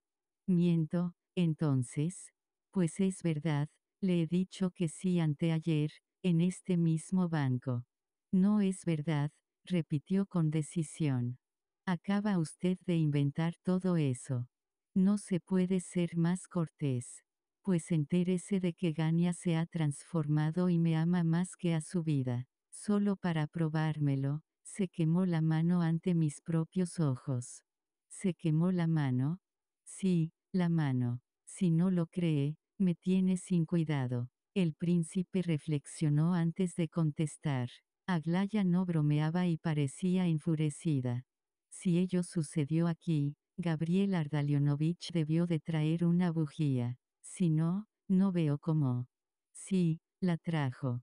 ¿Qué hay de inverosímil en ello? ¿Una bujía entera, o un cabo en un candelero? Sí, no. La mitad de una bujía, un cabo, una bujía entera.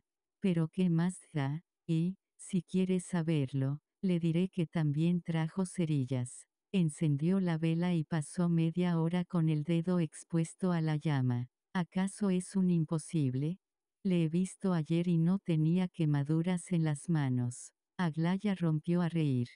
¿Sabe por qué acabo de contar esa mentira? Dijo con ingenuidad infantil, mientras una mal reprimida hilaridad hacía temblar sus labios aún, pues porque, cuando se inventa una historia, si se desliza en ella adrede un detalle extraordinario, extravagante, inaudito, la mentira parece más verosímil. Siempre lo he notado. Pero el procedimiento ha sido un fracaso, porque no he sabido, recordó, y su alegría se extinguió en un momento. Si el otro día le recité el poema del hidalgo pobre, continuó, mirando a Michkin, seria y casi sombría, fue, sin duda, para elogiar a usted en cierto sentido, pero también para criticar su conducta y demostrarle que yo estaba al corriente de todo. Es usted muy injusta conmigo y con la desgraciada a quien antes ha calificado tan duramente, Aglaya Ivanovna. Me he expresado así porque lo sé todo. Sé que hace seis meses usted, públicamente, le ofreció su mano. No me interrumpa, cito hechos, sin comentarios. Luego ella se fue con Rogochin, después vivió usted con ella no sé si en una ciudad o en el campo, y más tarde ella se fue con otro, y el rostro de Aglaya se cubrió de rubor.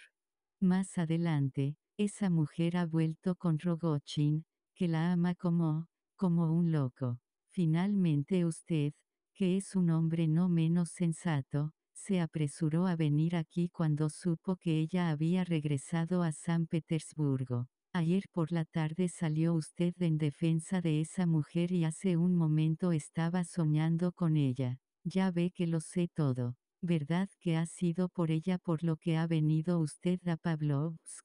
Michkin, hundido en una melancólica meditación, fijaba los ojos en tierra, sin reparar en la penetrante mirada que la joven clavaba en él.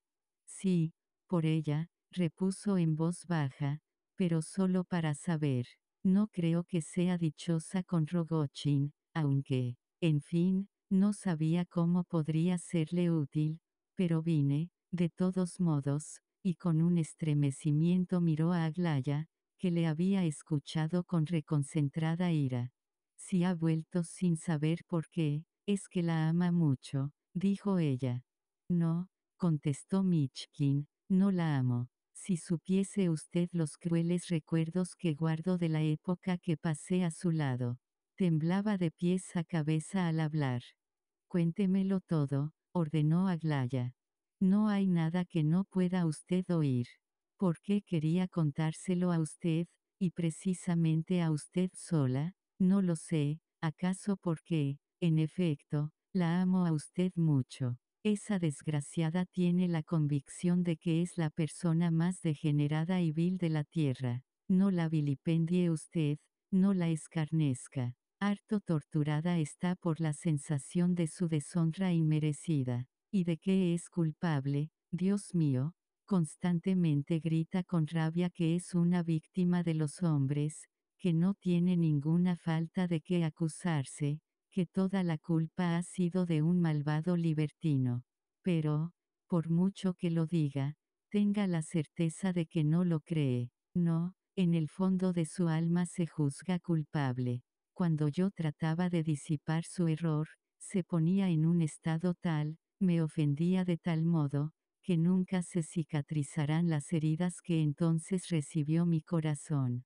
Siempre conservaré el recuerdo de esos horribles instantes. Desde entonces, tengo traspasado el corazón. ¿Y sabe usted por qué huyó de mi lado? Solo para probarme que era una miserable. Pero lo más terrible de todo es que ella lo ignoraba y no sabía que su fuga tenía el móvil íntimo de cometer una acción deshonrosa para poder decirse luego, te has deshonrado una vez más, eres una mujer infame. ¿Acaso no comprenda usted de esto, Aglaya? ¿No sabe usted que en esa conciencia de su deshonra, que la atormenta sin cesar, tal vez experimente ella un placer abominable, anómalo, algo como la satisfacción de un rencor implacable. A veces he conseguido hacerle ver las cosas, por un momento, tal como son, pero inmediatamente volvía a exaltarse, me colmaba de amargos reproches, me decía que yo trataba de abrumarla bajo mi superioridad, en lo que no tenía la menor razón. Y por fin, cuando le propuse casarnos, me repuso que no deseaba la compasión altanera de nadie ni necesitaba que ningún hombre la elevase hasta él. Usted la vio ayer. ¿Cree que es feliz y se encuentra en su elemento en medio de aquella gente? ¿No sabe usted del desarrollo mental que tiene esa mujer y lo capaz que es de comprender las cosas? A veces incluso me ha maravillado. ¿Solía usted dirigirle sermones por el estilo de este? Michkin no advirtió el acento burlón de la pregunta. No, repuso con melancolía. Generalmente, guardaba silencio. A menudo hubiese querido hablarle, pero realmente no sabía qué decirle. Ya ve usted que en ciertos casos vale más callar. La he amado, la he amado mucho. Pero luego, luego, creo que ella adivinó. ¿Qué adivinó? que yo la compadecía, pero ya no la amaba. ¿Qué sabe usted? ¿Acaso ella estuviera enamorada de ese propietario con quien? No, lo sé todo. No hacía más que burlarse de él. Y de usted no, no, reía sarcásticamente, me colmaba de violentos reproches cuando se enfadaba, y sufría. Pero después, oh, no me haga recordarlo y Michkin escondió el rostro entre las manos. ¿Sabe usted que me escribe todos los días? De modo que es verdad, exclamó el príncipe, aterrado. Me lo habían dicho, pero yo no quería creerlo. ¿Quién se lo ha dicho? preguntó Aglaya con sobresalto. Rogochin, ayer, pero sin explicarme claramente. Ayer, por la mañana, ¿O a qué hora? ¿Antes de la escena del concierto o después? Después, hacia las once de la noche. Ya, si fue Rogochin. ¿No sabe de qué me habla esa mujer en sus cartas? No me sorprenderá, sea lo que sea, está loca. Aquí están, dijo Aglaya, sacando tres cartas cada una en un sobre diferente y mostrándoselas al príncipe. Desde hace ocho días me pide con encarecimiento que me queis con usted. Esa mujer. Sí, es inteligente, aunque loca. Tiene usted razón al creerla más inteligente que yo. Me dice que me quiere mucho, que a diario busca ocasión de verme, aunque solo sea de lejos. También asegura que usted me ama, que lo ha notado hace mucho tiempo, que cuando vivían juntos usted le hablaba mucho de mí. Quiere verle feliz y está segura de que yo puedo darle la felicidad. Son unas cartas tan raras. No las he enseñado a nadie, esperaba hablar con usted. ¿Sabe lo que significan? ¿Lo ha adivinado? Significan la locura y prueban que está loca, dijo Michkin, cuyos labios comenzaron a temblar. ¿Llora usted? No, Aglaya, no lloro, contestó él, mirando a la joven. ¿Qué hago? ¿Qué me aconseja? No puedo seguir recibiendo esas cartas. No se lo impida, Se lo ruego, impetró Michkin. ¿Qué le va usted a hacer? ¿No ve que está loca? Haré todo lo posible por mi parte para que no vuelva a escribirle. Entonces es usted un hombre sin corazón, exclamó violentamente Aglaya. No ve que no es a mí a quien ella quiere, sino a usted. Es posible que usted, que la ha estudiado también, no lo haya comprendido. ¿Sabe usted lo que denotan estas cartas? Celos. ¿Cree usted que se casará con Rogochin? Como dice aquí, se matará la mañana de nuestra boda. El príncipe se estremeció. La sangre se heló en su corazón. Miró a Aglaya con sorpresa, asombrado al descubrir una mujer en aquella niña. Dios es testigo, Aglaya, de que yo daría mi vida para asegurar el reposo y la tranquilidad de esa mujer. Pero no puedo volver a amarla, y ella lo sabe. Pues sacrifíquese usted, muy propio de su carácter. Un filántropo así y no vuelva a decirme Aglaya a secas. Antes lo ha dicho también. Debe volver con ella, volverla a la vida, devolver la calma y la tranquilidad a su corazón. Y además la ama. Yo no puedo sacrificarme, aunque lo haya querido antes, y quizá lo quiera aún. Si la dejo es porque sé positivamente que conmigo estaría perdida. Debía de haberla visitado hoy a las 7, pero ahora es posible que no vaya. Ella, en su orgullo, no me perdonará nunca mi amor, y los dos no conseguiríamos sino ser desgraciados ambos. Cierto que no es cosa natural, pero en este asunto todo es contrario a la naturaleza. Dice usted que ella ama, pero ¿acaso eso es amor? ¿Puede hablarse de amor después de lo que ha sufrido? No, aquí hay una cosa distinta al amor. Qué pálido está usted, comentó Aglaya con inquietud. No tiene importancia. He dormido poco y me siento débil. Es, es verdad que los dos hemos hablado de usted, Aglaya.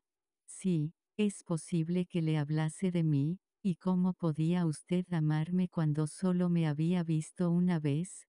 No sé cómo. En las tinieblas en que yo me hallaba entonces soñé, o creí ver levantarse una aurora nueva. No puedo explicarme cómo empecé a pensar en usted al principio. No he mentido al escribirle que no lo sabía. Todo ello no era sino un sueño en medio de circunstancias penosas. Luego estuve ocupado. Yo no contaba volver aquí hasta dentro de tres años. ¿Y volvió por ella? preguntó Aglaya con voz temblorosa. Sí, por ella. Durante unos minutos reinó un silencio sombrío. La joven se levantó.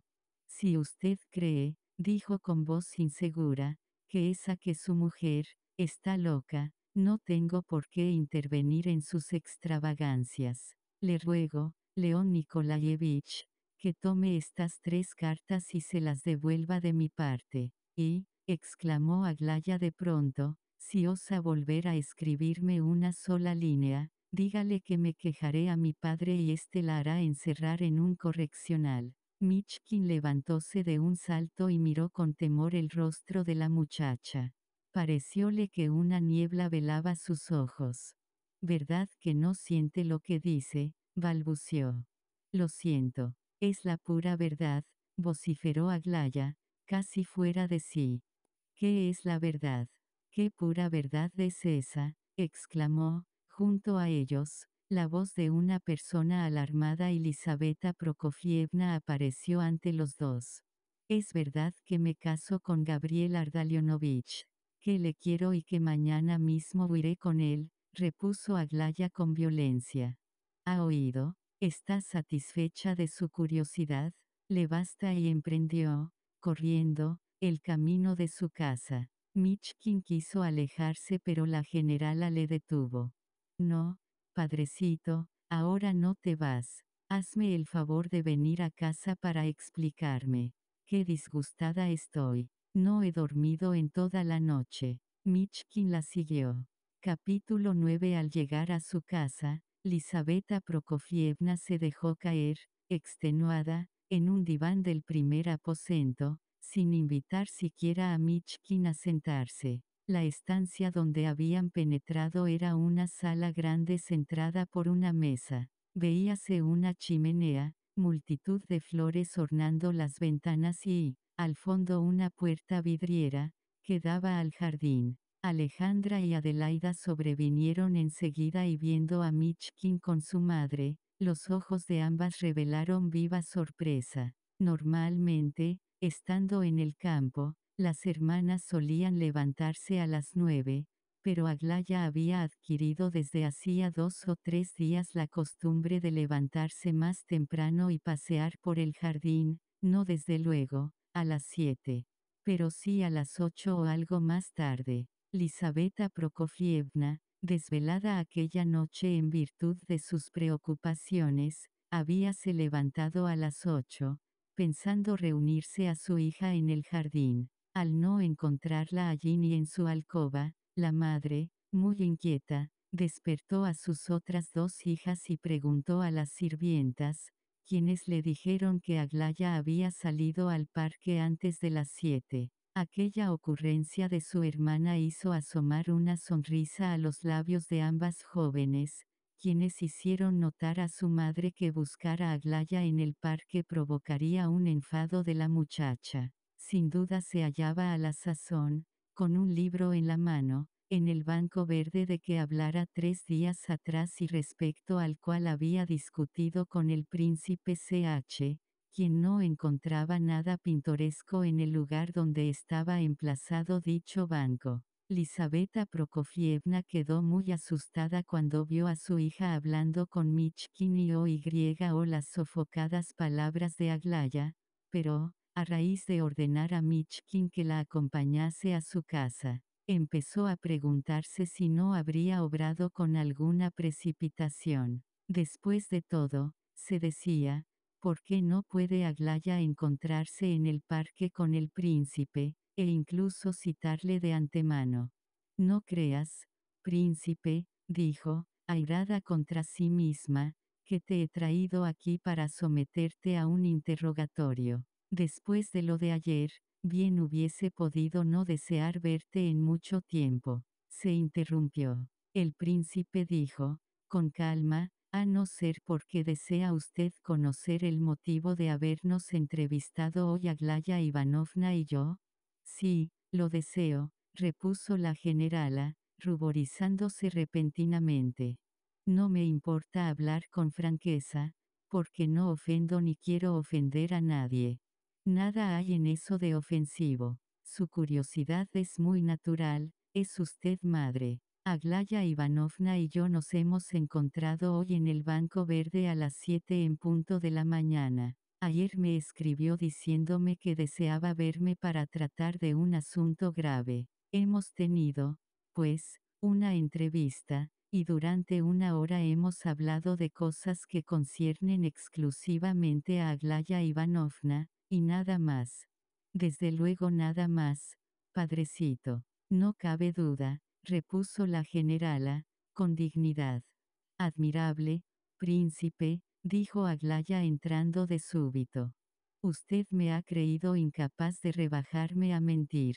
Se lo agradezco de todo corazón. ¿Le basta eso, mamán, o quiere continuar el interrogatorio? Sabes muy bien que nunca he tenido que ruborizarme de nada antes, aun cuando ello te hubiese agradado seguramente, replicó, solemne, Lisabeta Prokofievna. Adiós, príncipe, y perdóname el haberte molestado. Espero que tengas la firme certeza de mi invariable aprecio hacia ti. Michkin se inclinó ante las mujeres y salió sin decir una palabra más. Alejandra y Adelaida cambiaron en voz baja algunos comentarios acompañados de sonrisas. Su madre las miró severamente. Mamán, dijo Adelaida, riendo, nos limitábamos a observar que el príncipe se ha retirado de un modo muy elegante. A veces me parece un verdadero torpe, pero hoy se ha retirado como, como pudiera haberlo hecho Eugenio Pavlovich. La delicadeza y la dignidad nacen del corazón, sin necesidad de aprenderlas con maestros de baile, repuso, sentenciosa, la generala, y, sin hablar siquiera a Aglaya, se retiró a su aposento. Cuando Michkin entró en su casa, a eso de las nueve, halló en la terraza a Vera Lukianovna y a la sirvienta, quienes estaban barriendo y limpiando, cosa no poco precisa después de la desordenada noche anterior. Gracias a Dios, hemos podido concluir antes de que usted llegara, dijo Vera, jovial. Buenos días. Estoy un poco mareado. No he dormido nada. Voy a ver si descabezo un sueño. En la terraza, como ayer, bueno, diré a todos que no le molesten. Papá ha salido. La criada se retiró. Vera hizo ademán de seguirla, pero luego rectificó y acercóse al príncipe, con aire inquieto. Príncipe, tenga piedad de ese, desgraciado y no le ponga en la puerta hoy. Cierto que no. Puede continuar aquí, si le parece bien. No hará más locuras. No sea severo con él. ¿Por qué había de serlo? Y, sobre todo, no se burle de él. No tema que lo haga. Vera se ruborizó. Soy una tonta hablando así a un hombre como usted. ¿Sabe? agregó, riendo y conteniendo un nuevo impulso de marcharse, que tiene usted ahora una mirada muy clara, muy feliz. Es posible, exclamó Mitchkin con animación, riendo alegremente. Pero la joven, que era tan sencilla y franca como un niño, se sintió repentinamente confusa, ruborizóse más y se alejó a toda prisa, sin dejar de reír. Qué buena muchacha es, pensó Michkin, y a continuación la olvidó. En un ángulo de la terraza había un diván al lado de una mesita. Sentóse allí, se tapó el rostro con las manos y permaneció diez minutos en tal posición. De pronto, con ademán inquieto, sacó del bolsillo las tres cartas. En aquel momento volvió a abrirse la puerta y entró Colia. Michkin volvió a guardar las cartas en el bolsillo, feliz de aquella distracción ocasional, que aplazaba un momento penoso para él. Colia se acomodó en el diván. ¿Qué cosas? empezó, yendo derecho al asunto, como todos los muchachos. ¿Cómo juzga a Hipólito? ¿Ha dejado de estimarle? ¿Por qué razón? Pero estoy fatigado, Colia. Más valdrá no insistir en un asunto tan doloroso. ¿Cómo está Hipólito? Está durmiendo y seguramente dormirá otras dos horas. Ya sé que no se ha acostado usted en casa. Ha ido a pasear por el parque, sintiéndose nervioso. No era para menos. ¿Cómo sabe que he ido a pasear al parque?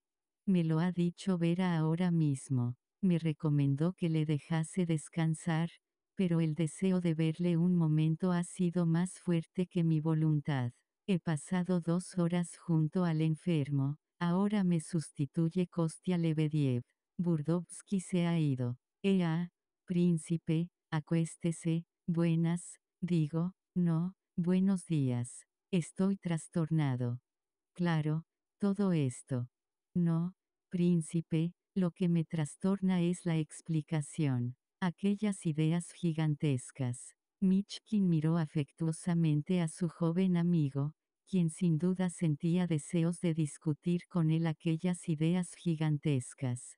Lo menos importante en este caso son las ideas en sí mismas. Lo principal son las circunstancias en que se han producido. De haberlas leído en Voltaire, Rousseau o Proudhon, no me habrían extrañado absolutamente nada. Pero que hable así un hombre que sabe positivamente que solo le quedan 10 minutos de vida. Ello demuestra orgullo, independencia y dignidad personal llevadas al extremo, un desafío a todo. Qué colosal potencia de ánimo y decir, después de eso, que Hipólito no puso, adrede, fulminante en el arma, es una bajeza y un absurdo. Ayer, sabe, mi amigo fue muy astuto, y nos engañó a todos, quien empaquetó sus cosas fue él y yo no le ayudé a hacer la maleta ni vi su pistola. Pero me sentí tan estupefacto oyéndole hablar así. Vera dice que usted consiente en que se quede con nosotros. Le juro que ya no hay que temer. Además todos estamos a su lado. ¿Quién le ha velado esta noche? Burdovsky, Kostia, Lebediev y yo, por turno. Keller estuvo también un momento, pero luego se fue con Lebediev, porque no había cama para él en el cuarto donde estábamos. Ferchenko durmió en las habitaciones de Lebediev y se fue a las siete. Mi padre permaneció también con Lebediev, pero ahora ha salido. ¿Acaso Lebediev venga a verle? Príncipe. Le buscaba hace un momento, no sé para qué, ha preguntado dos veces si había regresado usted ya. Le digo que pase, ¿o quiere usted descansar? Yo voy a acostarme. Ah, otra cosa. Mi padre me ha extrañado mucho esta mañana. A las seis me despertó Burdovsky, a quien yo debía sustituir en el turno. Salí un momento y encontré a mi padre, tan beodo que no me reconoció de momento. Pasó un rato mudo como un poste y al fin, recobrándose algo, me preguntó, ¿cómo está el enfermo? Venía a enterarme. Le satisfice. Está bien, dijo, pero sobre todo he venido a advertirte, y me he levantado expresamente para ello que tengo motivos para creer que no se debe hablar de todo ante Ferchenko y que hay que tener cuidado con la lengua. ¿Comprende usted, príncipe? Es posible, pero en fin, ¿qué nos importa? No nos importa, pero somos masones para andar con esos sigilos. A mí me sorprendió que mi padre quisiera despertarme solo para tal cosa. Dice usted que Ferchenko se ha marchado. A las siete. Vino un momento a mi lado, cuando yo estaba de turno con Hipólito, y me dijo que iba a terminar la noche en casa de Vilkin, un famoso borracho. Me voy. Mire, ahí está Lukian Timofeevich. Váyase, Lukian Timofeevich, el príncipe quiere dormir. Lebediev, al entrar, saludó con grave compostura. Solo estaré un momento, respetado príncipe. Vengo para tratar un asunto que considero importante, dijo a media voz con afectado tono. Acababa de llegar y no había tenido tiempo de entrar en sus habitaciones, por lo cual conservaba su sombrero en la mano. En su fisonomía, preocupada, se advertía una acentuada expresión de dignidad. Michkin le invitó a sentarse. ¿Ha preguntado usted dos veces por mí? No. ¿Está inquieto por lo de ayer? ¿Quiere usted decir por ese mozo de ayer? No, ayer mis ideas estaban en desorden, pero hoy no me propongo contrecarrar a usted de ninguno de sus propósitos. Contre, ¿qué? Contrecarrar, he dicho. Es una palabra francesa de tantas como han entrado en la composición de la lengua rusa. Pero no insisto en ella, si le desagrada. ¿Cómo está usted tan serio, Lebediev? preguntó Michkin, sonriendo. Nicolás Ardalionovich, dijo Lebediev, dirigiéndose a Kolia con voz casi conmovida, siendo así que debo hablar al príncipe de un asunto muy personal, que, Claro, claro, estorbo. Hasta luego, príncipe, dijo Colia. Me gusta este muchacho porque tiene comprensión rápida, contestó Lebediev, siguiéndole con la vista. Por inoportuno que sea, es un chico de viva inteligencia. Respetado príncipe, he sufrido una desgracia extraordinaria anoche o esta mañana. No sé cuándo a punto fijo. ¿Qué le ha pasado? He perdido 400 rublos que llevaba en el bolsillo de la levita. 400 rublos, es lamentable. Sobre todo para un hombre pobre que vive honradamente de su trabajo. Sin duda, sin duda. ¿Y cómo ha sido? Por culpa del vino. Le hablo como a la providencia, estimadísimo príncipe. Ayer, a las 5 de la tarde, recibí de un deudor la suma de 400 rublos y volví aquí en ferrocarril. Yo llevaba la cartera en el bolsillo del uniforme. Cuando cambié este por el traje de casa, Me eché el dinero al bolsillo de la levita, esperando, por la noche. Porque yo esperaba a mi agente de negocios. A propósito, Lukian Timofeyevich, ¿es cierto que ha puesto usted un anuncio en los periódicos diciendo que presta dinero con garantía de objetos de oro o plata? Lo he hecho por intermedio de un agente de negocios. El anuncio no menciona mi nombre siendo así que poseo un capitalito sin importancia y deseando aumentar los ingresos de mi familia. Usted convendrá que un interés honrado. Sí, sí, no era más que por saberlo. Perdone la interrupción. Mi agente de negocios faltó a la cita. En esto apareció ese desgraciado joven. Yo acababa de cenar y estaba regularmente bebido. Llegaron los visitantes, se bebió té y, para desgracia mía, me excedí un poco. Cuando vino ese Keller y dijo que usted deseaba celebrar su cumpleaños ofreciendo champaña, entonces, querido y muy estimado príncipe, yo que tengo el corazón, no ya sensible, pero sí agradecido, seguramente lo habrá notado usted, porque lo merezco, y que me enorgullezco de esa cualidad, creí que en una circunstancia tan solemne no debía vestir mi levita vieja, y que, para felicitarle personalmente, era mejor vestirme el uniforme que me había quitado al llegar a casa y así lo hice. Como usted vería, príncipe, puesto que estuve de uniforme toda la velada. Al ponérmelo olvidé la cartera en mi levita vieja. Dios ciega al que quiere perder. Esta mañana, a las siete y media, me desperté inquieto, salté de la cama y busqué en la levita. El bolsillo estaba vacío. Es desagradable. Desagradable, no puede decirse mejor. ¿Ha encontrado usted con verdadero tacto la palabra adecuada? repuso Lebediev, con cierta intención. Sin embargo, ¿cómo? murmuró el príncipe, realmente impresionado y pensativo. Porque eso, en verdad, es cosa seria. ¿Cierto, príncipe, seria? ¿Ha encontrado usted la palabra justa para caracterizar? Vamos, Lukian Timofeyevich, déjese de eso. ¿Qué importan las palabras? Lo esencial es otra cosa. ¿Cree usted haber podido, en su embriaguez, dejar caer la cartera del bolsillo? Sí, en estado de embriaguez, como usted dice francamente, es posible todo, respetado príncipe. Pero fíjese en esto, de haber dejado caer la cartera, se habría encontrado en el suelo. ¿Dónde está? ¿No la habrá guardado en algún cajón? Todo ha sido examinado de arriba abajo, pero no guardé la cartera en ningún sitio, ni abrí cajón alguno. Lo recuerdo muy bien. ¿Y el armario? Es lo primero que miré y he vuelto a mirar varias veces en el día. Pero, ¿cómo podría habérseme ocurrido guardar la cartera allí, apreciadísimo príncipe? Me inquieta el caso, Lebediev. De modo que ha habido alguien que ha cogido la cartera del suelo, o de mi bolsillo. Solo cabe una de estas dos suposiciones. ¿Quién puede ser el culpable? Porque esa es la cuestión.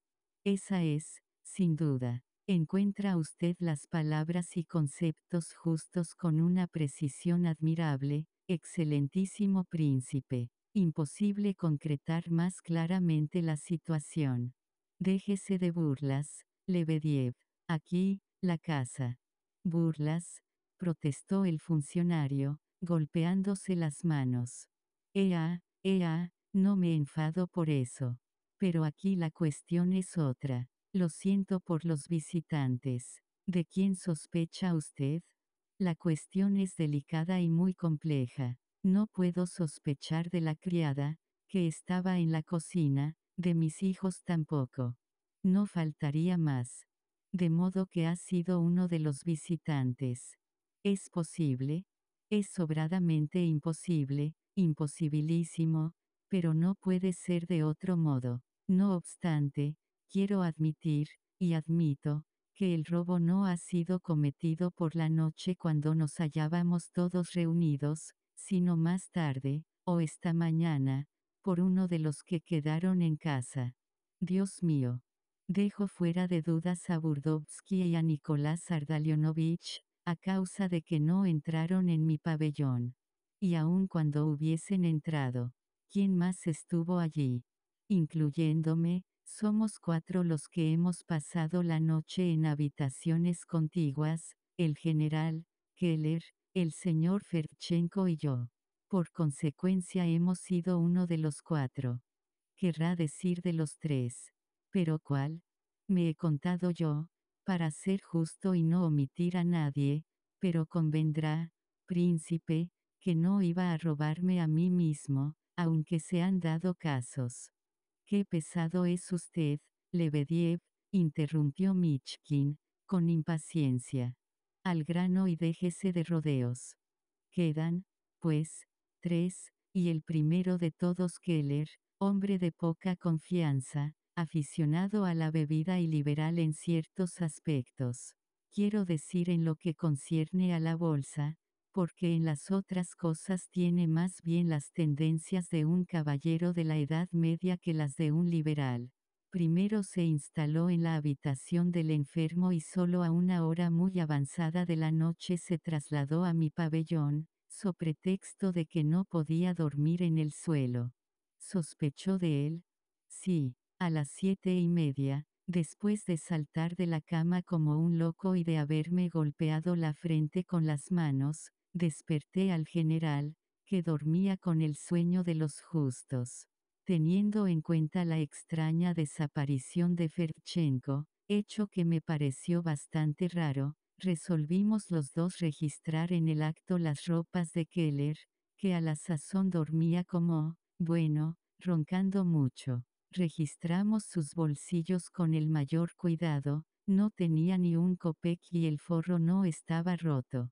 Todo lo que vimos sobre sus ropas fueron un pañuelo de algodón azul a cuadros, en mal estado, una carta de amor de una cocinera pidiéndole dinero y dirigiéndole amenazas, y algunos fragmentos del artículo que usted conoce. El general le consideró inocente.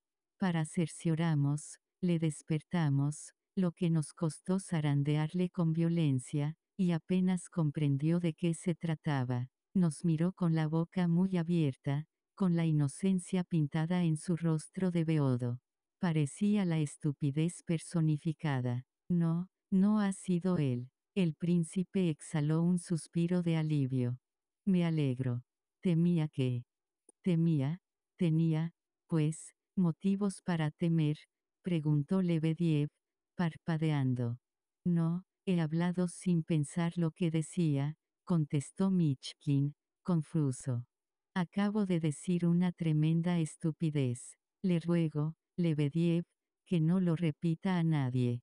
Príncipe, príncipe, sus palabras permanecerán en mí como en un pozo, como en un sepulcro, dijo Lebediev con convicción, apretando el sombrero contra su pecho. Entonces, Ferchenko, Quiero decir si sospecha usted de Ferchenko. De quien otro si no, repuso el empleado en voz baja, mirando fijamente a Michkin. Sí, claro, naturalmente, solo queda él. Pero ¿tiene usted pruebas? Las tengo. Primero, su desaparición a las 7 de la mañana. Lo sé, Kolya me ha dicho que Ferchenko anunció su propósito de terminar la noche en casa de uno de sus amigos, he olvidado el nombre. Vilkin. Así que Kolya le ha hablado ya. No me ha dicho nada del robo.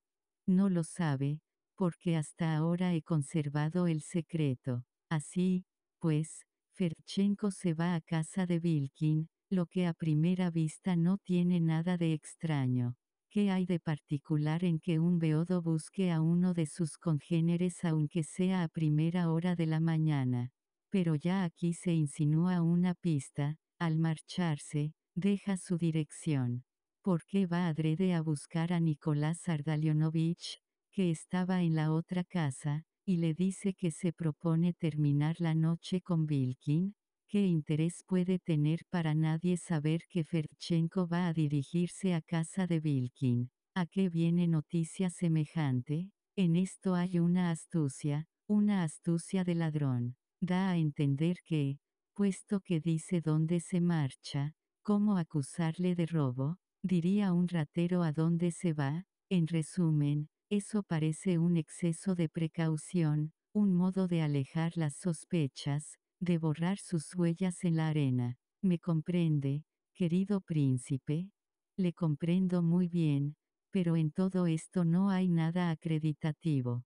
Segunda prueba, la pista resulta falsa e inexacta la dirección. Una hora después, a las ocho, he ido a llamar a casa de Vilkin. Vive en la calle Quinta, le conozco. No ha visto a Ferchenko ni por asomo. En realidad, la criada, que es sorda y apenas me entendía, me ha informado, bien o mal, de que una hora antes estuvieron llamando a la puerta, y con tanta fuerza que rompieron el cordón de la campanilla.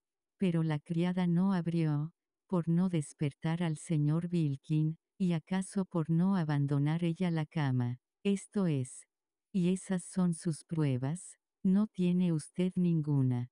Entonces, príncipe, ¿de quién puedo sospechar? dijo Lebediev, confidencial, con una sonrisa astuta en los labios. Michkin, perplejo, reflexionó durante algunos minutos, y dijo, debe usted buscar mejor en los cajones y armarios. Lo he mirado todo, gimió Lebediev. Um, ¿Por qué se quitó la levita? exclamó Michkin, airado, descargando un puñetazo en la mesa. Recuerdo un personaje de comedia que hace la misma pregunta.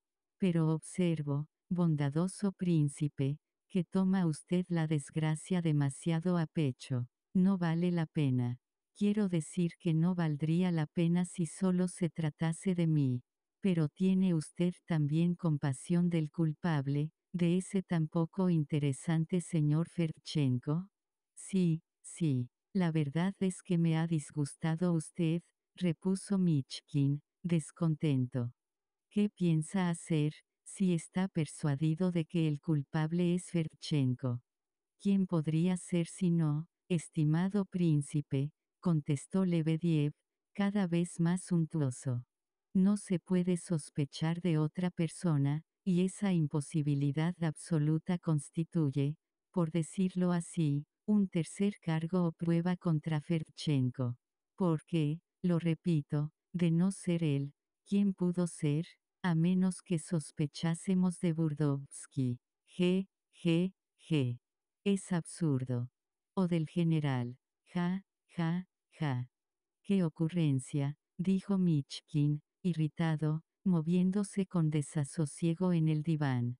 Claro que sí, me da risa. Hacer eso el general. Antes hemos ido juntos a buscar a Ferchenko y debo decirle que el general quedó tan impresionado como yo cuando le desperté al observar la desaparición de mi cartera. Le vi cambiar de expresión, ruborizarse, palidecer, y al fin manifestar una noble indignación cuya violencia me dejó asombrado. Ese hombre rebosa nobleza, miente sin cesar, a pesar suyo, pero está dotado de los más elevados sentimientos y, además, es tan poco inteligente que su inocencia salta a la vista. Le repito, respetado príncipe, que no solo tengo cierta debilidad por él, sino incluso cariño. Figúrese que se para en medio de la calle y, desabrochándose la levita, se descubre el pecho y me dice, regístrame.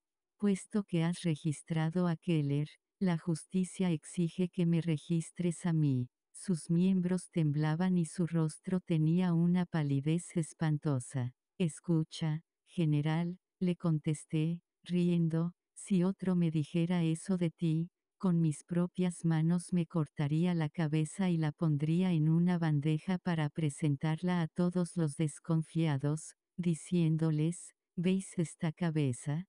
Pues bien, respondo con ella del general. Al oír estas palabras se deshizo en lágrimas, me abrazó, todo ello en plena calle, y me estrechó contra su pecho casi hasta ahogarme. Eres el único amigo que me queda en mi desgracia, dijo. Es hombre muy sensible. Por el camino, desde luego, me contó una anécdota adecuada a las circunstancias, diciéndome que en su juventud había sido objeto de sospechas con motivo de un robo de 500 mil rublos. Al día siguiente se declaró un incendio en casa del conde que sospechaba de él, y él salvó del fuego al conde y a su hija, Nina Alejandrovna, entonces joven y soltera y de ese modo acabó casándose con Nina Alejandrovna. 24 horas después, se descubrió entre los escombros de la casa incendiada la caja de acero, de fabricación inglesa, que contenía los 500 mil rublos. La caja se había deslizado a través del suelo sin que nadie lo notase y, de no ser por el incendio, aún permanecería allí. No hay una sola palabra de verdad en toda la historia, pero el caso es que hablando de Nina Alejandrovna, el general se puso a lloriquear y Nina Alejandrovna es señora muy estimable, a pesar de que no me mire con buenos ojos. ¿No la conoce usted? Apenas y eso que desearía conocerla, aunque solo fuese para justificarme ante ella. Nina Alejandrovna me acusa de pervertir a su marido y de tener la culpa de que beba. Pero en vez de pervertirle ejerzo sobre él una influencia saludable, impidiéndole frecuentar amistades peligrosas. Además, es muy amigo mío y yo le acompaño a donde quiera que va, pues estoy persuadido de que solo con sensibilidad se puede obrar sobre él. Ahora ha cesado completamente de visitar a su amiga, la viuda del capitán, aun cuando en el fondo sigue amándola y a veces se duele de su separación. Por la mañana, al ponerse las botas, es, no sé por qué, cuando piensa en esa mujer con más melancolía. La desdicha es que no tiene dinero. Le es imposible presentarse en su casa con las manos vacías. ¿No le ha pedido dinero, estimado príncipe? No, no me lo ha pedido. No se atreve, no le faltan las ganas, y hasta me ha dicho que pensaba dirigirse a usted, pero vacila, porque dice que le ha prestado usted algo no hace mucho tiempo y que espera una negativa por su parte. Me lo ha dicho en confianza, ¿Y usted, no le da dinero? Príncipe, respetado príncipe, no dinero, sino incluso la vida daría yo por ese hombre. No quiero exagerar, no daría la vida, pero sí consentiría en padecer una fiebre, un ataque o un reuma si ello fuese absolutamente necesario para su bien, porque le considero un gran hombre, aunque caído. No solo dinero, cualquier cosa le daría. Entonces, ¿se lo da? No, no se lo he dado, pero él sabe bien que lo hago por su bien, por su propio interés. Ahora va a acompañarme a San Petersburgo, donde sé positivamente que se halla Ferdchenko. Esta persecución apasiona al general, pero estoy convencido de que en cuanto lleguemos correrá en busca de su amada.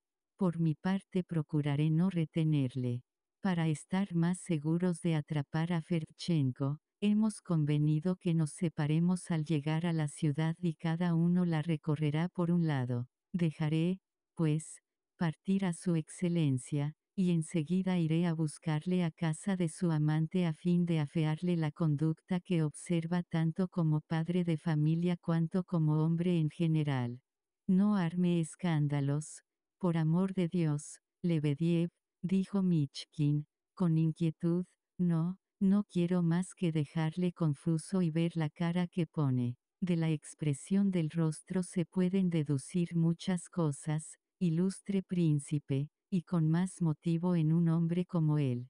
Por grande que sea mi disgusto presente, no renuncio a pensar en mi amigo y en el modo de reformar sus costumbres. He de pedirle un gran favor, apreciadísimo príncipe, Confieso que por ello más que por nada he entrado a molestarle. Usted conoce a la familia Ivolgin, y hasta ha vivido en su casa. Si usted consintiera, excelentísimo príncipe, en acudir en mi ayuda, en interés del propio general, por su bien, y Lebediev juntó las manos. ¿Qué ayuda espera usted de mí? Tenga la certeza de que ardo en deseos de comprenderle bien, Lebediev. Precisamente porque tengo esa convicción he venido a importunarle. Podríamos obrar por intermedio de Nina Alejandrovna, y así cabría vigilar a su excelencia en el seno de su propia familia. Desgraciadamente, yo no estoy en relación. Además, Nicolás Ardalionovich, que le adora con todo el entusiasmo de su juvenil corazón, podría ayudar. No lo quiera Dios. Mezclar a Nina Alejandrovna en este asunto. Y a Kolia tampoco. Además, ¿acaso no le haya comprendido bien, todavía, Lebediev? Pero si no hay nada que comprender, repuso Lebediev, dando literalmente un salto en su silla. Sensibilidad y ternura, y nada más. Ese es el remedio que necesita el enfermo. ¿Me permite usted, príncipe, considerarle como un enfermo?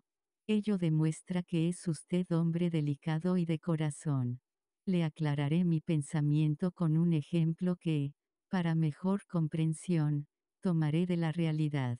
Ya sabe qué hombre es el general, ahora su único disgusto consiste en que, sin llevarle dinero, no puede ver a la mujer por quien se interesa y me propongo sorprenderle en casa de esa mujer, por su bien.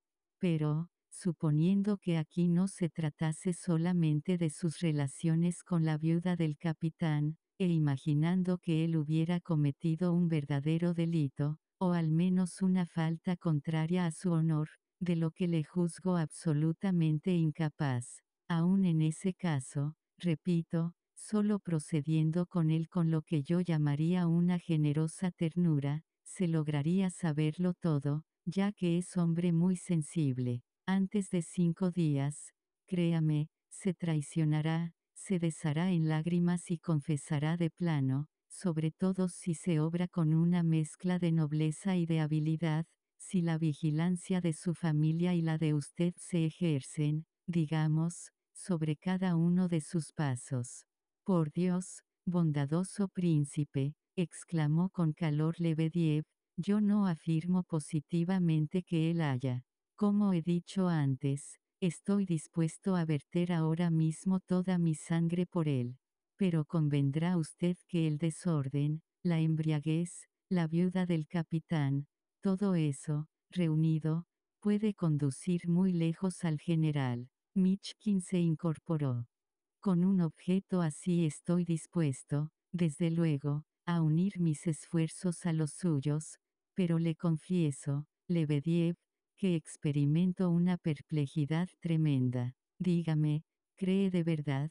En una palabra, ¿no me ha dicho usted mismo que sospechaba de Ferchenko? El funcionario volvió a juntar las manos. ¿De quién puedo sospechar, si no, de quién, sincero príncipe, replicó, con almibarada sonrisa. Michkin arrugó el entrecejo. Un error aquí, Lukian Timofievich, sería terrible. Ese Ferchenko. No quiero hablar mal de él, pero ese Ferchenko. ¿Quién sabe? ¿Acaso él? Quiero decir que acaso fuera más capaz de eso que otro. Lebediev abrió los ojos y aguzó los oídos. Michkin, con el entrecejo cada vez más arrugado, comenzó a pasear de un lado a otro de la terraza, evitando la mirada de su interlocutor. Mire, dijo, con creciente turbación, se me ha dicho que el señor Ferchenko era hombre ante el que acaso no conviniese hablar mucho, al que no estuviera de más vigilar.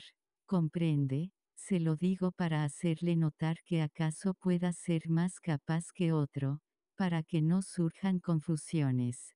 Porque lo esencial es esto, ¿entiende? ¿Quién le ha dicho eso acerca de Ferchenko? Preguntó Lebediev con viveza. Se me ha confiado en secreto, pero no lo creo. Me disgusta verme en la precisión de decírselo, y le aseguro que personalmente lo juzgo absurdo y no lo creo. ¿Qué tontería he cometido? Escuche, príncipe, repuso Lebediev, muy agitado, aquí lo importante no es la noticia concerniente a Ferchenko, aunque sea importante de por sí. Lo esencial es conocer cómo ha llegado a oídos de usted.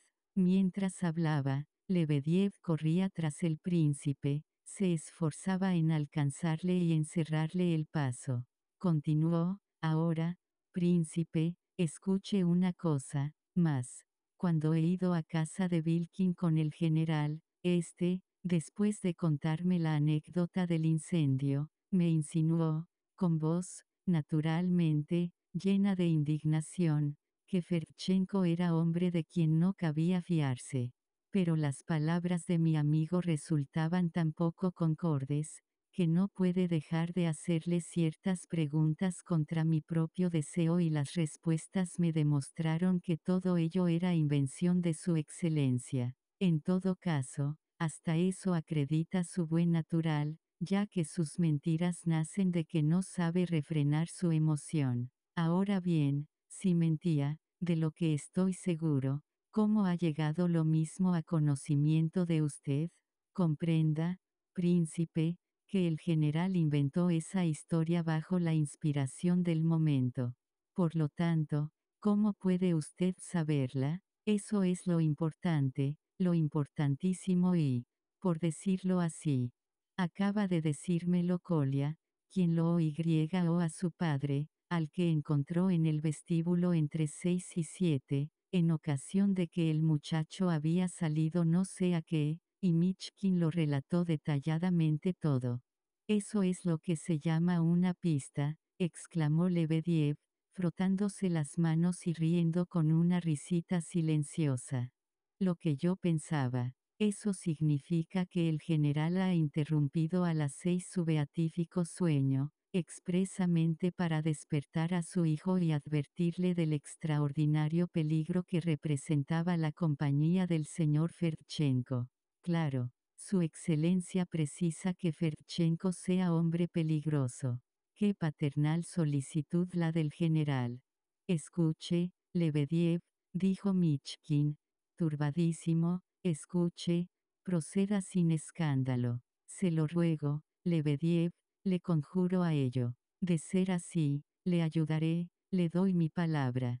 Pero que nadie se entere, que nadie se entere. Esté seguro de ello, bondadoso y nobilísimo príncipe, contestó Lebediev con gran exaltación.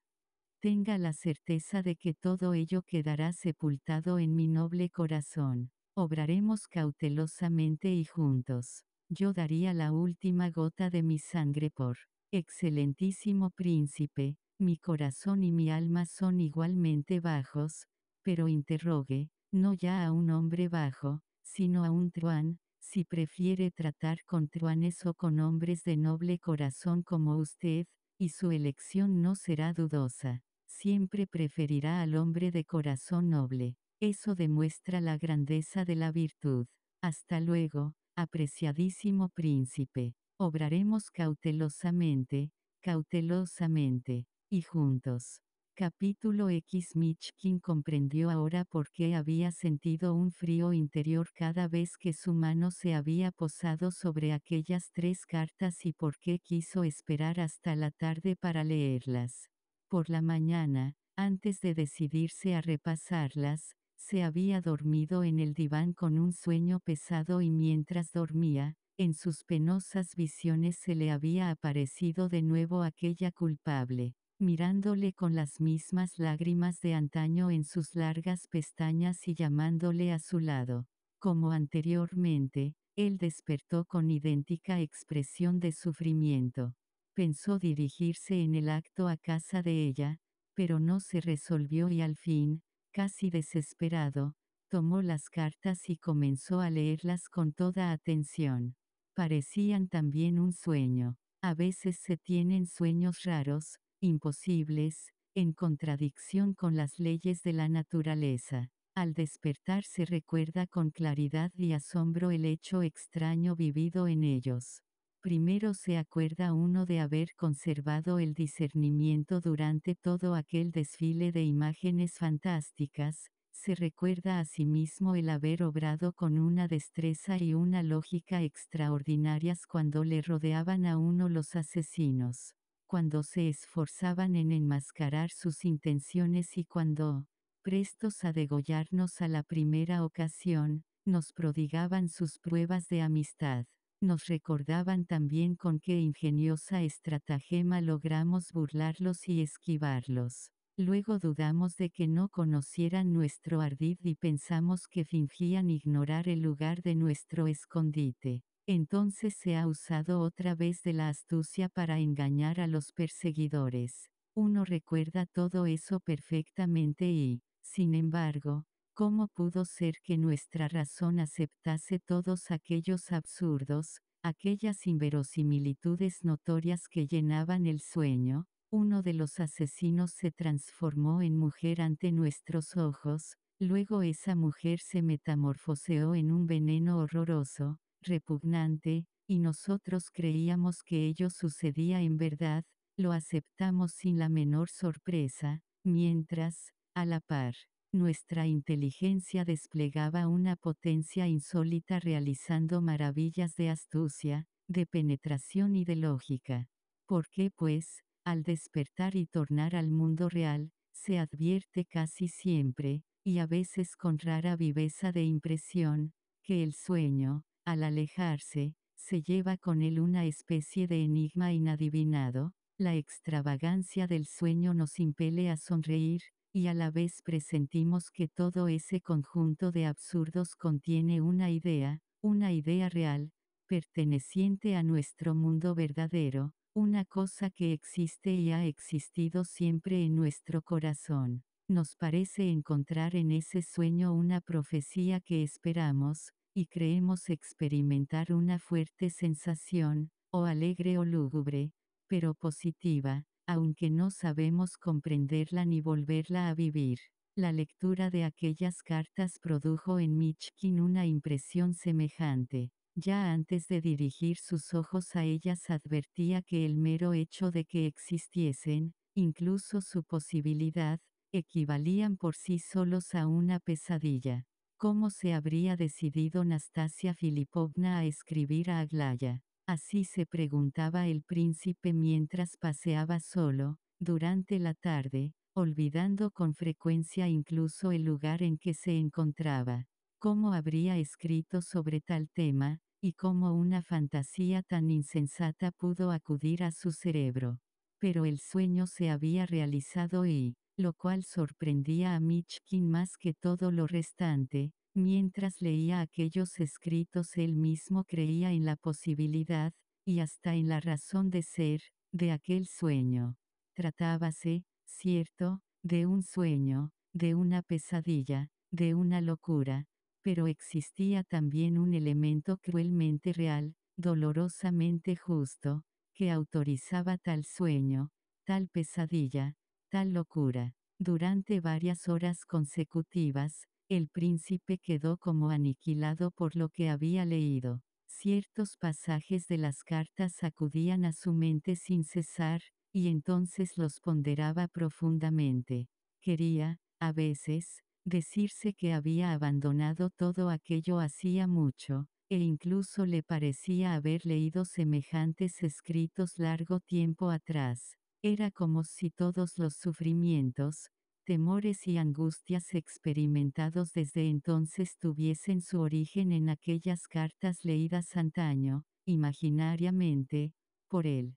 Cuando abra usted este pliego, comenzaba la primera carta, Mire primero la firma. Ella se lo dirá todo, le explicará todo. Es inútil, pues, que me justifique ante usted y que le dé explicaciones. Si en el más remoto sentido ambas fuésemos iguales, podría usted encontrar un insulto en mi audacia, pero ¿quién soy yo y quién es usted?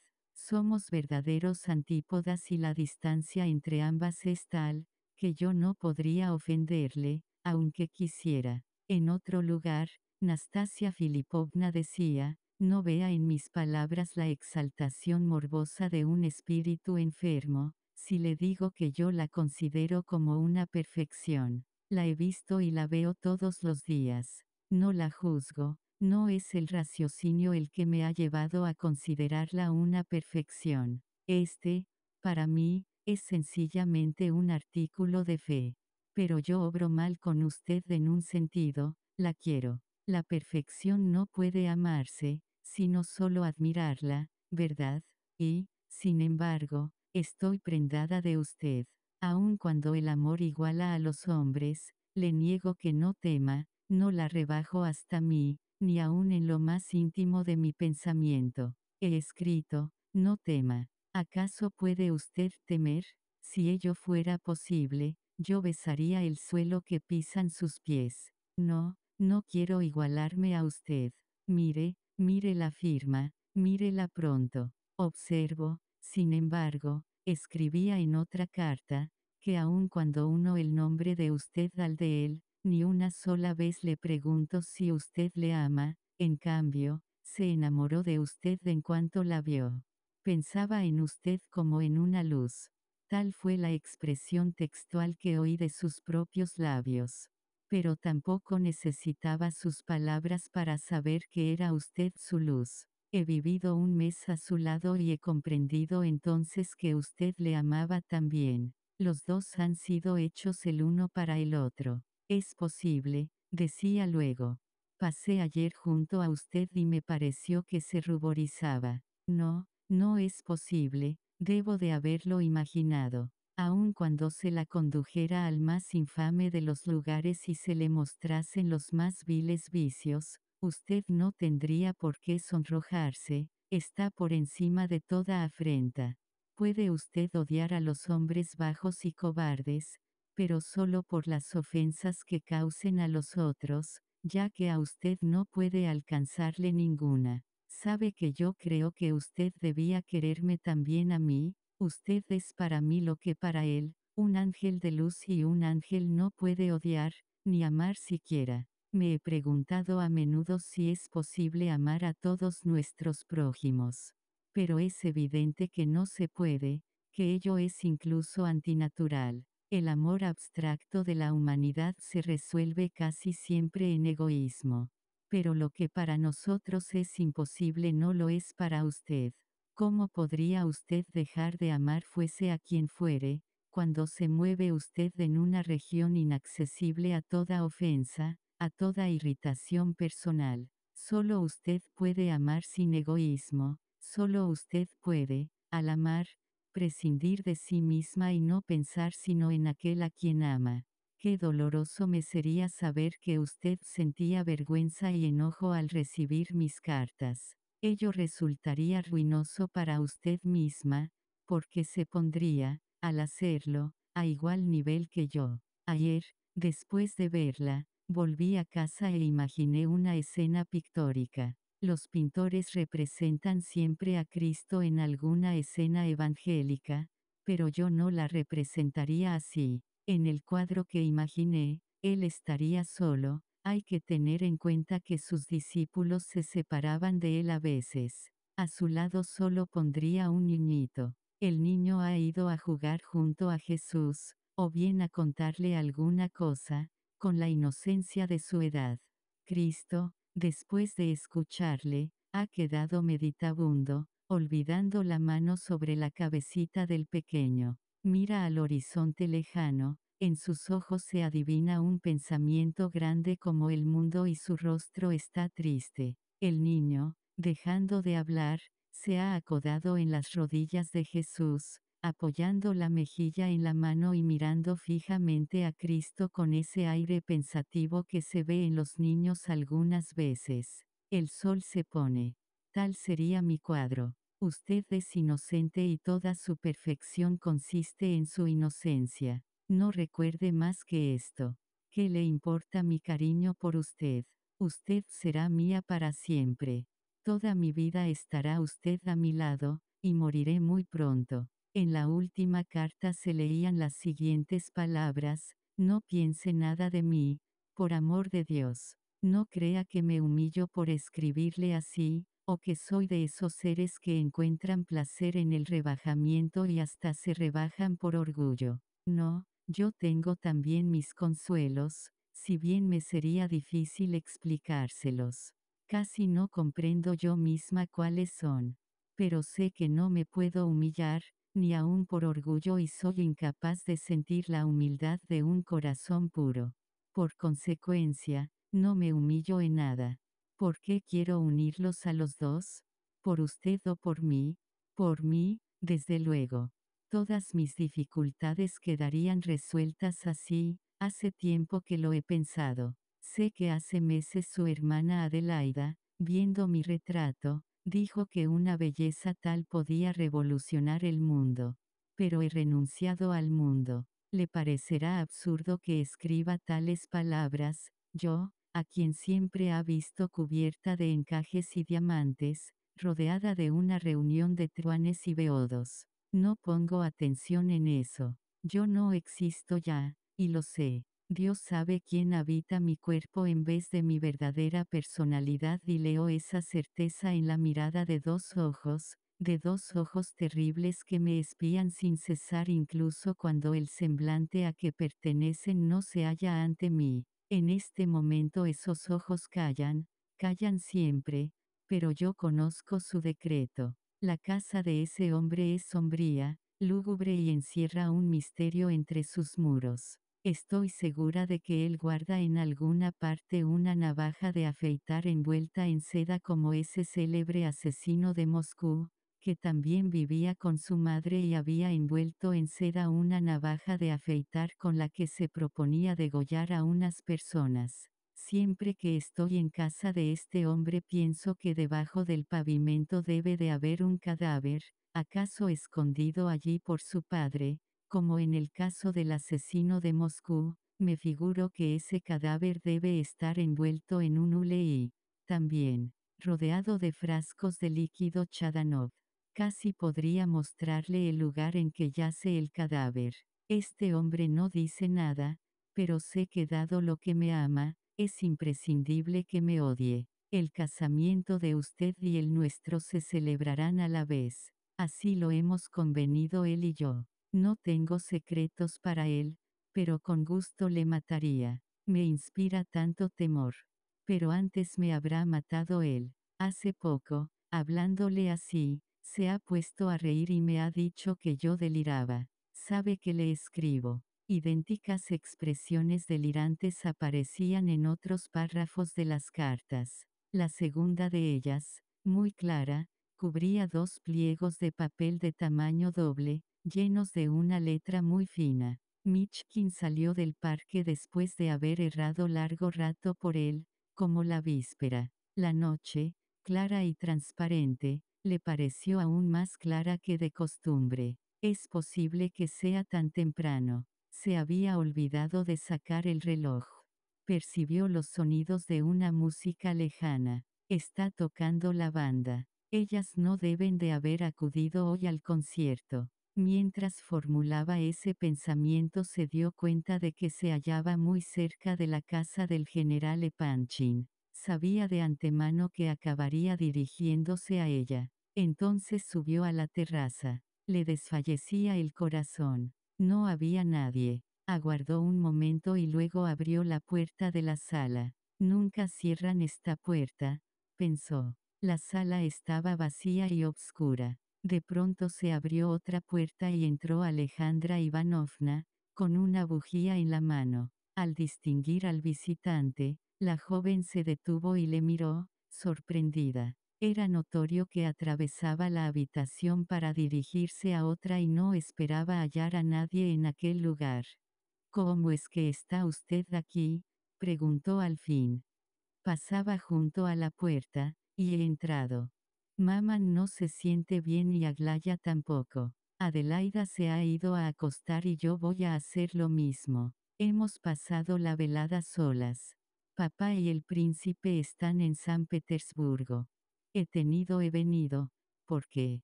¿Sabe qué hora es? No, las doce y media. A esta hora siempre solemos estar acostados. Ah, Yo creía que eran las nueve y media. Alejandra estalló en risas. Tiene gracia. Pero ¿por qué no ha venido antes? Podíamos haber estado aguardándole y... Yo creía, balbució él, iniciando la marcha. Hasta la vista. Lo que van a reírse todos mañana cuando cuente esto. Mitchkin volvió a su casa siguiendo el camino que bordeaba el parque. Sus ideas estaban trastornadas, el corazón le latía violentamente, todas las casas asumían, en torno suyo, aspectos fantásticos. De pronto se ofreció a sus ojos la visión que por dos veces se le apareciera en sueños. La misma mujer salió del parque, y se detuvo en el camino ante Mitchkin. Se dijera que le esperaba. Él, tembloroso, interrumpió su marcha, y ella, haciéndole la mano, se la estrechó con fuerza. No, pensó Mitchkin, esta no es una aparición. Ella estaba frente a él, a solas por primera vez desde su separación, y le hablaba. Pero él la miraba en silencio, con el corazón rebosante y dolorido. Jamás desde entonces pudo olvidar aquel encuentro, ni nunca lo recordó sino con infinita congoja. De pronto Nastasia Filipovna, como una demente, se arrodilló ante Michkin, que retrocedió, espantado. La joven tomó su mano, para besársela. Como en sueños, el príncipe vio pender dos lágrimas de las largas pestañas de Nastasia Filipovna. Levántate, levántate, exclamó, esforzándose en hacer que se incorpora. Levántate enseguida. ¿Eres feliz? ¿Feliz? preguntó la mujer. Dime una sola palabra, ¿eres feliz ahora? ¿Lo eres en este instante? ¿Has estado con ella? ¿Qué te ha dicho? Continuaba de rodillas, sin atenderle. Las preguntas se agolpaban a sus labios y surgían precipitadas, como si alguien la persiguiese y ella, sabiéndolo, estuviera inquieta y ansiosa. Me voy mañana, como me has ordenado, no volveré a escribir más. Esta es la última vez que te veo, la última. Esta sí que es la última vez. Cálmate y levántate, gritó él, desesperado. Nastasia Filipovna le cogió los brazos y le contempló con anhelo. Luego se incorporó y alejóse a toda prisa, diciendo, adiós. Michkin vio aparecer a Rogochin de improviso, tomar el brazo de Nastasia Filipovna y desaparecer con ella. Espera un momento, príncipe, instóle Parfen Semenovich. Vuelvo contigo antes de cinco minutos. En efecto, cinco minutos más tarde Rogochin volvía al lugar donde Michkin le aguardaba. La he dejado en el coche, que espera ahí cerca desde las diez, expuso. Ella sabía que tú pasarías la velada en casa de esa otra mujer. Le transmití exactamente el contenido de la carta que me dirigiste. Nastasia Filipovna no volverá a escribir más cartas a esa amiga tuya y, como lo deseas, mañana mismo se irá de Pavlovsk. Ha querido verte por última vez a pesar de tus negativas de entrevistarte con ella. Te esperamos aquí, en ese banco. Así sentíamos la seguridad de verte cuando regresaras. ¿Y te ha traído consigo? ¿Por qué no? repuso Rogochin, sonriendo. No he visto más de lo que ya sabía. ¿Has leído sus cartas? ¿Es posible que tú las hayas leído también? Es verdad, exclamó Michkin, transido de espanto ante tal pensamiento. Pero si me las ha enseñado todas. ¿Has visto lo que dice de la navaja? Ja, ja. Está loca, exclamó Michkin, retorciéndose las manos. ¿Quién sabe?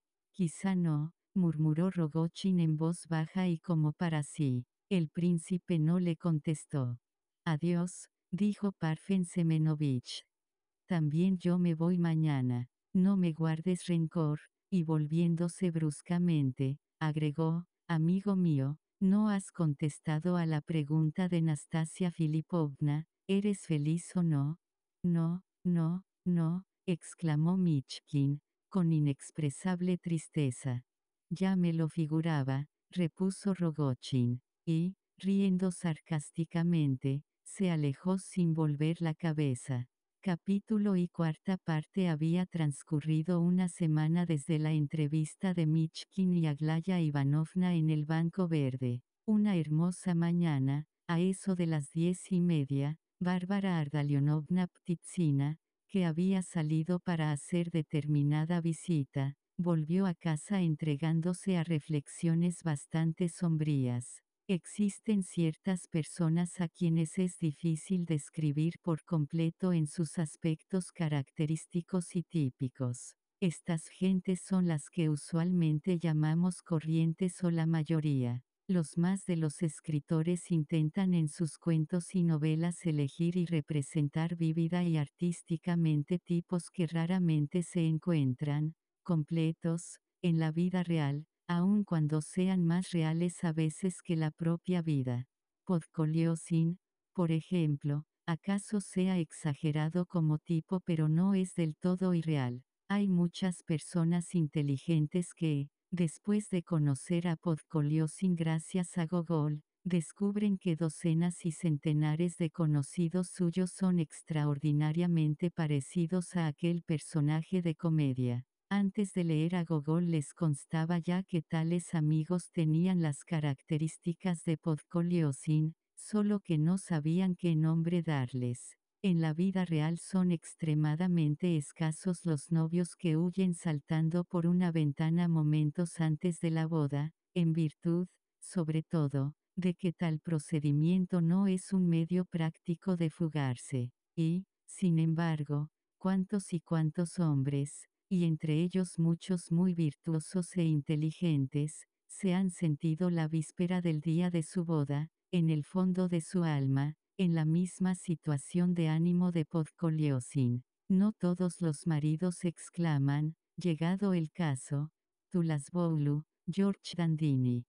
Pero cuántos millones y billones de veces ha surgido este grito del corazón en el interior de infinitos maridos una vez pasada la luna de miel, y aún, en ocasiones, el día de la boda. Sin entrar en más hondas consideraciones, basta dejar asentado que en la vida normal existen características típicas perfectamente susceptibles de ser descritas en literatura. Así como los George Dandini y los podcoliosines viven y se mueven ante nuestros ojos diariamente, si bien en forma menos condensada, y aún hemos de hacer una reserva, que un George Dandini en plena perfección tal como lo ha pintado Molière, puede existir también en la vida real, aunque no con tanta frecuencia.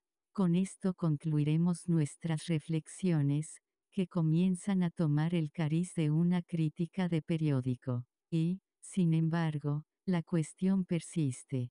¿Qué puede hacer un autor con gentes corrientes en absoluto, y cómo conseguir que sus lectores se interesen por ellas? Es, por otra parte, imposible dejarlas al margen de las obras novelescas, puesto que las personas vulgares son en cada momento los más numerosos y esenciales eslabones en la cadena de los asuntos humanos y, por lo tanto, si se prescinde de ellas, se quita a la narración toda apariencia de verdad. Llenar una novela completamente con tipos y caracteres extraños e inverosímiles la convertiría en irreal y aún en poco interesante. A nuestro juicio, el escritor debe buscar rasgos instructivos y de interés incluso entre las personas más comunes. Cuando, por ejemplo, la verdadera naturaleza de ciertas personas vulgares consiste en su perpetua e invariable vulgaridad, o, mejor aún, cuando, a pesar de sus vigorosos esfuerzos para escapar a la vulgaridad y a la rutina diaria, permanecen siempre encadenadas a ellas vulgaridad y rutina, tales personas adquieren un carácter típico y propio, el carácter de un ser vulgar en absoluto y empeñado en subtraerse a la vulgaridad por encima de todo, sin la menor posibilidad de conseguirlo. A esta clase de personas vulgares o corrientes pertenecen ciertos personajes de mi novela, cuyos caracteres, he de confesar, no, han sido debidamente explicados al lector. Tales eran, por ejemplo, Bárbara Ardalionovna Ptitsina, su marido, Ptitsin, y su hermano, Gabriel Ardalionovich. No hay cosa más enojosa que ser hombre de buena familia, de agradable apariencia, bastante inteligente y de buen carácter y, sin embargo, no tener talento alguno, ninguna especial facultad, ninguna peculiaridad, ninguna idea propia de uno mismo. Ser, en suma, como los demás.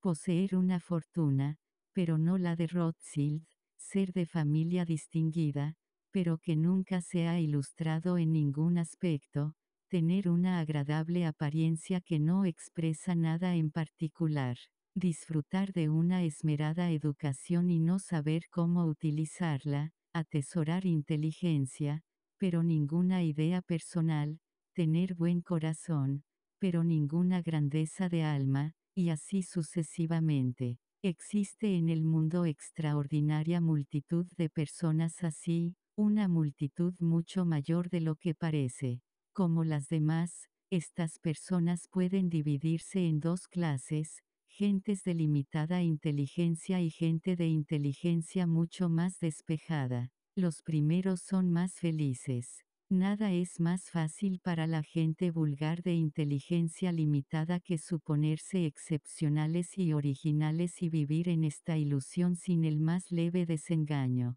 A algunas señoritas rusas les basta cortarse el cabello, ponerse gafas azules y calificarse de nihilistas para suponer, en el acto, que han adquirido convicciones propias. A ciertos hombres les basta percibir en su alma el más tenue rayo de amabilidad hacia sus semejantes y de emoción para persuadirse definitivamente de que nadie siente como ellos y que figuran en la cúspide de la emocionalidad y la ilustración humanas. A algunos les basta oír alguna idea ajena o leer una página determinada para convencerse de que lo oído o leído es su propia opinión, espontáneamente brotada de su cerebro. La impudicia de esta ingenuidad, si cabe expresarse así, es sorprendente en casos de este orden.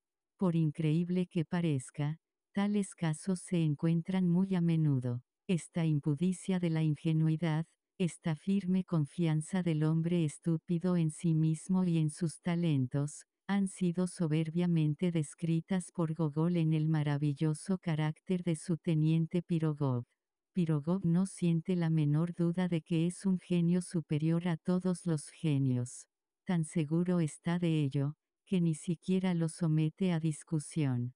Por eso no discute ni pregunta nunca nada. El gran escritor se ve forzado a castigar a su héroe en el desenlace, para satisfacer el ultrajado sentimiento moral del lector, pero, en vista de que el gran hombre, después del castigo, se limita a restaurar sus energías consumiendo una empanada, el autor alza las manos, desolado, y deja a sus lectores que extraigan la mejor conclusión posible de la moraleja. Yo he lamentado siempre que Gogol eligiese para protagonista a un hombre de tan humilde calidad, porque Pirogov estaba tan contento de sí mismo, que nada le hubiese sido más fácil que imaginarse, a medida que con la edad aumentara en grado, un genio de la guerra, o, mejor dicho, no imaginárselo, sino darlo por hecho.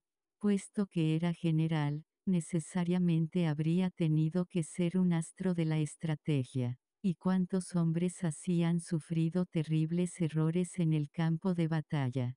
¿Cuántos Pirogov ha habido entre nuestros escritores, nuestros sabios y nuestros propagandistas? Digo ha habido, pero, desde luego, los hay aún. Gabriel Ardalionovich y Volgin pertenecía a la segunda de las categorías mencionadas, es decir, a la de los más inteligentes, mas estaba infectado de pies a cabeza de su deseo de ser original. Como ya observamos, esta segunda clase es más infortunada que la primera, porque el hombre vulgar inteligente, aun cuando en ocasiones, y aun siempre, se juzgue genial y originalísimo, siente roerle el corazón el gusano de la duda, y ello le sume a veces en amarga desesperación. Aun si logra someter esa duda, el veneno de ésta acaba por emponzoñarle. Pero estamos extremando las cosas. En la mayoría de los casos, estas personas no terminan tan trágicamente. En los últimos años de su vida estas personas suelen enfermar del hígado y nada más. Pero antes de esto, muchos de tales hombres hacen incontables locuras durante años, en su afán de mostrarse originales. Incluso se dan ejemplos curiosos, hay hombres honrados dispuestos a cometer cualquier vileza con tal de acreditar originalidad. A veces esos hombres infortunados son, además de honestos, buenos, obran como el ángel tutelar de su familia, mantienen con su trabajo, no solo a sus parientes, sino a sus amigos y, con todo, no se encuentran satisfechos nunca en su vida. La idea de que han cumplido bien sus deberes no los consuela ni anima, antes al contrario, los enoja, en esto he malgastado mi vida, comentan, esto me ha ligado de manos y pies, impidiéndome realizar alguna empresa grande. Yo no había nacido para esto, yo estaba predestinado a descubrir, la pólvora o América, o no sé exactamente el qué pero estaba llamado a descubrir algo. Lo más característico de estos señores es que nunca saben a punto fijo lo que van a descubrir o realizar, aunque se mueven desde luego en el área de los descubrimientos y las realizaciones. Pero sus sufrimientos y su ansia de descubrir hubieran sido más que suficientes para un Colón o para un Galileo. Gabriel Ardalionovich había dado los primeros pasos en este camino, pero aún no había hecho más que comenzar y le quedaban, pues, en la vida, largos años de cometer necedades, una profunda y continua conciencia de su falta de talento y a la vez un devorador deseo de probarse a sí mismo que era hombre de gran independencia moral, se debatían en su corazón casi desde la niñez. Era un joven de violentos impulsos, que parecía haber nacido ya con los nervios en tensión. Tomaba la violencia de sus deseos por fuerza de voluntad. Su inmoderado afán de distinguirse le había conducido a veces al borde de las más locas acciones, pero siempre, en el último momento, nuestro hombre se encontraba lo bastante sensato para no realizarlas. Esto le colmaba de desesperación. Muchas veces, con tal de obtener lo que soñaba, habríase lanzado a cualquier acto por vil que fuera, pero parecía ser su destino que en el momento final se reconociese harto honrado para cometer una gran bajeza, no así respecto a las pequeñas, a las que siempre se sentía dispuesto. La pobreza en que había caído su familia le humillaba e irritaba. Trataba a su madre con desprecio, a pesar de que sabía que siempre podría facilitarle mucho su ulterior carrera el respeto de que gozaba en todas partes Nina Alejandrovna. Al comenzar a trabajar con el general Epanchin, se había dicho, puesto que hay que ser vil, seámoslo hasta el final, siempre que nos dé provecho. No sabemos por qué presumía la necesidad de ser vil, y, además, no lo era casi nunca. Aglaya le asustó al principio, pero no por ello prescindió de considerarla como una posibilidad, si bien nunca creyó seriamente que ella acabase descendiendo a ser suya. Después, cuando surgió el asunto de Nastasia Filipovna, Gabriel Ardalionovich imaginó repentinamente que el dinero era el medio de conseguirlo todo y se repetía a diario, una y otra vez con presuntuosa seguridad, no exenta de cierto temor. Puesto que hay que ser bajos, seámoslo de una vez. La gente vulgar vacila, pero yo no. Al perder a Aglaya y verse aplastado bajo las circunstancias, se descorazonó del todo y, como sabemos, entregó a Michkin el dinero que una loca había recibido de un loco y le regalaba. Mil veces lamentó después haber reintegrado aquel dinero, aun cuando se enorgulleciera a cada instante de haber hecho lo que no todos hubieran sido capaces de hacer. Durante los tres días que Michkin permaneció entonces en San Petersburgo, Gania desahogó su tristeza con él, aun cuando no dejara de aborrecerle viendo la compasión que el príncipe le tenía.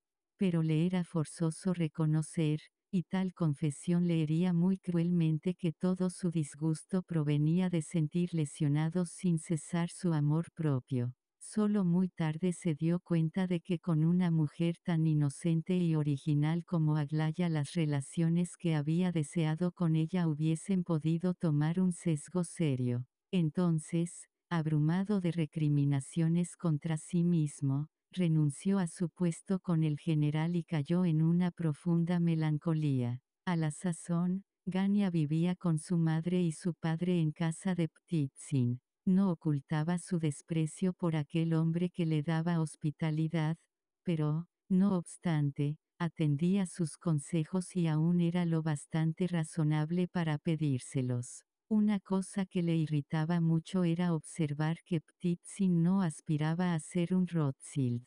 Puesto que eres usurero, decíale, explota a las gentes, hazles sudar todo el dinero posible y conviértete en el rey de los judíos. Ptitsin, siempre suave y modesto, se contentaba con sonreír. Sin embargo, una vez se explicó claramente con Gania y no dejó de poner cierta dignidad en su explicación. Demostró, en efecto, a su cuñado, que no hacía nada deshonesto y que era injusto acusarle de judío. Él no tenía la culpa de que el dinero tuviese tanto valor y, por ende, él no obraba sino como una especie de intermediario. Eso aparte, Gracias a su destreza en los negocios se había procurado muy buenas amistades y el círculo de sus operaciones se ensanchaba de día en día. No llegaré a ser un Rothschild, no hay razón para que lo sea, añadió, riendo, pero sí llegaré a tener una casa en la Litinaya, y acaso dos, y entonces me daré por satisfecho. Quizá llegue a tres. ¿Por qué no? agregó para sí. Era su sueño, pero un sueño que no confiaba íntegro a nadie. La naturaleza gusta de personas así y las favorece. Seguramente acabará recompensando a Ptitsin no con tres, sino con cuatro casas, precisamente por haber comprendido desde su niñez que nunca llegaría a ser un Rothschild. Cierto que en ese límite se detendrá la buena suerte de Ptitsin y que, pase lo que pase, Nunca tendrá más de cuatro casas. Bárbara Ardalionovna no se parecía en nada a su hermano. Cierto que sentía también vivos deseos, pero con menos impetuosidad y más testarudez. Mostraba tanta prudencia en el alcance de sus proyectos como en el modo de ponerlos en práctica. Era, sí, una de esas personas vulgares que sueñan en ser originalísimas, pero habiendo reconocido muy pronto que no existía en ella ni un átomo de verdadera originalidad, no se disgustaba gran cosa y hasta, ¿por qué no? Quizás se enorgulleciese de ello en cierto sentido. Cuando hizo su primera concesión a las realidades de la vida práctica, fue al acceder a casarse con Ptitsin, y entonces, desde luego, no se dijo, admitamos la bajeza puesto que conduce al fin deseado, como hubiese hecho Gania, y como acaso hizo emitir su opinión sobre el matrimonio en su calidad de hermano mayor.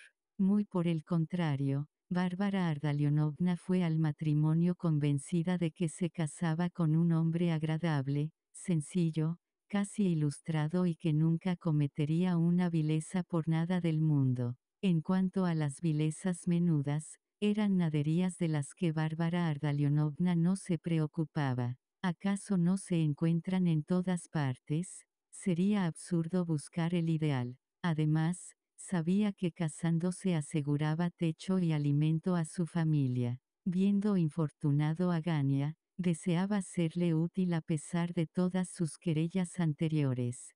Ptitsin, siempre en tono animoso, Exhortaba a Gania a veces a entrar en el servicio, Pues ya verás como todos ellos terminan siendo generales. Si Dios te da vida, lo verás. ¿Y de dónde sacan en limpio que desprecio al generalato y a los generales?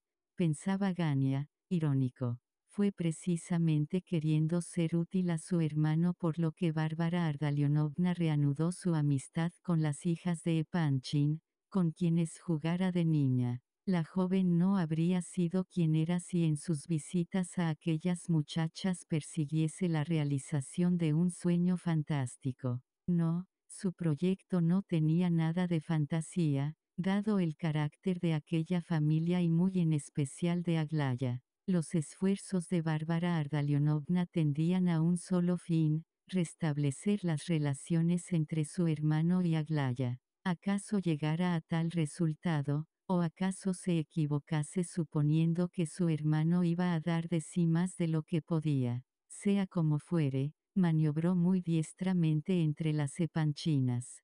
Pasaba semanas enteras sin mencionar el nombre de Gania, mostraba siempre una franqueza y una corrección extremadas, y fondo de sus sentimientos, no encontraba nada reprensible en su conducta, y ello le estimulaba a persistir en su designio. Pero a veces Bárbara Ardalionovna se daba cuenta de que poseía mucho amor propio y ese amor propio resultaba herido, y nunca lo advertía con mayor claridad que cuando regresaba de casa de las Epanchinas. Precisamente volvía de casa de ellas aquella mañana en que, como dijimos, se encontraba de un humor bastante sombrío. En su abatimiento no faltaba un atisbo de amarga ironía. Ptitsin tenía en Pavlovsk una casa de madera, fea, pero amplia, que se erguía en una calle polvorienta. Aquel edificio debía pasar en breve a ser propiedad suya y ya proyectaba venderlo. Cuando subía la escalera, Bárbara Ardalionovna o o, gran estrépito en el piso superior reconoció las voces exaltadas de su padre y su madre. Al entrar en la sala distinguió a su hermano, que recorría el aposento a grandes zancadas, pálido de ira y, al parecer, a punto de mesarse los cabellos. Varia arrugó el entrecejo y, sin quitarse ni siquiera el sombrero, se dejó caer lánguidamente en un diván comprendiendo que si no preguntaba a su hermano las causas de su irritación, le enojaría más aún, se apresuró a inquirir, ¿la historia de siempre? ¿Qué dices? exclamó Gania. La de siempre. No, hoy no es la de siempre. El diablo sabe lo que pasa. El viejo está exasperado, mamá deshecha en lágrimas. Palabra, varia, que voy a echar a ese hombre, digas lo que quieras, o a marcharme yo, añadió, recordando quizá que no le era posible arrojar a una persona de una casa que no le pertenecía. Hay que ser indulgente, murmuró Varia. ¿Indulgentes con quién? ¿Y con qué cosas? repuso Gania, rojo de ira. Con las bellaquerías de ese hombre, no, digas lo que quieras, esto no puede continuar así, es imposible, Imposible, imposible. Es tremendo. Quien ha faltado es él, y aún tiene humos. Si no le basta la puerta, echa abajo la muralla. ¿Qué te pasa? Tienes mala cara. No importa la cara que yo pueda tener, dijo ella, malhumorada. Gania la contempló con curiosidad. ¿Has estado en aquella casa? preguntó repentinamente. Sí. Escucha. Otra vez gritan. ¡Qué vergüenza! Y en un momento como este. Un momento como este, no veo que sea un momento distinto a los demás. ¿Has sabido algo? preguntó Gania, mirándola con redoblada atención. Nada inesperado. Me he informado de que todo era cierto. Mi marido ha visto más claro que tú y yo. Lo que predijo desde el principio, se ha realizado. ¿Dónde está? Ha salido. ¿Qué es lo que se ha realizado? El príncipe ha sido formalmente aceptado como novio oficial. Es cosa concluida. Me lo han dicho las hermanas mayores. Aglaya ha dado su consentimiento. Hasta ahora andaban con misterios, pero ya han renunciado a las ocultaciones. El casamiento de Adelaida se ha retardado para que las dos bodas se celebren a la vez. Muy poético, ¿verdad? En lugar de correr por la sala como un loco, valdría más que redactases un epitalamio. La princesa Bielokonsky va a visitarlos esta noche. Ha llegado muy a punto. También habrá más personas. Presentarán el prometido a la princesa, aunque ya se conocen. Parece que se quiere dar cierta solemnidad a esa presentación. El único temor que existe es que, al entrar en el salón, el apuesto novio rompa alguna cosa o mida el suelo con las espaldas. Cosas así son muy corrientes en él. Gania escuchaba muy atentamente, con gran sorpresa de Varia, aquella noticia, que destruía las esperanzas del joven, no le causó ninguna emoción aparente. Está claro, dijo, tras un instante de reflexión. Es cosa concluida, naturalmente y sonrió de un modo extraño. Miró a su hermana con expresión reticente y reanudó, con más calma, sus paseos por la habitación. Celebro mucho que tomes con filosofía lo ocurrido, observó Varia. Una preocupación menos, sobre todo para ti. Creo haber trabajado sinceramente en favor tuyo, sin molestarle con preguntas. Nunca traté de saber, por ejemplo, qué felicidad esperabas encontrar en Aglaya.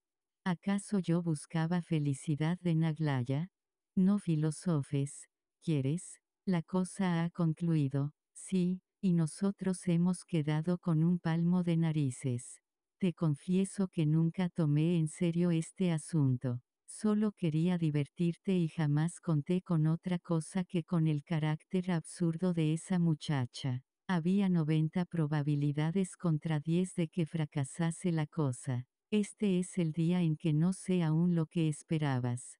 Ahora lo que espero es que tu marido y tú me instéis a buscar un empleo, que me sermonees constantemente asegurándome que la voluntad y la perseverancia lo vencen todo, que no hay por qué despreciar los beneficios modestos, pero seguros, etc. Me lo sé de memoria, dijo Gania, riendo. Ya tiene otra idea en la cabeza, pensó Varia. ¿Y los padres? Encantados, ¿no? preguntó el joven. No mucho, me parece. Además, Tú mismo puedes hacerte cargo. No obstante, Iván Fedorovich está satisfecho. Lisabeta Prokofievna tiene miedo.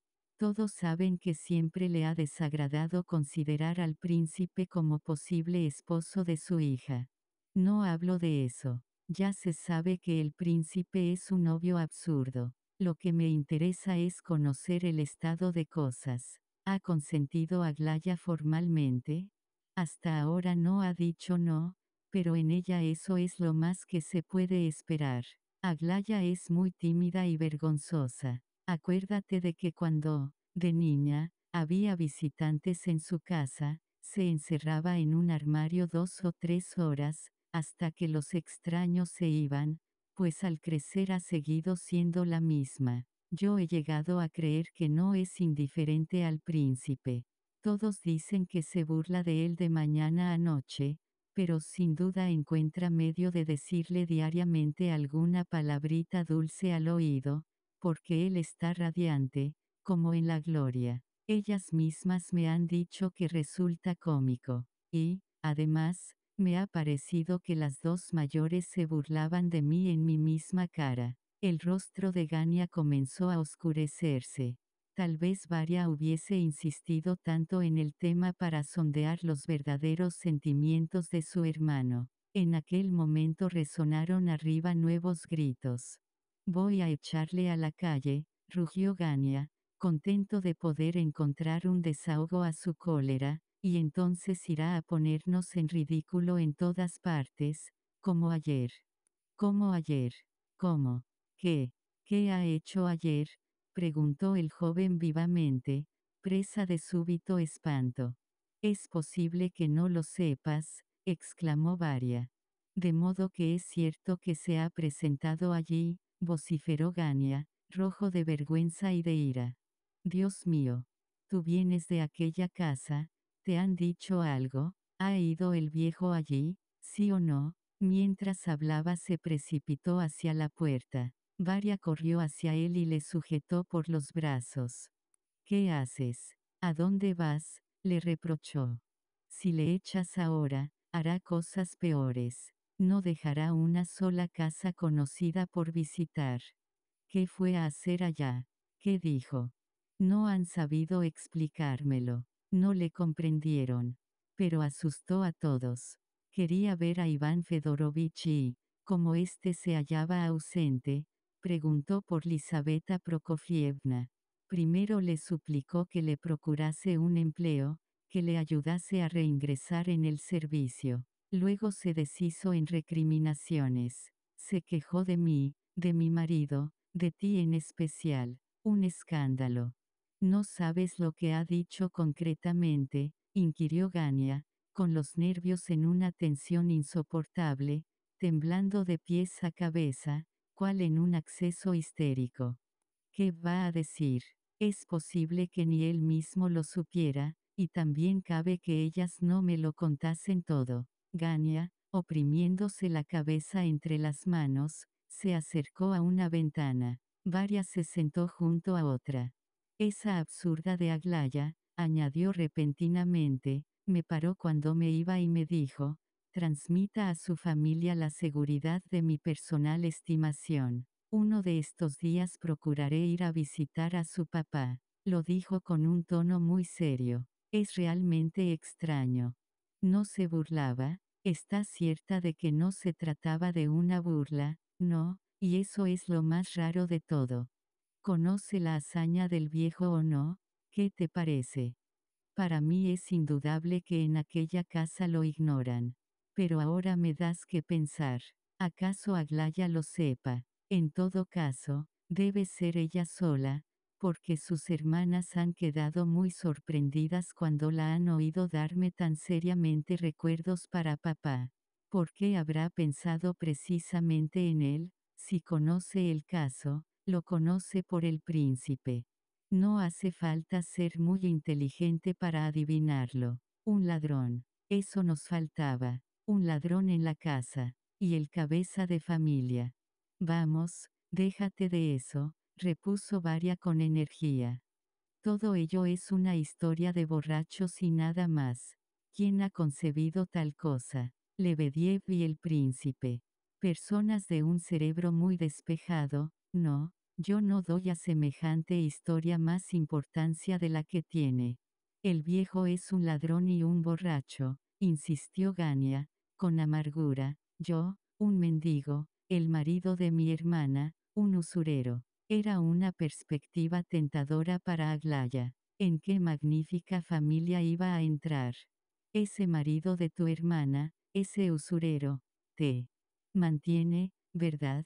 No andes con cumplidos, te lo ruego. No te pongas así, contestó Varia. Tienes el espíritu de un colegial.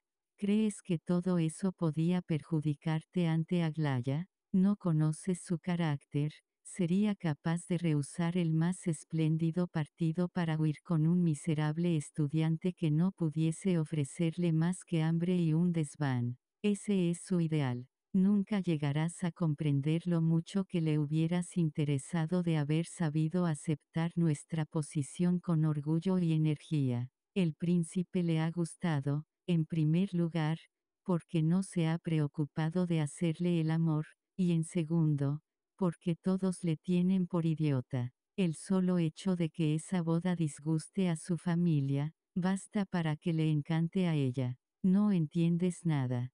Ya lo veremos, repuso Gania, enigmático. Pero, con todo, no me agrada que se haya enterado de la proeza del viejo. Yo esperaba que el príncipe no la contase. Ha ordenado silencio a Lebediev, e incluso a mí no quería relatármela, aunque le insté mucho. Entonces habrá sido otro, porque ya ves que la historia se ha divulgado. ¿Y qué piensas hacer ahora? ¿Qué esperas? Si alguna esperanza quedase sería la de que aparecieses como un mártir ante los ojos de Aglaya. No, por romántica que sea, temería el escándalo. Es muy fácil despreciar los prejuicios de palabra, pero siempre hay un límite que no se rehúsa. Todas sois lo mismo. Varia miró a su hermano con desprecio. Temer Aglaya nada, contestó con energía. ¿Qué alma tan mezquina tienes? Todos los hombres sí que sois iguales. Aglaya puede ser absurda y extravagante, pero tiene más generosidad que cualquiera de nosotros.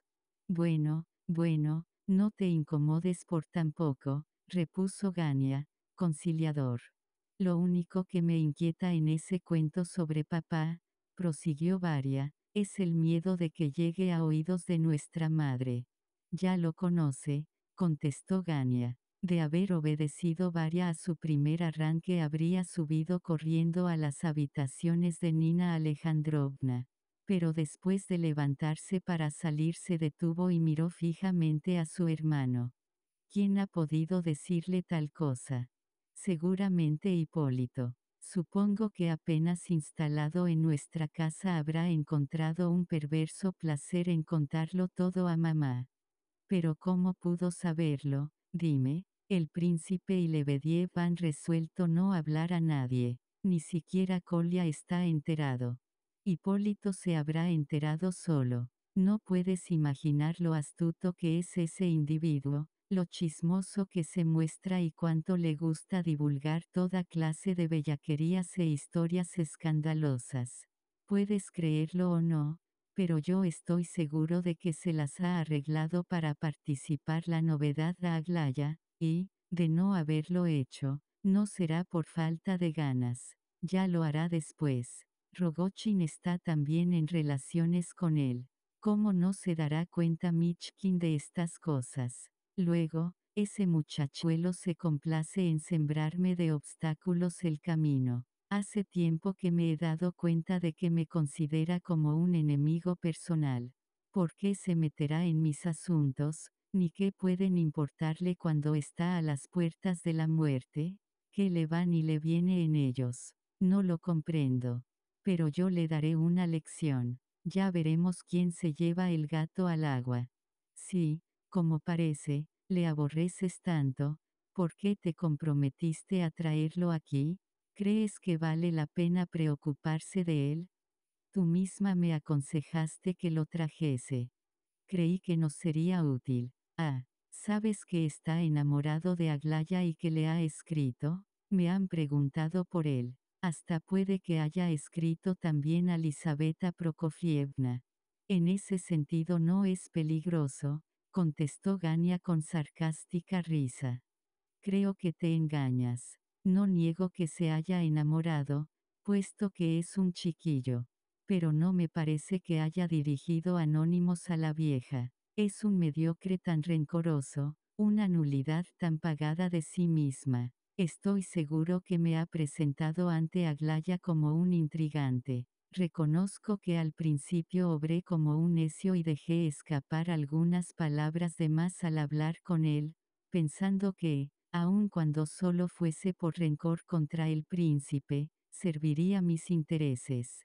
Como es un tipo tan falso. Ahora le conozco bien y respecto al robo, puede haberlo sabido por su madre. Si el viejo ha hecho eso, ha sido por ella. Hipólito, a quemarropa y sin rodeos, me dijo que el general había prometido 400 rublos a su madre. Entonces lo comprendí todo. Al darme ese informe me miraba a los ojos, rebosando satisfacción en todo su aspecto. Es seguro que se lo ha dicho a mamá, por el mero placer de disgustarla. ¿Y por qué no se morirá de una vez? Se había comprometido a morir en un plazo de tres semanas, y, por el contrario, ha engordado desde que está aquí. Ya no tose. Él mismo ha dicho ayer que llevaba 24 horas sin escupir sangre.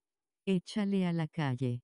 Es que no le odio, le desprecio, respondió Gania, con orgullo y de repente, en un súbito arrebato de furia, gritó, sí, sí, Le odio y se lo diré en la cara, en sus últimos momentos, cuando se encuentre en su lecho de muerte. Si leyese su confesión. Dios mío, qué cándida impudicia. Es un teniente Pirogov, un Osdreven trágico, y sobre todo es un chicuelo.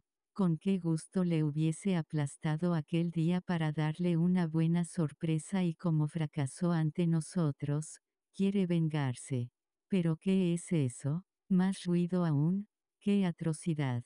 Es insoportable.